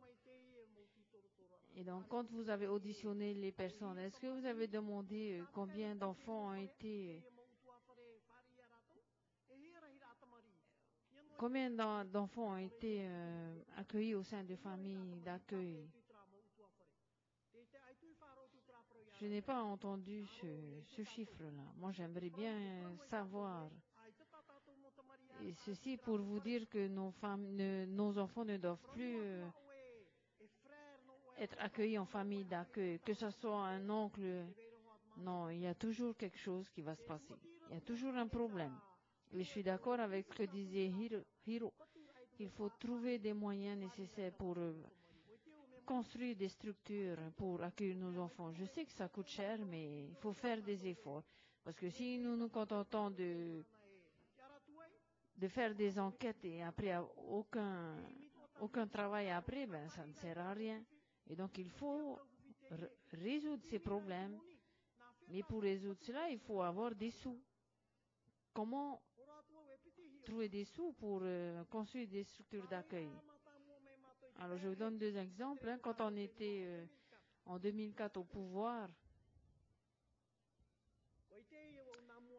et je savais avant, déjà hein, ce qui s'est passé pour les enfants de Mayo. Les parents de Mayo ne voulaient plus envoyer leurs enfants à Montréal en sixième parce qu'ils avaient, parce qu'ils avaient rencontré ce problème.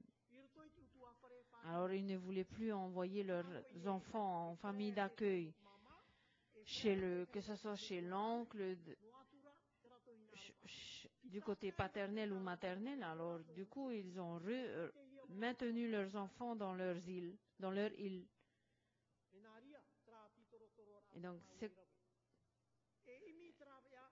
Et donc, il faut trouver des solutions pour il fallait trouver une solution pour construire une structure d'accueil pour les enfants de Mayo à Montréal. Et c'est ce qu'on a fait. Le pays, le gouvernement a fait le nécessaire pour construire cette structure. Et aujourd'hui, je peux vous dire que les, les enfants de Mayon sont vraiment gâtés. Hein. Une demi-heure avant le début de l'école, eh bien, on vient les chercher pour les emmener au collège et quand ils rentrent à la structure, eh bien, tout est déjà pris. Hein. Donc ça, c'est un exemple que je vous donne. Les enfants de Mayo sont, sont gâtés aujourd'hui. Euh, deuxième exemple que je voulais vous faire part, nous sommes des hommes, eh bien, nos enfants qui viennent ici euh, à l'école, ils font l'aller-retour, ils font la navette. Hein. À 3 heures du matin, ils se lèvent, ils sont obligés parce que il faut prendre le premier bateau. Hein, et il faut être là-bas au quai dès 4 heures. Parce que s'ils ratent le bateau, eh bien, ils ratent l'école.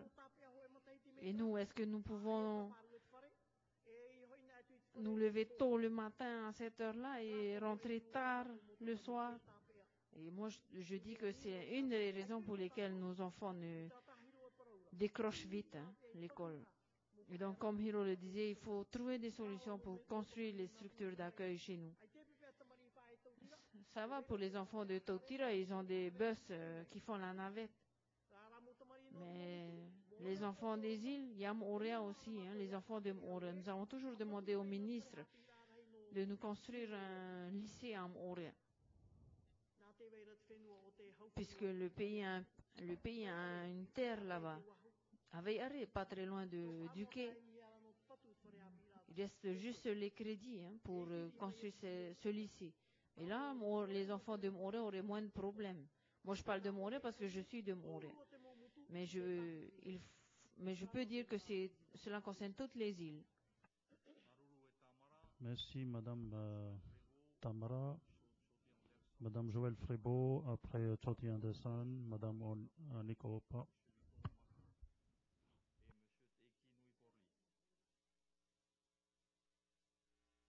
Merci, Monsieur le Président. Alors d'abord, je voudrais remercier pour tout ce travail fait pour nos enfants. Et comme euh, je voudrais m'associer à ce que dit euh, ma collègue euh, Tamara Bob Dupont, nous avons beaucoup de difficultés aussi avec nos enfants des îles Marquises. Alors, je voulais juste faire une petite remarque à Monsieur le ministre. Je n'ai pas vu l'inscription des CJA dans, dans, ce qu'il vient de nous montrer. Alors, je n'ai pas vu où est-ce qu'on a mis les, CJA, dans, quelle catégorie? Et sinon, je voudrais juste remercier Monsieur le ministre pour avoir gardé notre CJA de Hivaoa, qui devait être fermé cette année parce que nos petits marquisiens sont très doués dans les travaux manuels. Alors, euh, je voudrais qu'ensemble, on trouve une solution pour euh, vraiment garder ce CJA de Hibaoa. Euh, C'est très important pour nous. Et sinon, je voulais juste féliciter encore toute l'équipe euh, pour tout ce travail considérable qui vient d'être fait. Merci. Président, Merci, Monsieur le Président. Euh, la voix que nous avons entendue de notre euh, collègue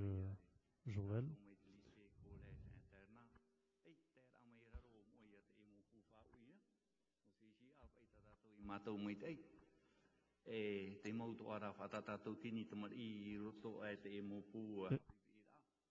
Alors, ils ont exposé sur le lycée et tout, mais c'est vrai que ça m'a étonné qu'ils n'ont rien dit sur, par rapport au CJA.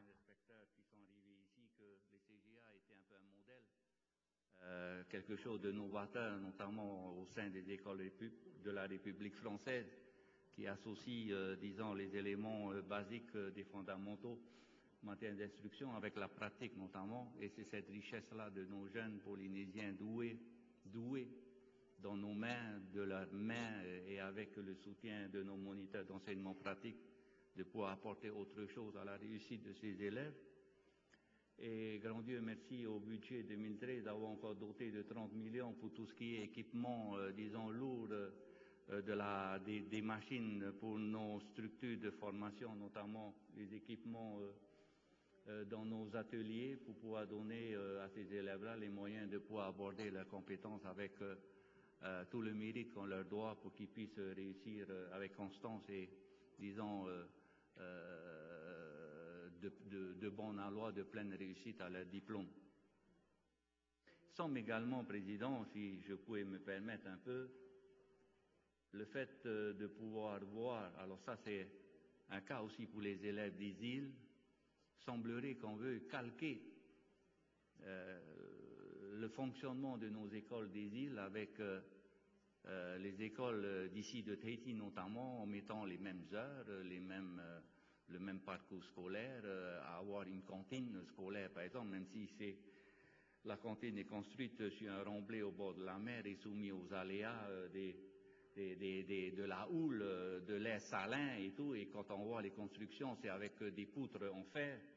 Et avec le degré de salinité qu'on a, bon, on ne sait pas combien de temps ça va tenir, donc ça va apporter encore euh, quelques éléments de débat pour pouvoir euh, réparer toutes ces structures-là qui risquent de s'éventrer très très bientôt peut-être, bon, hormis qu'on a donné un cas de travail à ces élèves-là, qui laisserait à mon sens perdre un peu de l'authenticité de ces jeunes Pomotou.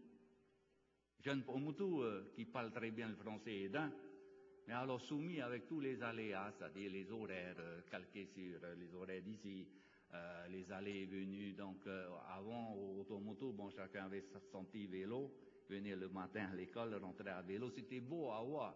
Aujourd'hui, il faut un bus, il faut transporter, il faut les faire manger à la cantine, il faut gérer les parents qui ne voient pas leurs enfants toute la journée. Et le soir, ces élèves-là, pleins de vie, pleins de, pleins de, de, d'amour propre de leur île, euh, sont là un peu abandonnés euh, parce qu'ils sont fatigués quand ils reviennent. Ce qui me fait dire que peut-être on devrait revoir un peu tout ce qui est euh, planning scolaire, leur donner un peu plus de bol d'air pour pouvoir garder cette richesse et cette authenticité. Alors euh, hier, c'était mercredi, euh, autour de l'Assemblée, je crois que tout le monde fait sa petite balade dans les îles, dans les, alentours un peu de la place. Les mercredis après-midi, les vendredis après-midi, on rencontre des jeunes qu'ils sont assis par là, sont en train de se bec becter, excusez-moi du mot, sont en train de sont en train de, faire les pitres, sont en train de. Euh, je ne sais pas si mercredi après-midi, ça vaut le coup de continuer à faire des demi-journées. Je ne sais pas si ça vaut le coup de continuer à faire des demi-journées le vendredi. Et peut-être il faudrait opérer un rattrapage, faire comme avant, on était à l'amener, et c'était une journée pleine quand on était en pension.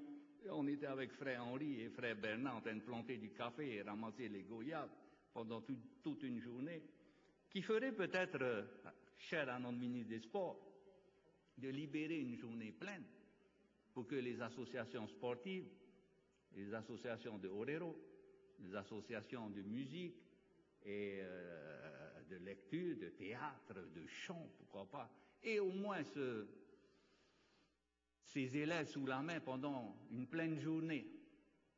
Parce que le mercredi après-midi, quand on encadre des petits jeunes des écoles pour faire du sport, quand ils ont fini de manger à midi, on les a à une heure et demie. Allez, il faut vite aller sur le terrain. Bon, on commence à jouer à deux heures. Et à trois heures de l'après-midi, le truck est là qui klaxonne. C'est l'heure de rentrer parce qu'il y a la circulation. Donc, je pense que le rendement qu'on a en faisant toutes ces activités-là ne sont pas payés à la, à la hauteur du prix que l'on veut se donner. Euh, c'est pour ça, bon, Président, c'était une petite réaction. Euh, peut-être que dans nos prochains débats, dans nos prochaines discussions, on pourrait revenir sur ces sujets pour donner plus de cohérence et surtout le retour sur l'investissement, cher à notre président Drolet, qui aime bien nous dire aussi ça, quelle est la valeur euh, de cet investissement? Donc la preuve est là. Beaucoup de difficultés, d'incohérences, voilà, est-ce que ça vaut le coup de continuer? On, Vous avez même avancé comment on va contribuer à substituer l'effort de l'État à mettre les 60 et quelques milliards sur le tapis, si nous, demain, on ne saura pas comment il va falloir, pour mettre nos billes aussi, nous prendre en main nous-mêmes. Hein. C'est un peu ça ce que je pensais aussi. Et puis, euh, tous ces débats laissent pour nous, euh, aujourd'hui, euh, euh devant euh, cette présentation, que je salue notre président euh, de la commission d'enquête, M. Magistrat Poto, ainsi que tous les membres de sa commission, pour le boulot de bonne qualité qu'ils ont présenté et qui appelle encore d'autres questionnements et que les réponses seront, et j'espère, apportées bientôt. Merci. Madou. Monsieur Marius. Monsieur... Ensuite, Madame Opanik. Euh, Monsieur Vito Amatua, Sabrina, Teiki Nui, non, Teiki avant Sabrina, et ensuite François Stama. Voilà. Monsieur avez la parole. Merci, Président. Pour répondre à la question de Maïna Sage, qui est une question pertinente, il s'agit en fait d'appréhender le système éducatif au travers du CNED dans une vision plus globale. Parce que pour l'instant, le CNED ne concerne qu'une vingtaine d'élèves, et encore les effectifs ont augmenté. Et ce n'est pas suffisant pour constituer un ensemble cohérent. Et donc, il nous faut viser une période de dix ans d'expérimentation pour bien appréhender. On peut, on peut réduire la période, mais il faut, il faut plus de temps que ce que nous avons vécu jusqu'ici. Parce que ça fait six ans que cette expérience existe. Il y a encore un certain nombre de, points à consolider. Les constructions qu'on au bout d'une certaine période les programmes, les, les répétiteurs. Il y a tout ça à mettre au point. Je ne vous cache pas par ailleurs qu'il y a une certaine réticence de la part de l'administration qui a fait qu'il faut peut-être effectivement envisager cette période d'expérimentation pendant dix ans pour rassurer un petit peu tout le monde sur les possibilités d'enseignement et d'éducation que nous pouvons faire à travers euh, le CNED. Je dois dire par ailleurs que le fait que les parents sont sollicités financièrement explique aussi pourquoi les parents sont très proches des enseignants, sont très fortement impliqués au fonctionnement de, l'établissement. Et cette implication, nous avons les plus grandes peines à les obtenir ici à, à, voire dans les autres écoles de Tahiti. D'ailleurs, ça me fait penser à une réflexion qu'on a souvent. Ce sont les, élèves qui ne posent pas de problème, dont on voit venir les parents aux réunions du conseil d'établissement ou du conseil d'école. Par contre, les élèves qui en ont réellement besoin, on ne voit pas la trace des parents d'élèves. On a beau les inviter sous toutes les formes d'invitation attrayantes, on n'arrive pas à les associer. Ça veut dire qu'il y a une réflexion à avoir au niveau de la participation des parents. Et cette participation des parents, il faut l'obtenir par tous les moyens. Et donc, à travers cette expérimentation que l'on pousse au CNED de, de l'Iquitéa, on peut peut-être arriver à trouver des formules qui permettent d'intégrer effectivement euh, les parents d'élèves aux actions que l'on peut mener. En tout cas, ce que nous souhaitons, c'est que cette action qui a l'air de fonctionner à l'Iquitéa puisse véritablement correspondre également à nos îles. Parce que c'est cet enseignement à distance qui nous fait défaut aujourd'hui. Je ne veux pas dire qu'il faut renvoyer les profs. Et il faut les garder, bien sûr, mais changer peut-être d'approche. C'est cette approche que nous voulons expérimenter et il nous faut un certain temps. Le, temps s'écoule très vite et il faut bien mesurer les différentes phases de cette expérimentation avant de la lancer. C'est tout ce que je pourrais dire pour l'instant. Pour en revenir à la question de Mme Frébault, je voudrais la rassurer, on n'a pas l'intention de supprimer les CJA. D'abord, les CJA font partie de l'enseignement primaire. Or, pour les internats et le sujet de notre commission d'enquête concernait essentiellement les élèves qui entrent en sixième et qui poursuivent la scolarité de la sixième à la troisième. D'ailleurs, les internats de, de, des Marquises à, dans l'île de Uopo, de, de, sont, logés chez, le directeur du, collège. Donc, ça, il ne pose pas de problème particulier. En tout cas, je veux vous rassurer, on ne veut pas les supprimer.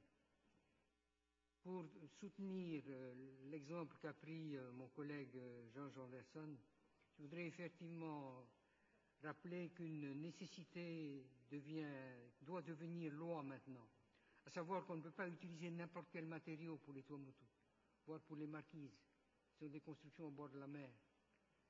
L'air salin fait que très rapidement, cette ferraille devient une arme dangereuse qui peut tomber sur les enfants et les blesser cruellement. Donc le temps est venu de réfléchir à d'autres types de matériaux pour construire nos écoles, pour le mieux-être de nos élèves. Voilà, très rapidement. Merci. Maruru, Madame Annick Opa, ensuite Monsieur Vito Mamatou. Merci, Monsieur le Président. Merci également cette commission qui, qui s'est occupée de ce projet. Monsieur le ministre, bonjour. L'intervention de Madame Tampra, et effectivement, cela s'est réalisé chez nous, mais nos enfants se rendent sur Ayatea. Il y, en, a certains qui restent à, à l'école et, certains qui vont dans les familles. Qu'est-ce, que, qu'est-ce qui s'est passé? Ces, ces, enfants qui sont euh, dans la famille, ils reviennent chez nous et ce qui va, ce qui va se passer, ils n'ont plus envie de retourner parce que bah, il existe, euh, euh, il y a des choses, euh, on ne peut, pas laisser ce qu'on appelle le viol. Il faut dire les choses comme elles sont.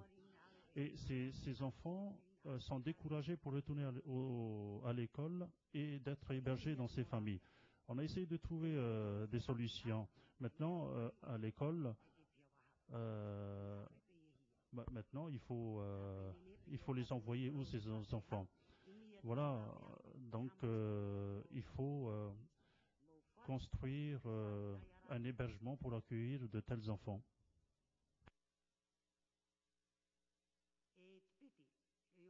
Deuxième chose, chez nous, au collège, il y a 30 ans, et en parlant de l'Assemblée sport, il n'y a pas d'abri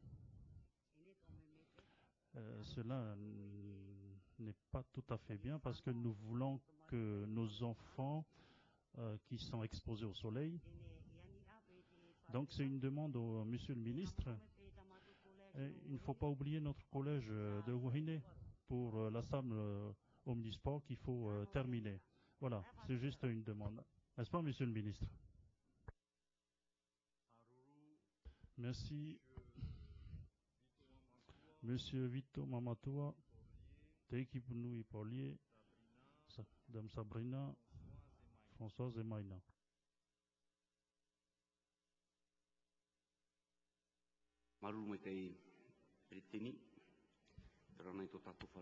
Bonjour à tous, Monsieur le ministre. Bonjour également à vos collaborateurs.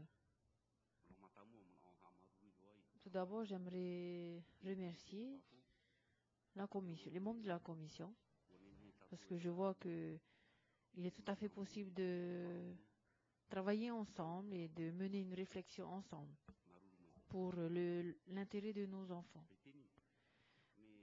Monsieur le Président, eh bien, j'ai une toute autre vision euh, de la situation parce que dès le début de l'étude, on parlait, on disait qu'il y avait, tout au début du rapport, on parle de 18, 118 îles en Polynésie et de 2, 500 000 kilomètres carrés. Et donc, c'est dire que le transport de nos élèves coûte énormément cher. Même si nous améliorons la situation au sein des internats, eh bien, le transport de nos élèves, de nos enfants coûtera énormément cher. Et donc, euh, je suis tout à fait donc d'accord avec ce que vous disiez. Dans 20 ans, on en sera encore là. Et donc, euh, je suis également d'accord avec euh, le président de la commission qui disait qu'il faut trouver des solutions pour que les enfants restent dans leurs îles. C'est vrai qu'il y a le CNED. Et j'aimerais vous dire que quand on regarde dans notre pays, eh bien, on se contente de regarder la réussite de nos enfants hein, au niveau de et qu'ils obtiennent un diplôme. Effectivement, il y a cette euh, importance, mais il y a également la culture de l'enfant. Dans chaque archipel de notre pays. Alors, quand l'enfant quitte son île, il a 10 ans. Il s'en va et quand il revient, eh bien, il s'en va, il s'en va, il ne revient pas. Ça, c'est le premier point. Deuxième point, s'il ne réussit pas, il rentre dans son île à 16 ans, 18 ans. Il ne sait même plus euh, comment euh, préparer sa canne à pêche, faire le copra.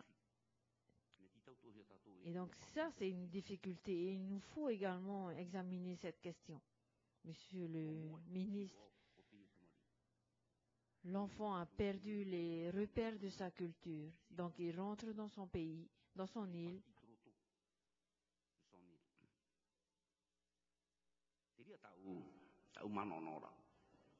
C'est là mon inquiétude. Les années passées, nous avions payé 10 milliards, nous avons affecté 10 milliards, monsieur le ministre, pour euh, le câble 13 milliards. Il est peut-être le temps de passer au système de la téléenseignement. Téléenseignement. Il faudrait qu'on puisse réfléchir profondément sur euh, ce dossier et euh, mesurer une enveloppe, hein, évaluer une enveloppe euh, qui puisse qui permettent aux îles, aux enfants de rester, de rester dans leur île, pour permettre et permettre aussi à ces enfants de mieux connaître leur culture. Et donc ça, c'est une vision que nous devons avoir.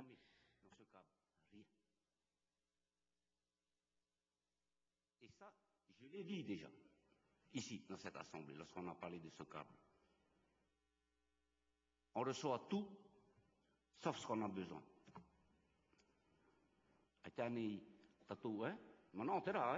C'est une question. Hein. Donc, est-ce que nous ne pouvons pas changer notre vision de l'éducation, de l'enseignement dans notre pays? À mon avis, euh, je pense qu'on peut y réfléchir sur le téléenseignement et il faut évaluer hein, une enveloppe. à ce moment-là, l'enfant qu'il réussisse ou qu'il ne réussisse pas, eh bien, il est dans son île, dans sa famille, il connaît son histoire, son île. Voilà, un avis. Monsieur le ministre, merci. Merci, euh, chers collègues. en, Australie, ils ont réalisé ça en, en 1988.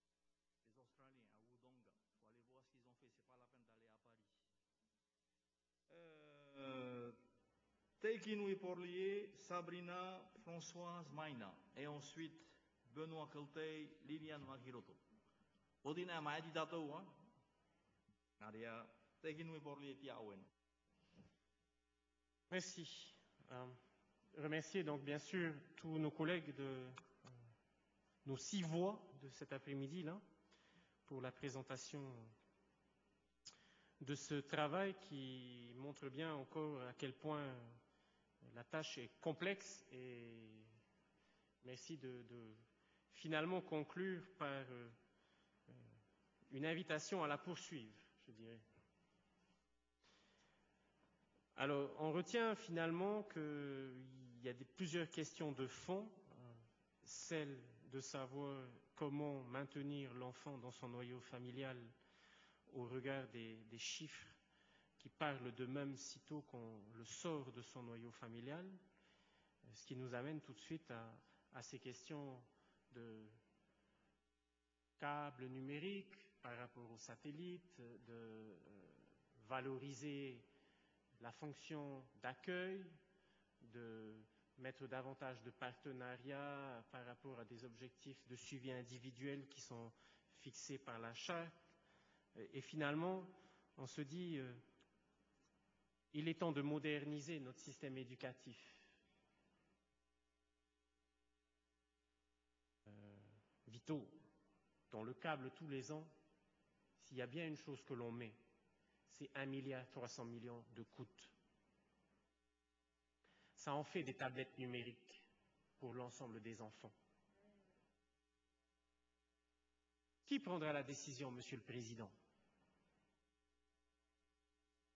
De faire barrière à ces lobbies, parfois même du secteur public, pour aller dans le sens de l'intérêt général, pour aller dans le sens de ce que nous votons ici à l'Assemblée. Et encore une fois, si la mission de notre institution est de suivre l'évaluation des lois que nous votons, si nous avons bel et bien voté sincèrement de faire de la charte de l'éducation, de faire de l'éducation la priorité de notre territoire. Mais aux grandes dames, qui peut freiner cette décision pour empêcher la modernisation de nos moyens de communication à l'intérieur de notre territoire, avec nos outils, avec nos moyens, avec nos ressources humaines, pour nos enfants, pour notre avenir? Qui freine cela encore aujourd'hui?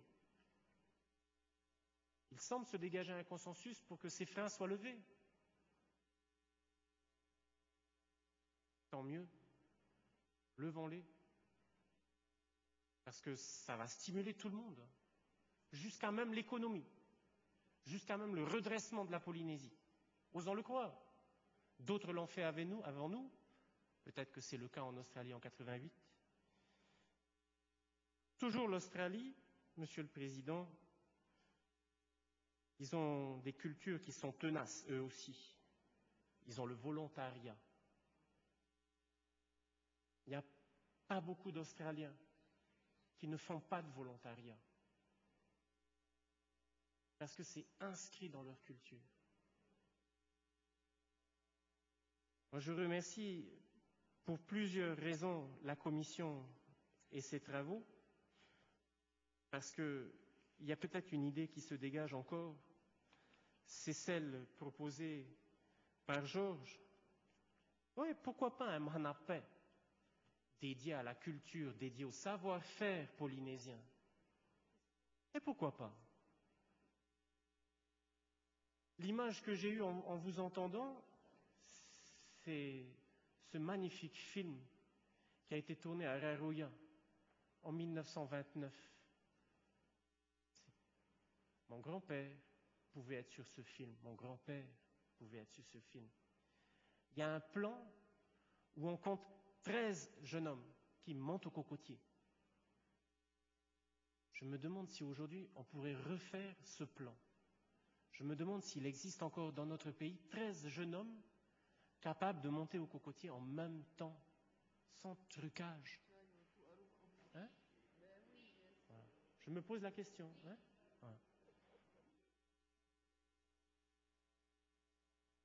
Donc oui, il y, a, voilà, des pistes qui se dégagent. Mais encore une fois, euh, toutes ces pistes montrent bien que quel bonheur finalement d'avoir ce statut d'autonomie interne.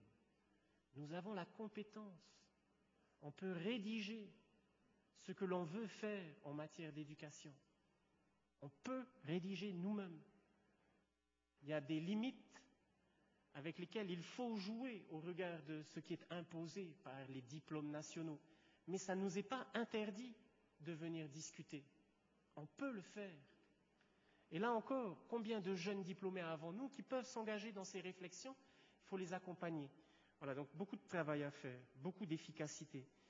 Alors, je tiens quand même à partager euh, une crainte qui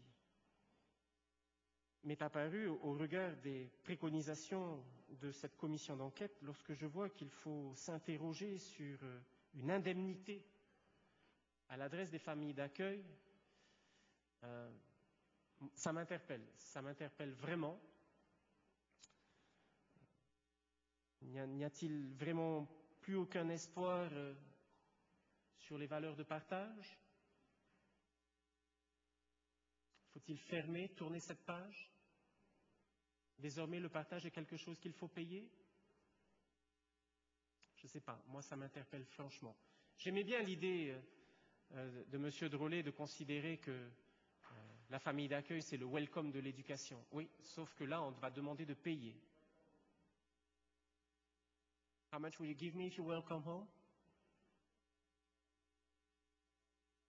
Donc, voilà, moi, ça m'interpelle. Mais bon, il faudra se soumettre au choix.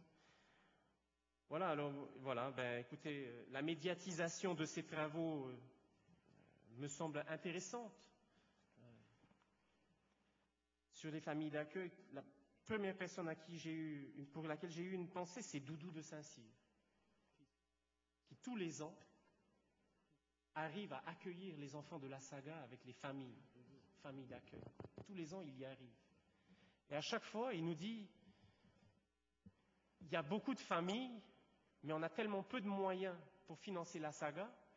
En fait, si on avait plus de moyens, des familles, ce n'est pas finalement le plus grand obstacle auxquels il est confronté. C'est plus les moyens financiers. Alors tout ça nous amène à, des questions financières, sur euh, l'entretien bien sûr, sur la construction aussi. Euh, je ne sais pas jusqu'à quel niveau, pendant les travaux de la Commission, il a été intégré le monde de l'enseignement euh, privé. J'imagine que ça a été fait, parce que je crois qu'il y a des partages d'expériences entre l'enseignement public et l'enseignement privé qui seraient des plus profitables pour l'ensemble des enfants, pour l'ensemble des parents d'élèves. Et je veux penser là, par exemple, euh, aux familles de l'enseignement catholique qui mettent la main à la poche pour euh, financer la construction et l'entretien des établissements dans lesquels les enfants euh, sont logés. Et, et c'est difficile, c'est lourd, c'est onéreux. Mais voilà, elles font cet effort. Et puis voilà, ben écoutez, encore une fois merci et souhaitons, souhaitons longue vie au, au Père de l'éducation. Merci bien. Le welcome home de l'éducation, c'est Maïna, c'est pas moi. Moi, je n'ai fait que traduire son idée. Mais elle est propriétaire de ce slogan, hein, pas moi. Pas moi. Sur la liste, la liste qui m'a été confiée pour euh, prendre la parole, Sabrina, Armel.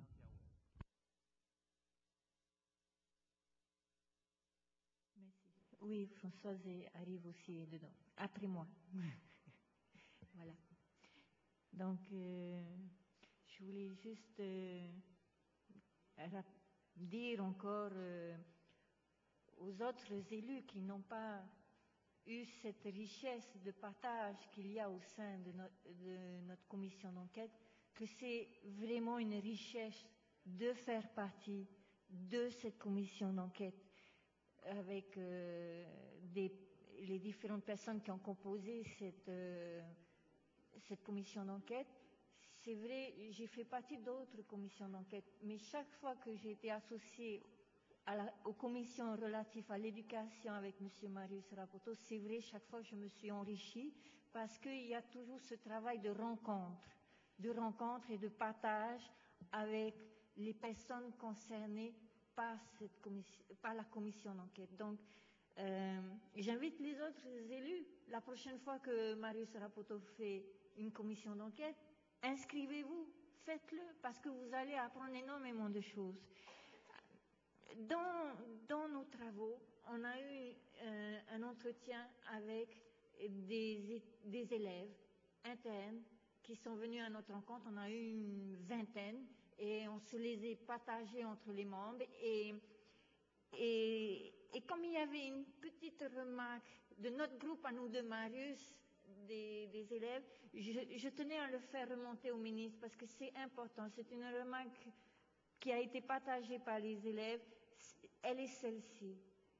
Si on pouvait interdire l'exclusion au niveau des, internes, parce que parfois à l'école, pour punir un enfant, on l'exclut du lycée ou du collège, on va l'exclure pour une semaine ou pour un certain temps. Pour un enfant interne, un enfant qui vient des îles, c'est la fin de l'école. Il rentre chez lui et il ne revient pas, sous, pas, tout, pas toujours. Et ils ont demandé si pour les internes, pour les enfants qui viennent des îles, cette sanction de l'exclusion, vous pouvez trouver une alternative. Et donc je le je le ramène à vous, Monsieur le ministre. Maruro. Et c'est pas fini, c'est pas fini. Et je voulais juste aussi également, je voulais juste, tu es revenu, c'est encore c'est qui s'attend. Voilà. Donc juste pour dire, à la fin, il y avait des conclusions très importantes qui ont été dites, pour, notamment par rapport au que que l'internat, c'est un sacrifice pour les enfants, c'est un sacrifice pour les parents. Pourquoi? Pour réussir à l'école, le plus important, c'est l'amour. Et quand on, envoie un enfant à l'école, à, l'internat, il est séparé de ses parents et il doit survivre sans l'affection de ses parents. Et ça, c'est très très dur. Et, l'internat, il faut le savoir, il faut en prendre conscience que ce n'est pas un choix que fait les enfants et les parents. C'est une obligation imposée par la loi aux plus démunis. Parce que ceux qui ont de l'argent, eux, ils accompagnent leurs enfants parce qu'ils peuvent avoir les moyens de les accompagner à et leur donner l'amour qu'ils ont besoin. Mais ce sont les familles les plus démunies. Donc, vous voyez un taux important de boursiers qui sont internes, qui sont obligés d'être en interne internat et, et en famille d'accueil. Il faut en prendre conscience et c'est pour ça qu'on a besoin d'améliorer les conditions d'accueil pour que ces enfants-là en internat puissent avoir plus d'amour pour mieux réussir. Parce que quand on a écouté les enfants avec Marius, voici, voici une chose très importante qu'ils ont dit, c'est que les enfants qui commencent l'internat très tôt, à partir de l'âge de 11 ans, vont aller en internat souvent jusqu'au bac. Et après, on dirait que c'est trop dur pour eux de continuer. Et ce sont ceux, par exemple, qui commencent l'internat euh, à partir de 15-16 ans, donc ceux de Montréal et de Tahiti, qui arrivent à poursuivre des études plus longtemps et qui arrivent à faire des grandes études. Donc il faut en tenir compte. Si on pouvait am améliorer la situation et de ce fait, si notre président était là et qu'on pouvait mettre en place euh, la priorité de l'éducation, notamment au niveau des structures et des bâtiments, et dire que quand, il y a une, quand on va construire des bâtiments, que la priorité soit donnée à l'éducation d'abord. Euh, Merci.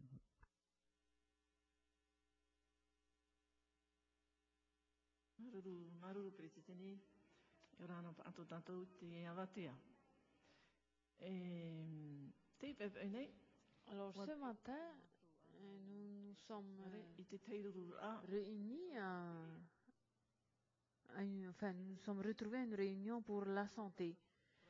Et aujourd'hui, nous sommes sur l'éducation Alors, euh, le point positif euh, de notre débat, c'est que nous, les politiciens, avons rencontré euh, les personnes qui œuvrent dans ce secteur. Parce que ce qu'il faudrait effectivement, c'est que ce sont ces personnes euh, qui connaissent le dossier qui doivent venir nous en parler. Mais c'est nous qui, qui l'avons fait. Alors,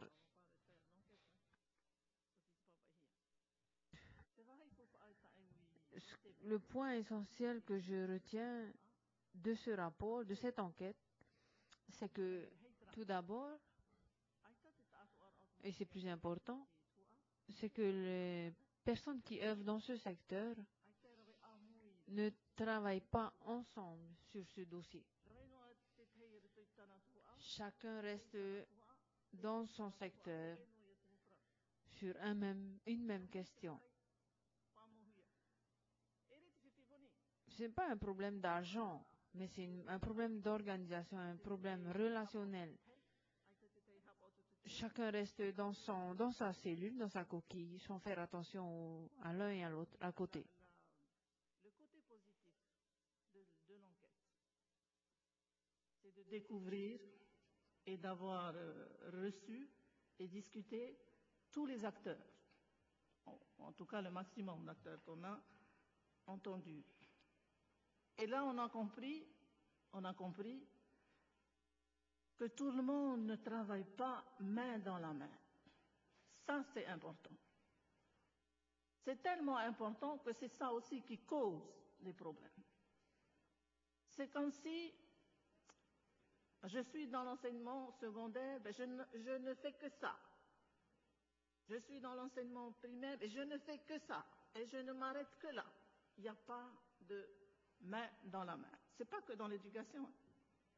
C'est toute l'administration qui est comme ça. Dans la santé, c'est pareil. Chacun dans son coin. Ça tombe bien avec ce que disait Hiro. Hein. Dans 20 ans, on reviendra et ce sont toujours les mêmes écrits que nous aurons. Puisque ce n'est pas la première fois qu'on a un document écrit.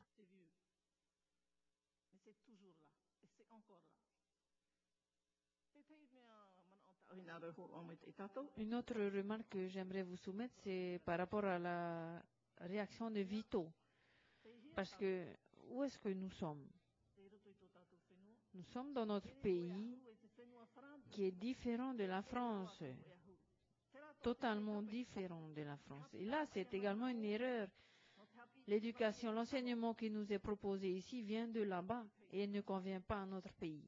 Là, c'est une erreur également. Notre pays est un grand pays, alors que l'enseignement que nous avons, c'est l'enseignement qui vient d'un seul pays. Comme Vito, je vous rappelle également euh, de l'enveloppe que nous avons affectée pour euh, l'enveloppe pour euh, le câble numérique. C'était pourtant un objectif, éviter le transport des enfants d'île en île. Et c'est cette euh, séparation de son île qui, euh, qui crée des difficultés au niveau de la, de la vie de, de l'enfant. Et un autre, pour terminer, un autre point, ce qui est écrit, eh bien, je crois qu'on écrit pour écrire. Parce que il faut, il faut mettre en application, mais qui va le faire et est-ce que ça va être fait? Merci. C'est tout à fait clair. Il faut mettre euh, en pratique le, ce qui a été écrit. Jean-Marius Rapoto. Oui.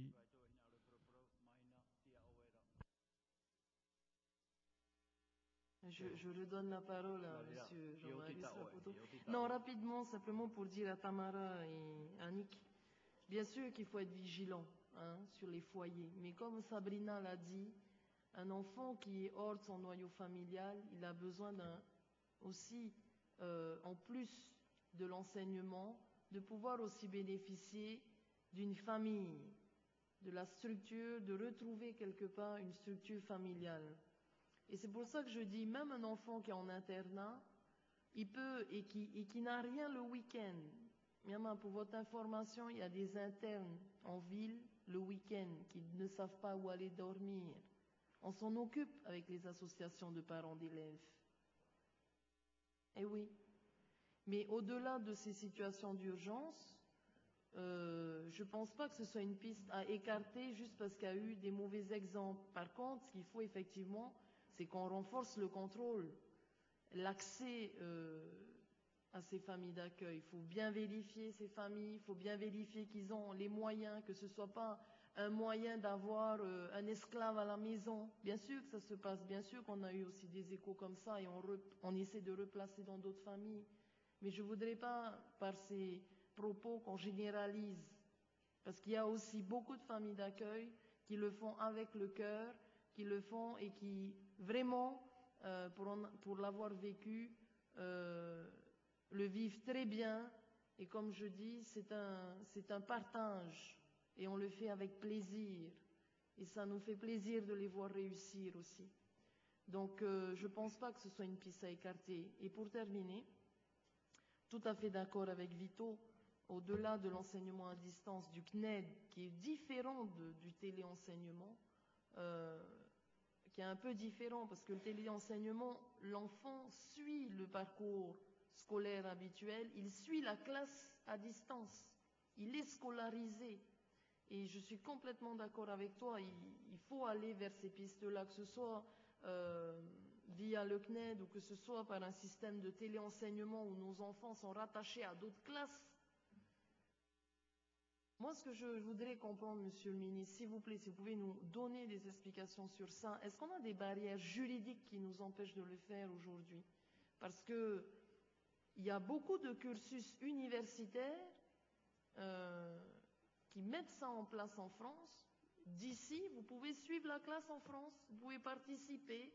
Il y a l'écran, vous voyez le prof, vous voyez les élèves, vous voyez les autres qui suivent à distance avec vous. Vous pouvez parler à l'un, à l'autre. On peut déjà le faire. Nous, en tant que Polynésiens, on peut bénéficier de cet enseignement à distance pour l'université. Est-ce qu'on a un blocage juridique pour le mettre en œuvre dans les cursus primaires, enfin, pardon, collège et, et lycée? Voilà, merci. Merci. N'est-ce pas? D'autant que nous avons maintenant qui nous permet d'accéder à tout ça. Euh, Hakaiki. Hakaiki Nukuhiva. Monsieur le maire de Nukuhiva. Ouais, Maruru Peretini, Fatrehau, Kauha, Monsieur le ministre, bonjour et ainsi qu'à vos collaborateurs. Avant tout, je remercie les membres de la commission parce que nous savons que le sujet de l'éducation est extrêmement important. Et nous savons que dans une famille, eh ben, sans éducation, dans un pays, dans une île, dans un pays où il n'y a pas de d'enseignement, eh bien cela met en, mettra en, peut mettre en difficulté l'île et même la famille. Alors à Nukuhiva, hein, lorsque ce sont les vacances scolaires, avant que les enfants rentrent dans leur dans leur structures dans les établissements, nous organisons des rencontres dans la commune, avec la commune et entre la commune et ses enfants, et bien sur euh, des questions euh, difficiles comme nous, venons d'en parler. À, un moment donné, nous avons arrêté ces rencontres parce que ce sont toujours les mêmes problèmes qui reviennent, qui revenaient. Alors, qu'est-ce que vous voulez encore? Pourquoi est-ce que organiser encore les mêmes réunions puisqu'on n'arrive pas à résoudre le, les problèmes, que ce soit des logements ici.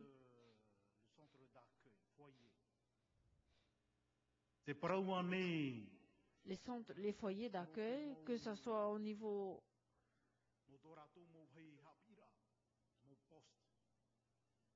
des postes euh, au niveau de l'enseignement, parce qu'un exemple, au CETAD, on sait, on sait, on connaît leur, les disciplines qui sont enseignées. Si c'est pour euh, construction de maisons, eh bien, quand ils viennent ici, ils demandent à poursuivre ses études dans la construction de maisons. Mais ici, il n'y a pas de poste pour ces enfants. Rien que là, eh bien, ils sont obligés de modifier leur cursus scolaire et donc ils se retrouvent à. Comme, comment, pourquoi ça? Trois ans au CETAD et ici, ils sont obligés de changer de cursus scolaire. Et rien que ça, eh ça peut décourager l'enfant et il retourne dans son île. Et deuxièmement, eh bien, il y a d'autres difficultés, on a plein, plein, hein, et nous savons que il y a le problème financier. Et là où nous pouvons réfléchir, c'est de c'est de réfléchir aux questions, euh, aux problèmes prioritaires nous, devons prioriser nos, actions.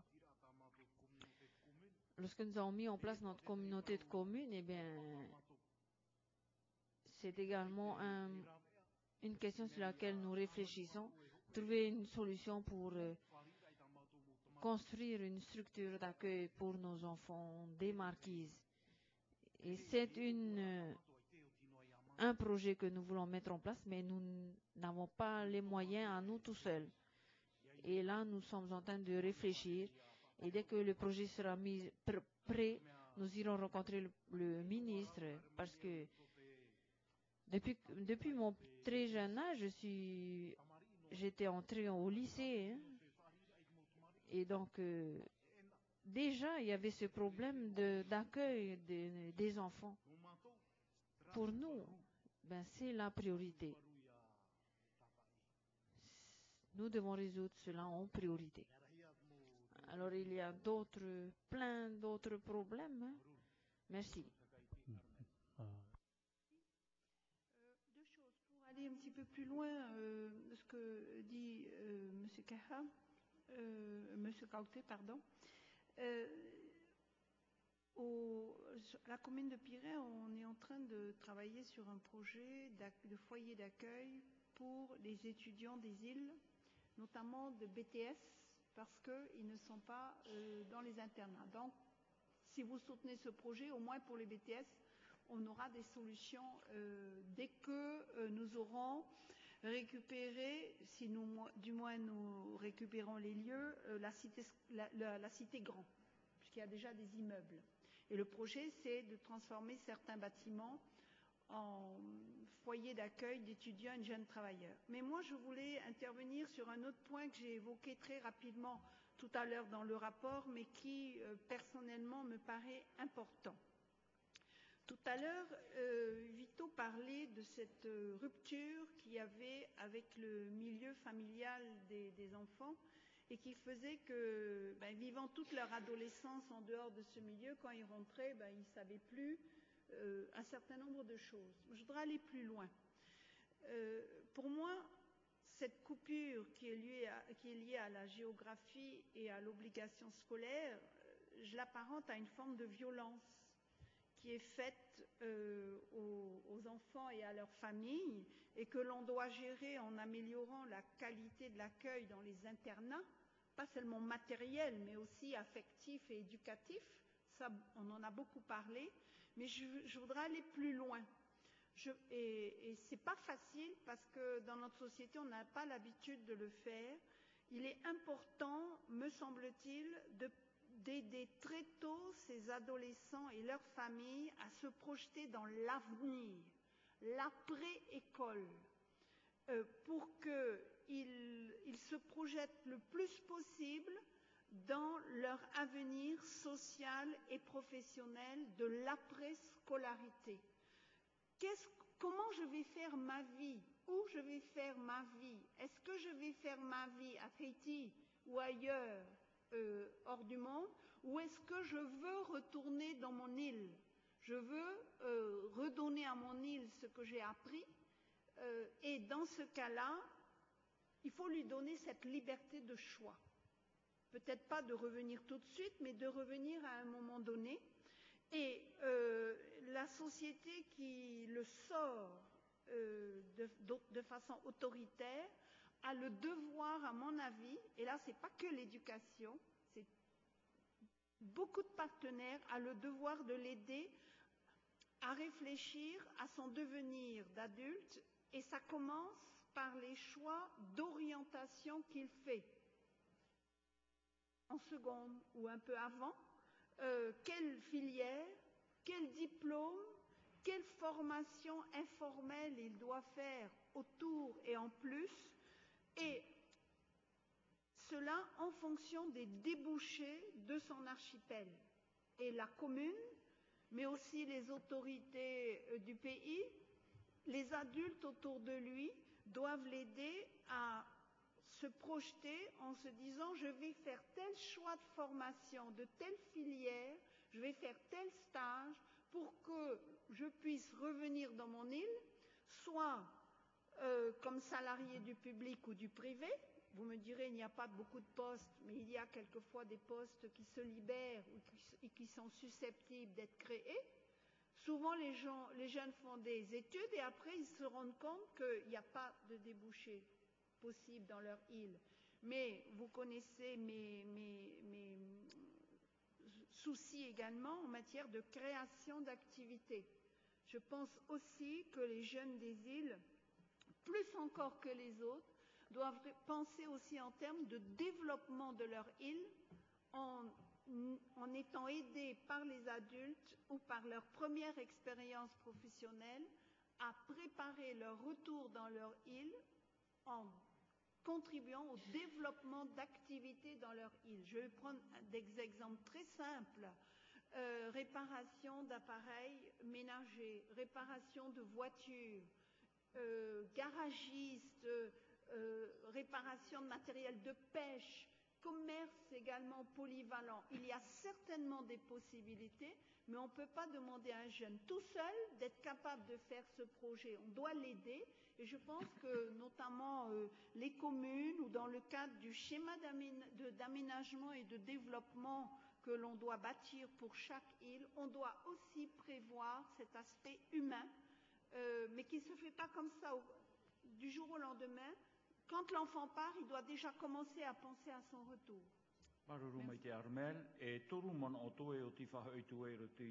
Donc il reste trois interventions avant de remettre, rendre la parole à, à Monsieur le ministre.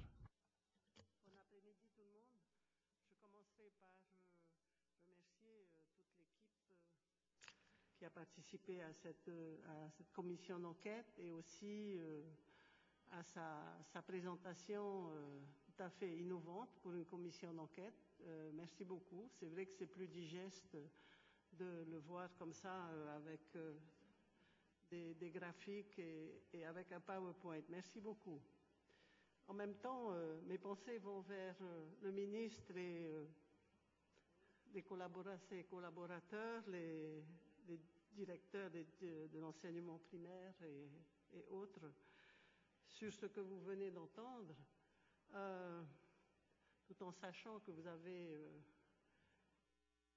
euh, une, tâche et une responsabilité énorme à faire en sorte que euh, l'enseignement se passe relativement bien dans cet immense pays euh, qui est le nôtre.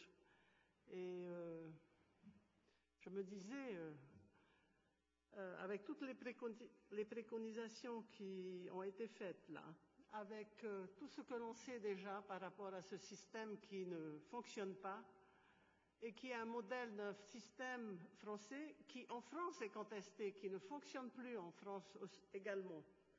Il est, euh, il est épuisé, il est arrivé à bout de course, il n'est plus en phase avec l'évolution de la société.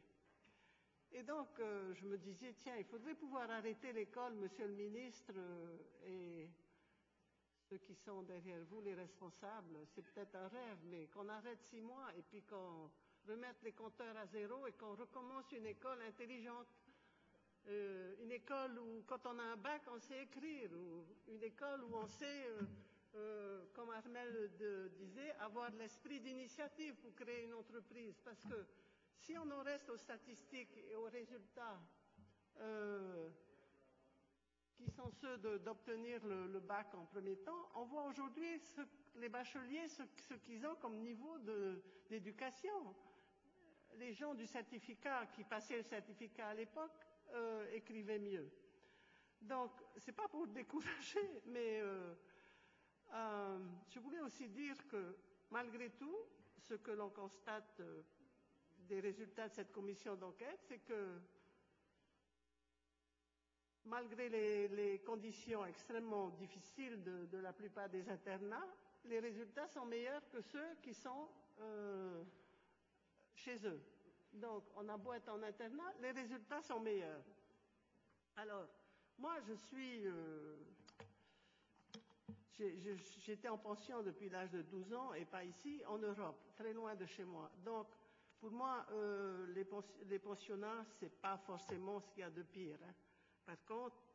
Par contre, c'est les moyens que l'on n'a plus aujourd'hui pour lui donner de, la qualité, pour qu'on ait assez de personnes pour, euh, euh, comment je veux dire, pour s'occuper de ses enfants et aussi pour tout l'enseignement hors, je veux dire, hors programme imposé euh, par rapport justement à, notre langue, à notre culture et éviter ce problème de, déperdition de nos, gestes, de notre langue, de, notre culture.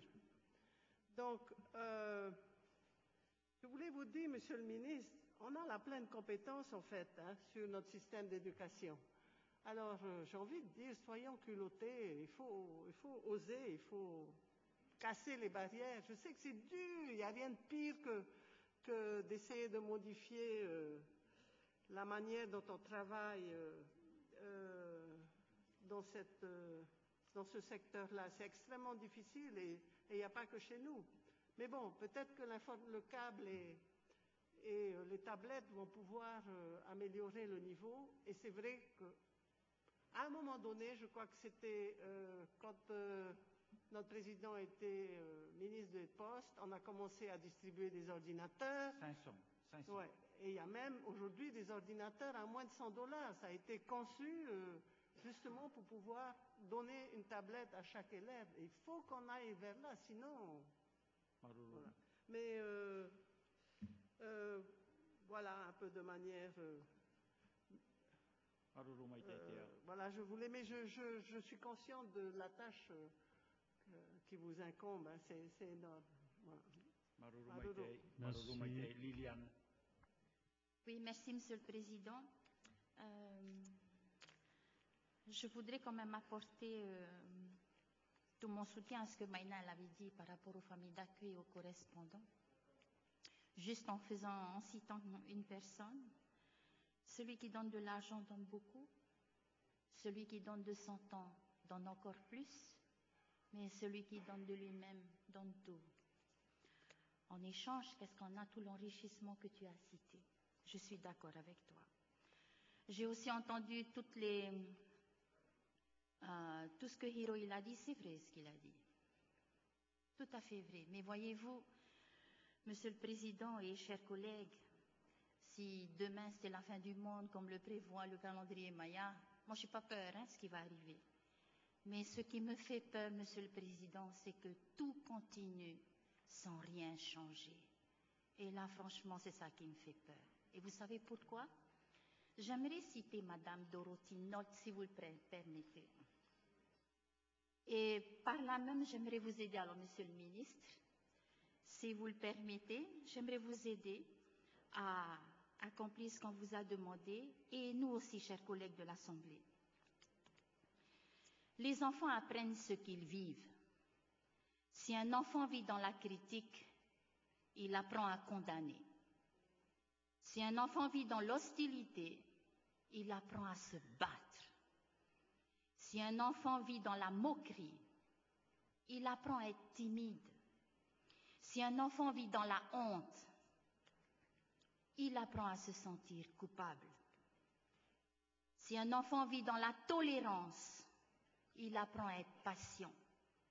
Si un enfant vit dans l'encouragement, il apprend la confiance. Si un enfant vit dans les éloges, il apprend à apprécier. Si un enfant vit dans l'équité, il apprend la justice. Si un enfant vit dans l'approbation, il apprend à s'aimer.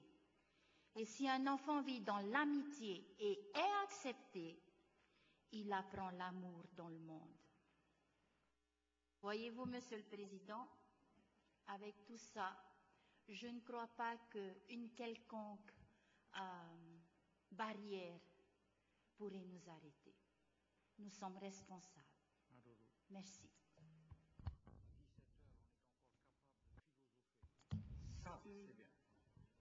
Rapoto, mon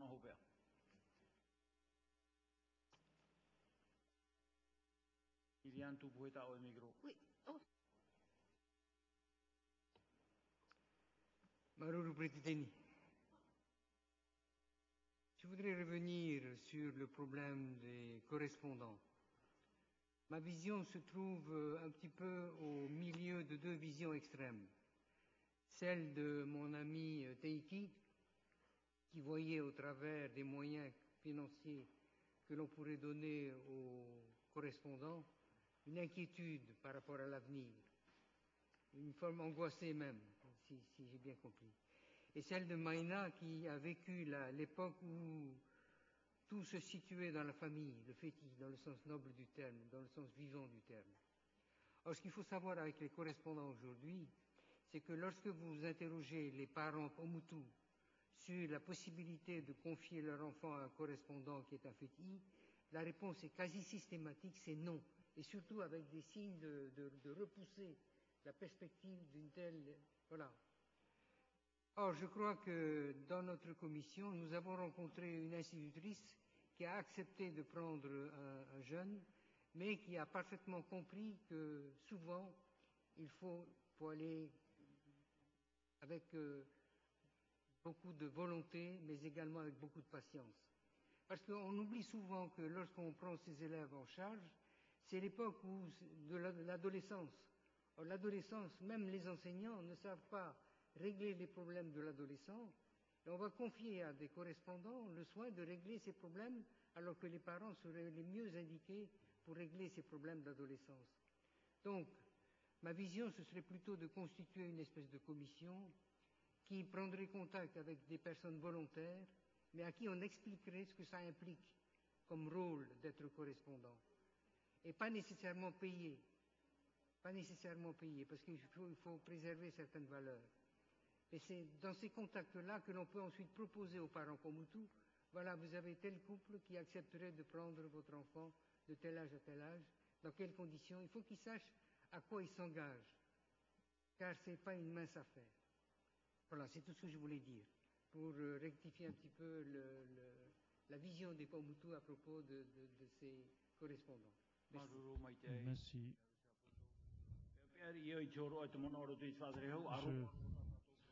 Je, je, je suis un peu inquiet de vous donner la parole, donc soyez bref, Monsieur le ministre.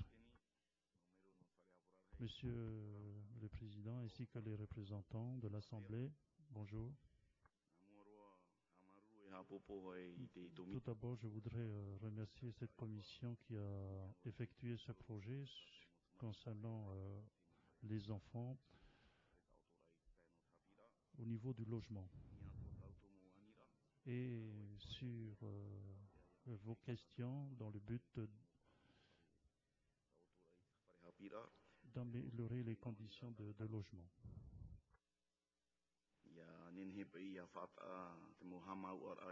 Pour que nous puissions euh, calculer les dépenses euh, au niveau de, de l'hébergement, sur les difficultés que rencontrent également nos enfants. J'ai signé un contrat concernant euh, ces problèmes et dans les jours à venir, vous serez prévenu de, de cela. Et également les difficultés dans le but de les faire comprendre lorsque il y, aura quelque chose, euh, des dispositions qui seront prises pour accompagner nos, jeunes, nos étudiants. Concernant les difficultés que vous avez évoquées euh, à propos du CNED, euh, donc il serait bien d'examiner de, aussi cela. Donc euh, il ne faut pas prendre euh, ce sujet à la légère. Également les difficultés que rencontrent nos, nos, jeunes dans les écoles, Makemo, Manihi. Je suis allé euh, dans, euh, dans les logements, dans les hébergements de, de, nos enfants. Bon, il y a quand même euh, des difficultés. Sur les 70 000 enfants, il est normal que certains problèmes apparaissent. On peut voir aussi le nombre euh, concernant les, les, diplômes de DNB, CAPES, de BAC. Voilà, c'est un objectif aussi, ainsi que sur, sur, ce statut que vous avez adopté, et je tiens à vous remercier. L'ensemble des représentants de cette Assemblée qui ont adopté ce, statut, ce charte, donc, euh, Aline, je tiens à remercier Mme Aline Aïta, ainsi que M. Christian Morin, sur euh, la façon de, diriger ce, ce, charte que vous avez adopté. Et c'est ce qui est fait euh, dans les établissements scolaires. Ainsi que les enseignants. Et ils sont en train de, de faire euh, leur travail. Du Conseil de l'Assemblée. Donc, concernant ce point, je vais d'abord répondre rapidement sur le rapport. Ensuite, je viendrai sur toutes les questions qui ont été posées. En ce qui concerne l'éducation, bien sûr, l'éducation est la priorité du pays. Je vais vous donner quand même quelques chiffres. Je ne sais pas si c'est depuis que le Taoui a eu un décollage au niveau des résultats scolaire. Alors, je ne sais pas si c'est depuis 2000, entre 2005 et 2007, si c'est un lien avec le Taoui, mais en tout cas, mais bon, hors sujet. Mais je vais vous donner quand même faire un constat, c'est important. Comme vous le savez, je vous remercie tous. Hein, la charte, l'éducation est la priorité du pays. Donc tous, c'est vrai que c'est notre ami Jean Marius qui a, qui a présenté, qui a travaillé avec la commission également. Hein, donc il y avait euh, M. Porlier euh, et plusieurs autres membres qui ont présenté la charte de l'éducation. Ça a été adopté à l'unanimité. Et donc aujourd'hui, je remercie la directrice de l'ADES, le directeur de l'ADEP, tous les inspecteurs, les directeurs d'école, dans l'enseignement du premier degré du second degré, les, enseignants et non enseignants, ben, qui ont pour objectif de mettre en place la charte de l'éducation que vous avez votée. Donc c'est notre priorité. L'objectif également, c'est que nos, enfants soient plus performants. Donc, on sera évalué par les résultats scolaires. Comme vous le savez, il y avait une charte de l'éducation en 92 également qui s'est fixée pour objectif en 2002 d'avoir 100% de réussite au DNB, 70% de, réussite au bac avec une même classe d'âge. Donc on n'y est pas arrivé. Ensuite, on a remis ça pour 2008. On n'est toujours pas arrivé. Donc euh, en 2000, euh, depuis 2012, donc on a une nouvelle charte 2011 on a une nouvelle charte de l'éducation pour que dans 10 ans, on puisse atteindre 100% du DNB et 70% d'une classe d'âge au bac. Comme vous le savez, au niveau du bac, on est à 80% aujourd'hui. On était à 70% avant que le Taoui arrive. Je ne sais pas si c'est un lien, M. Porli. Hein. Mais bon, important de faire un point quand même. Hein. Non, on arrête. Hein. Voilà. Mais aujourd'hui, je peux vous dire qu'on n'est pas loin de 90% de réussite au niveau du DNB. Au niveau du DNB. Au niveau du bac, euh, donc on est aux alentours de 80%, entre 75 et 80%. Sur les cinq dernières années, il y a, il y a une, on est quand même 80%, 80%. Donc il y avait une augmentation sur les cinq dernières années. En ce qui concerne la classe d'âge, comme je dis, l'objectif, c'est d'avoir 70% d'une même classe d'âge. Hein. Donc, pour cette année, pour cette année, c'est-à-dire, donc, on a évalué sur les, en 2001, ils avaient 6 ans, ils ont passé leur bac cette année. Donc je vais vous donner les chiffres. Hein. On était, un, peu, un peu plus de 30% avant que le Tao y arrive. Hein. Aujourd'hui, on est à 51%. Donc c'est pas trop mal quand même. Donc 2012, 2944 élèves sur 5712 qui ont, sur les 5712 qui ont réussi leur bac, il y a 2944 élèves qui avaient 6 ans en 2011, en, 2000, monsieur en le 2001. Ministre, monsieur le ministre, vous ne pouvez pas résumer simplement Sinon, je reviens sur euh, le rapport. Donc, il est important de féliciter le travail de la Commission qui donne un éclairage sur la situation de la scolarité hors noyau familial. Rappelez également que, bien sûr, comme je disais, l'éducation est l'affaire de tous et que la charte votée à l'unanimité par l'APF rappelle que la réussite éducative passe par la mobilisation de la société tout entière. Comme le préconise le triptyque, une école pour tous, on a besoin également que les communes s'investissent. On a besoin que les sociétés, que les associations dont vous investissez. Donc c'est tout le monde qui doit, nous devons tous nous investir pour atteindre notre objectif. J'ai retenu cinq propositions au niveau du rapport. Hein. Donc, euh, qu'on puisse séparer les coûts de fonctionnement de l'internat et de l'établissement et étudier les, et qu'on fasse une étude détaillée du coût de fonctionnement de l'internat. Donc il y a les commissaires de gouvernement, il est vrai que ces dix dernières années, donc vous avez tous les rapports des commissaires de gouvernement qui vont arriver bientôt à l'Assemblée. Et qu'au gouvernement, il y a une élaboration d'un vaste programme également quinquennal de réhabilitation des internats et des foyers. Donc on le fait. Donc, il y a une étude pour la mise en place de, l'internat au lycée professionnel de, de. Donc on a lancé les études. On espère démarrer rapidement l'internat du lycée professionnel de FAA, qui accueille énormément de, jeunes des îles. On en termine également euh, l'agrandissement de l'internat de, de Mahina. En ce qui concerne l'internat de,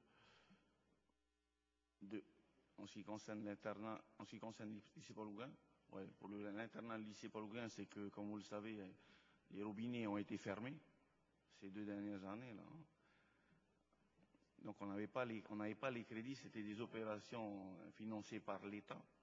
Donc on n'avait pas de crédit, on avait des travaux qu'on n'a pas pu démarrer en 2000, cette année. Donc ils vont démarrer, comme vous l'avez vu dans le, dans le budget 2013. Donc ce sont des travaux qui vont reprendre dès janvier 2013. Dès janvier 2013 pour, terminer l'internat de Gouguin, on devait terminer. Et puis il y a d'autres, priorités également. C'est le souci également que nous rencontrons au niveau du second degré, comme vous le savez, bon, c'est beaucoup basé sur, sur, appuyé en fait sur cette convention de 2007 à 2017. Je voulais rappeler à plusieurs reprises que l'État s'était désengagé ces cinq dernières années. Hein. Un milliard deux, bon, je ne vais pas revenir dessus. Et lors de ma dernière mission en France également, donc, il nous manque 13 millions d'euros de CP. Donc on aura 6 millions d'euros de CP pour 2013, également pour 2014. Et ensuite, on verra en mai, euh, on verra en mai, il y aura une prochaine mission pour aller voir bien sûr nos, nos partenaires en France pour euh, voir s'il y a possibilité d'avoir des AP et des AE sur des priorités. Concernant le partenariat avec les, les services judiciaires du pays également, c'est une proposition que j'ai notée à la page 23. Il existe déjà des projets de convention en cours hein, avec le procureur, la gendarmerie, les affaires sociales et la santé. Donc tous sont partants. Donc les projets, sont restés en attente en raison des affaires du pays, car le procureur est très pris en ce moment. Mais dès qu'il sera libre, donc on va reprendre nos, travaux sur, sur ce dossier. La mise en place également d'un guichet unique pour l'orientation des élèves des îles vers Haïti. Donc il est vrai qu'il existe déjà le centre d'information d'orientation au niveau de la DES.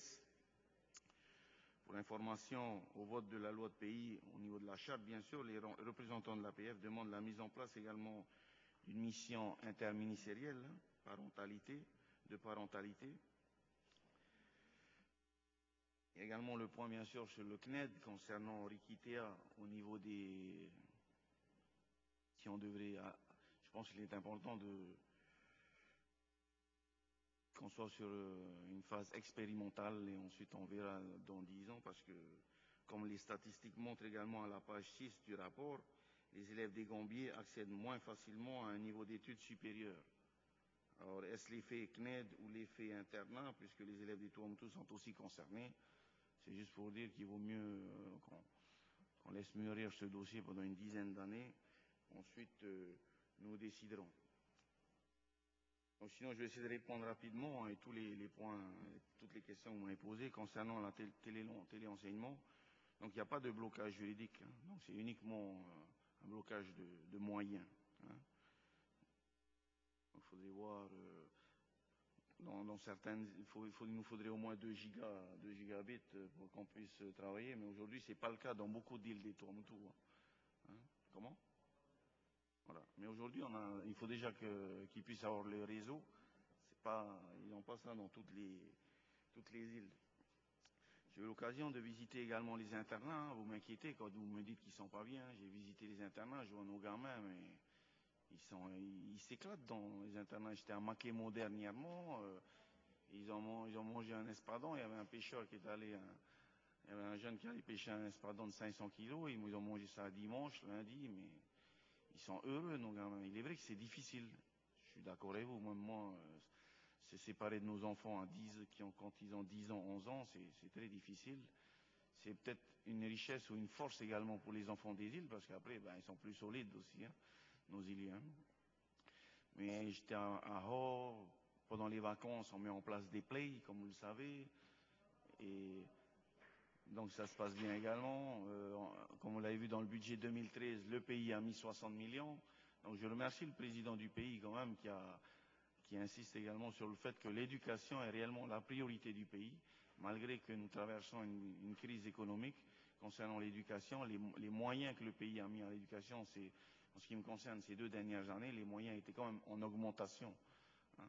Donc je le remercie, la priorité. Il faut savoir qu'au niveau de la DES et la DEP, Euh, la DEP, la semaine dernière, était en réunion avec tous les directeurs d'école pour essayer de faire un point justement sur les moyens humains, les moyens, financiers, et l'objectif étant la mise en place de cette charte de l'éducation en essayant d'être encore plus performants. Euh, ils étaient en mission, certains de nos enseignants du, du premier et second degré étaient en mission à Nouméa il y a deux, trois semaines de cela. Et donc, euh, on parlait du projet du, de l'école de l'école plurilingue. Je peux vous dire que Wallis, la Nouvelle-Calédonie, également Guyane, ils vont se déplacer à Tahiti parce qu'on est réellement en avance sur ce dossier. Donc je félicite également mon ami euh, Jean-Marius Rapoto. Hein. C'est la mise en place du RIO. Comme vous le savez, on a eu un label des langues euh, européennes en 2010. On a eu le label des labels sur les dix dernières années. Donc il est important de le noter également.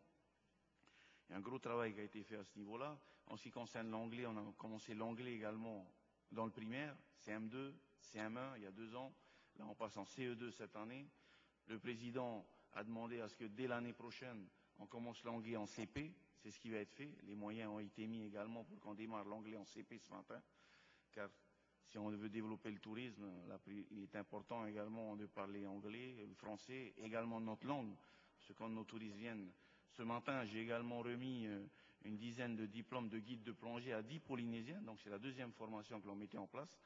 Et ils étaient confrontés justement à ce problème euh, dans les centres de plongée, c'est qu'ils ne parlaient pas l'anglais. Donc je leur ai dit, ben, dans 10 ans, nos jeunes, ils parleront tous l'anglais. Juste pour vous dire que vous avez parlé également de la carte de formation. Donc ce sont des secteurs où on n'a pas cherché. Bon, je pense que c'est ensemble hein, qu'on doit, qu'on doit définir la carte de formation. Vous avez parlé de, la pêche, de l'agriculture, vous avez parlé également de la plongée. Concernant les secteurs de location de yachts, par exemple, comme vous le savez, ces cinq dernières années, leur chiffre d'affaires était en augmentation de plus de 20%. Concernant la plongée également, ils ne connaissent pas de crise, ils ont réellement besoin. Donc, à partir de demain, on aura également 10 jeunes, ils ont, ils ont tous été embauchés dans des centres de plongée. Donc, on va continuer également à former des jeunes. Comme vous le savez également, sur les, il y a 15 à 20% de touristes qui viennent en Polynésie que pour la plongée. Donc ce sont des secteurs qu'il faudra développer, donc on y travaille. Euh, alors, quelles étaient les autres questions concernant Rikitea?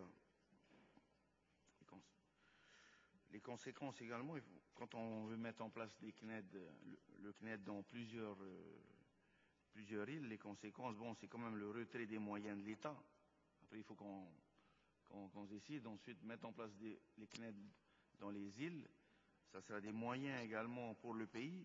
car ça n'a pas été acté dans la Convention 2007-2017, la prise en charge justement de l'État si on mettait en place le CNED. Donc il faudra qu'on essaie de voir hein, avec l'État s'il y a possibilité. Également, le souci également, c'est les communes. On parle de l'éducation. Dans certaines communes, beaucoup de communes, du moins celle où je suis à FAA, on continue à soutenir à hauteur de 13 000 francs par élève par an. Mais dans d'autres, ils ne jouent pas le jeu. Il y en a même d'autres, certaines communes qui sont descendues à 3 000 francs pour le primaire. Donc c'est les difficultés que nous rencontrons également si on veut avoir des, élèves performants. Il y a la charte de l'éducation, certes. Ensuite, euh, comme le triptyque le dit, une école pour tous. Donc il n'y a pas que le pays. Il y a également les communes qui, doivent jouer le jeu. Et bien sûr, les associations dont, Maïna en parlait concernant les internes. Il y a énormément de soucis, mais aujourd'hui, je pense qu'on y travaille. Dès qu'on a des soucis, ben, on, réagit assez rapidement. Par la même occasion, je tiens à remercier également les, deux le, maire de Nukuhiwa, comme vous le savez, sur la tenue, sur la tenue euh, de nos collégiens, il a tenu à verser 1000 francs par élève, hein, donc je. Donc il a, versé une grosse somme quand même pour la prise en charge des tenues euh, de nos collégiens de Nukuhiwa. Donc ça a été, vous avez voté également au dernier collectif pour la prise en charge pour les boursiers, en ce qui concerne les tenues à hauteur de 3000 francs. Je remercie également René chez Kawuapo. Grâce à lui, on a pu également, le conseil d'établissement a validé. Donc, dans tous les collèges aujourd'hui, ils ont acté, bien sûr, en conseil d'établissement à, la majorité, à l'unanimité pour la grande partie des collèges, le port de, la tenue. Il reste un collège, le collège de Papara, il y a un petit souci qui n'a pas encore été acté, donc bon, je n'ai pas, suivi ce dossier. Donc c'est la, la DES qui, suit ce dossier. Concernant les, les CETAD également, les centres d'éducation aux technologies sont appropriés au développement par rapport à la question d'Armel Merceron. Hein. Donc tous ceux qui intègrent des CETAD, en général, ben, c'est sur des métiers bien spécifiques pour qu'ils puissent rentrer euh, en, dans leurs îles. Ça concerne la mécanique, euh, l'agriculture, euh, la pêche euh, et tous ces points. Au niveau des constructions scolaires également, euh, bon, concernant le lycée de l'internat de le lycée Paul Gauguin, on va démarrer bien sûr les travaux. Pour l'internat de Atouona, donc il y a les études qui ont été faites et bien sûr les travaux vont démarrer. Donc on me parlait également, euh, c'est Madame Frévaux, je crois, qui me disait, euh, elle ne voyait pas l'internat du CJA. En fait, les élèves du CJA de, de Atouona, à Hivaoua, sont dans, dans, à l'internat du collège. Hein. Voilà, donc je tenais à remercier le maire de Taïwan. Et qu'est-ce qu'il y avait d'autres questions? La téléformation, la commission, les familles d'accueil. Euh, concernant les familles d'accueil, euh, la semaine dernière, ils étaient en séminaire aussi bien dans le premier degré et dans le second degré également. Donc ils ont travaillé bien sûr sur la charte de l'éducation et, sur les soucis qu'ils rencontraient. Donc ils ont parlé également de la mise en place d'un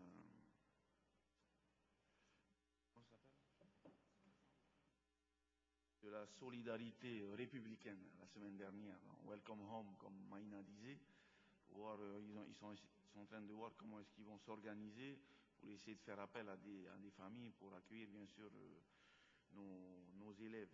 Pour certaines, élèves, pour, pour certaines familles, bien sûr, ils, qui sont indemnisés quand ils reçoivent des gamins qui sont, euh, qui sont les affaires sociales.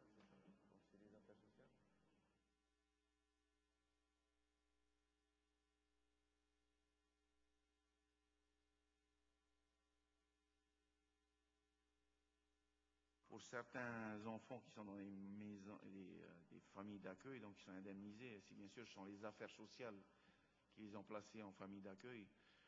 Sinon, ensuite, les vrais qui rencontrent, beaucoup rencontrent des difficultés. Maintenant, il faut peut-être voir également au niveau de la bourse, hein, comme vous avez parlé de 9 900 francs par an, suivant les cautions familiales, il y en a qu'en une fois 9 900, il y en a qu'en deux fois, il y en a qu'en trois fois, donc avec la, ça va de 15 000 à 35 000 francs par an au niveau de la bourse, il faut l'augmenter. Le souci que nous rencontrons dans les collèges actuellement, c'est le fait qu'il y a beaucoup de familles qui ont du mal à, payer les factures. Donc c'est un phénomène nouveau. Donc il est vrai qu'il s'impeint en la bourse. Alors bon, il faut peut-être voir également au niveau du prix de la cantine, parce que dans certaines communes, le prix de la commune, le prix du, du repas est à 200 francs, d'autres, le prix est à 500 francs, donc c'est le souci. C'est pour ça que je disais, il était important également que les communes jouent le jeu. Dans certaines communes, comme celle de Nukuhiva, je sais qu'ils s'investissent également concernant les, internes, quand, certains enfants ont des, soucis. Il est vrai que le pays fait le nécessaire pour encadrer nos enfants le week-end ou pendant les vacances. Maintenant, après, quand on a quelques soucis, il est important que derrière, les communes prennent le relais. Donc, Armel avait parlé d'une étude également pour accueillir les étudiants de BTS à Piret. Donc, je crois que c'est important que toutes les communes doivent s'investir pour l'éducation. Mais ce qui est, mais ce qui est important, mais ce qui est important, ce que je veux dire, c'est l'éducation. Vous voulez que j'arrête, monsieur? Il y a des questions que j'ai oubliées avant. Qu'est-ce qui, qu'est-ce qui, comment? Qu'est-ce qu'il y a sur le collège de. Non, tu n'as pas posé la question sur le collège de Ouahine. Pour les travaux à faire. Bien sûr, il faut adresser le, le courrier au niveau de la DES. Les, les, services sont à votre disposition également hein, quand, il y a des, quand il y a des soucis. Il y a quelques années de cela, il y avait 2000 enfants qui, où il y avait un décrochage. L'année dernière, on était à 1000 enfants euh, qui ont décroché également euh, l'école sur les 71 000. Donc cette année, l'objectif bien sûr de faire encore moins. Nous rencontrons bien sûr des difficultés. Il y a quelques soucis euh, quand il y a des enfants qui ne veulent pas se séparer de leur famille et autres. Mais bon, je crois que ce qui est important, c'est que on s'investisse tous ensemble. Merci pour euh, vos réponses. Je ne voulais pas vous couper, mais nous avons d'autres euh,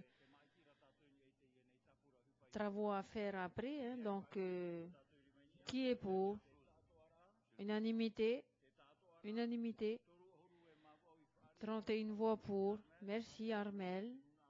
Elle est allée dans le public pour voter avec nous. Merci. Alors, euh, il est prévu que ce rapport sera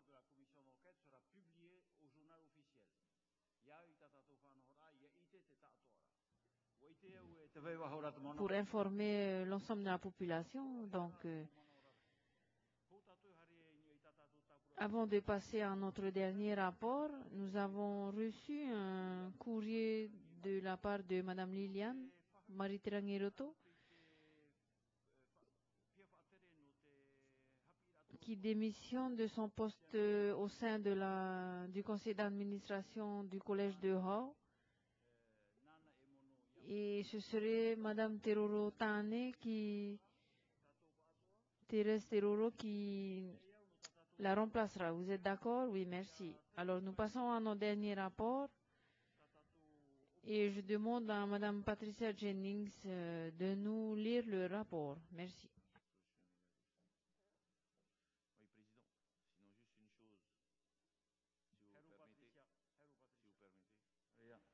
Donc vous avez adopté une charte de l'éducation. On a adopté également un plan éducatif quadriennal. Donc je ne sais pas s'il faudrait juste que vous me dites si vous venez que je, je vous fasse. Normalement, c'est prévu que c'est en juillet 2013 que je dois faire le bilan d'étape. Alors je le vais en mars. Mais sinon en juillet, je serai encore là. Sinon je pourrais vous, le, vous, vous le présenter en juillet. Euh, le, le, bilan. Sinon, je peux le présenter en mars et en juillet, il n'y a pas de souci. Hein. Un bilan d'étape par rapport à vos exigences sur la charte de l'éducation. On est preneur pour les deux étapes en mars et en juillet. Maruru Maïté. Patricia Jennings. Maruru Pretini. L'article 127 de la loi organique numéro 2004-192 du 27 février 2004 modifié portant statut d'autonomie de la Polynésie française prévoit contre les sessions la commission permanente règle par ses délibérations les affaires qui lui sont renvoyées par l'Assemblée. La proposition d'acte de délégation ci-jointe propose donc de fixer les différentes habilitations que l'Assemblée de la Polynésie française prévoit d'accorder à la commission permanente durant l'intercession. Merci, je vous demande de lire l'article premier. La commission permanente est habilitée durant l'intercession à délibérer sur les affaires qui figurent en annexe au présent acte de délégation. Merci. Nous avons reçu un amendement de la part de Patricia Jennings et Myron Matao. Veuillez nous lire votre amendement. de remplacer l'annexe visée à l'article 1er de la proposition d'acte de délégation par l'annexe 6 jointe.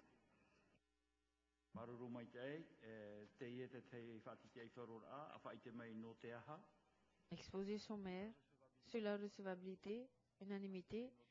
Veuillez nous présenter l'exposé sommaire.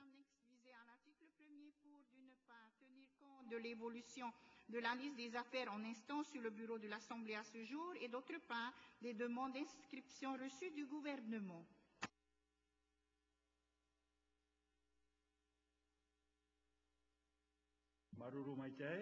E, a, La discussion est ouverte. Nous passons au vote. Unanimité.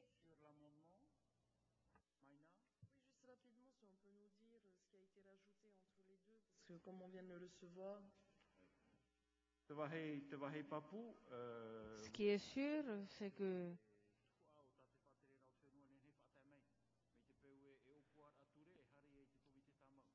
c'est que ça dépend des textes que nous recevrons. Hein.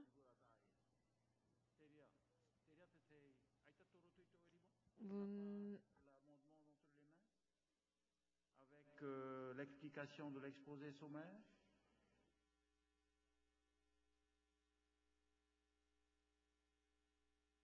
Te roto, te roto ia i te tātou ara o te mo tapura hupa i horo hi atu tu tō tōrima. le doc- L'ensemble des documents vous ont été euh, distribués.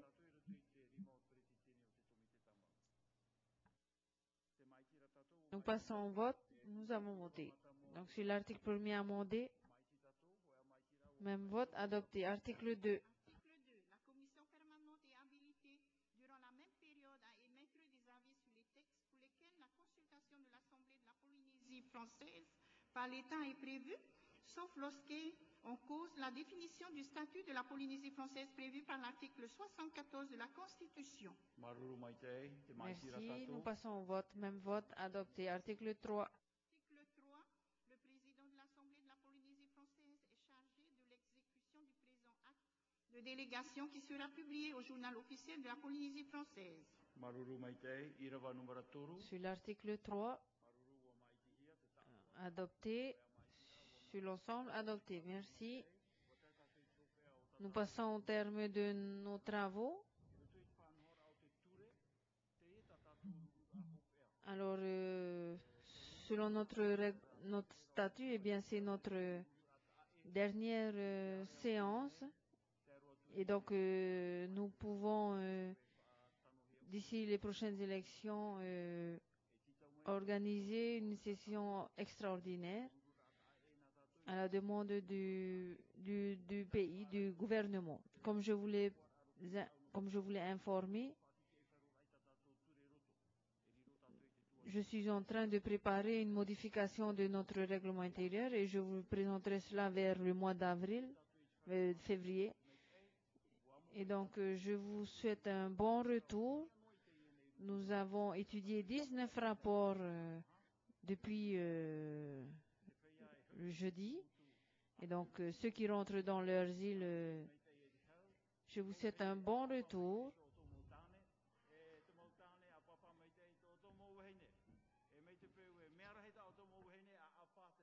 Ora o te mau heine.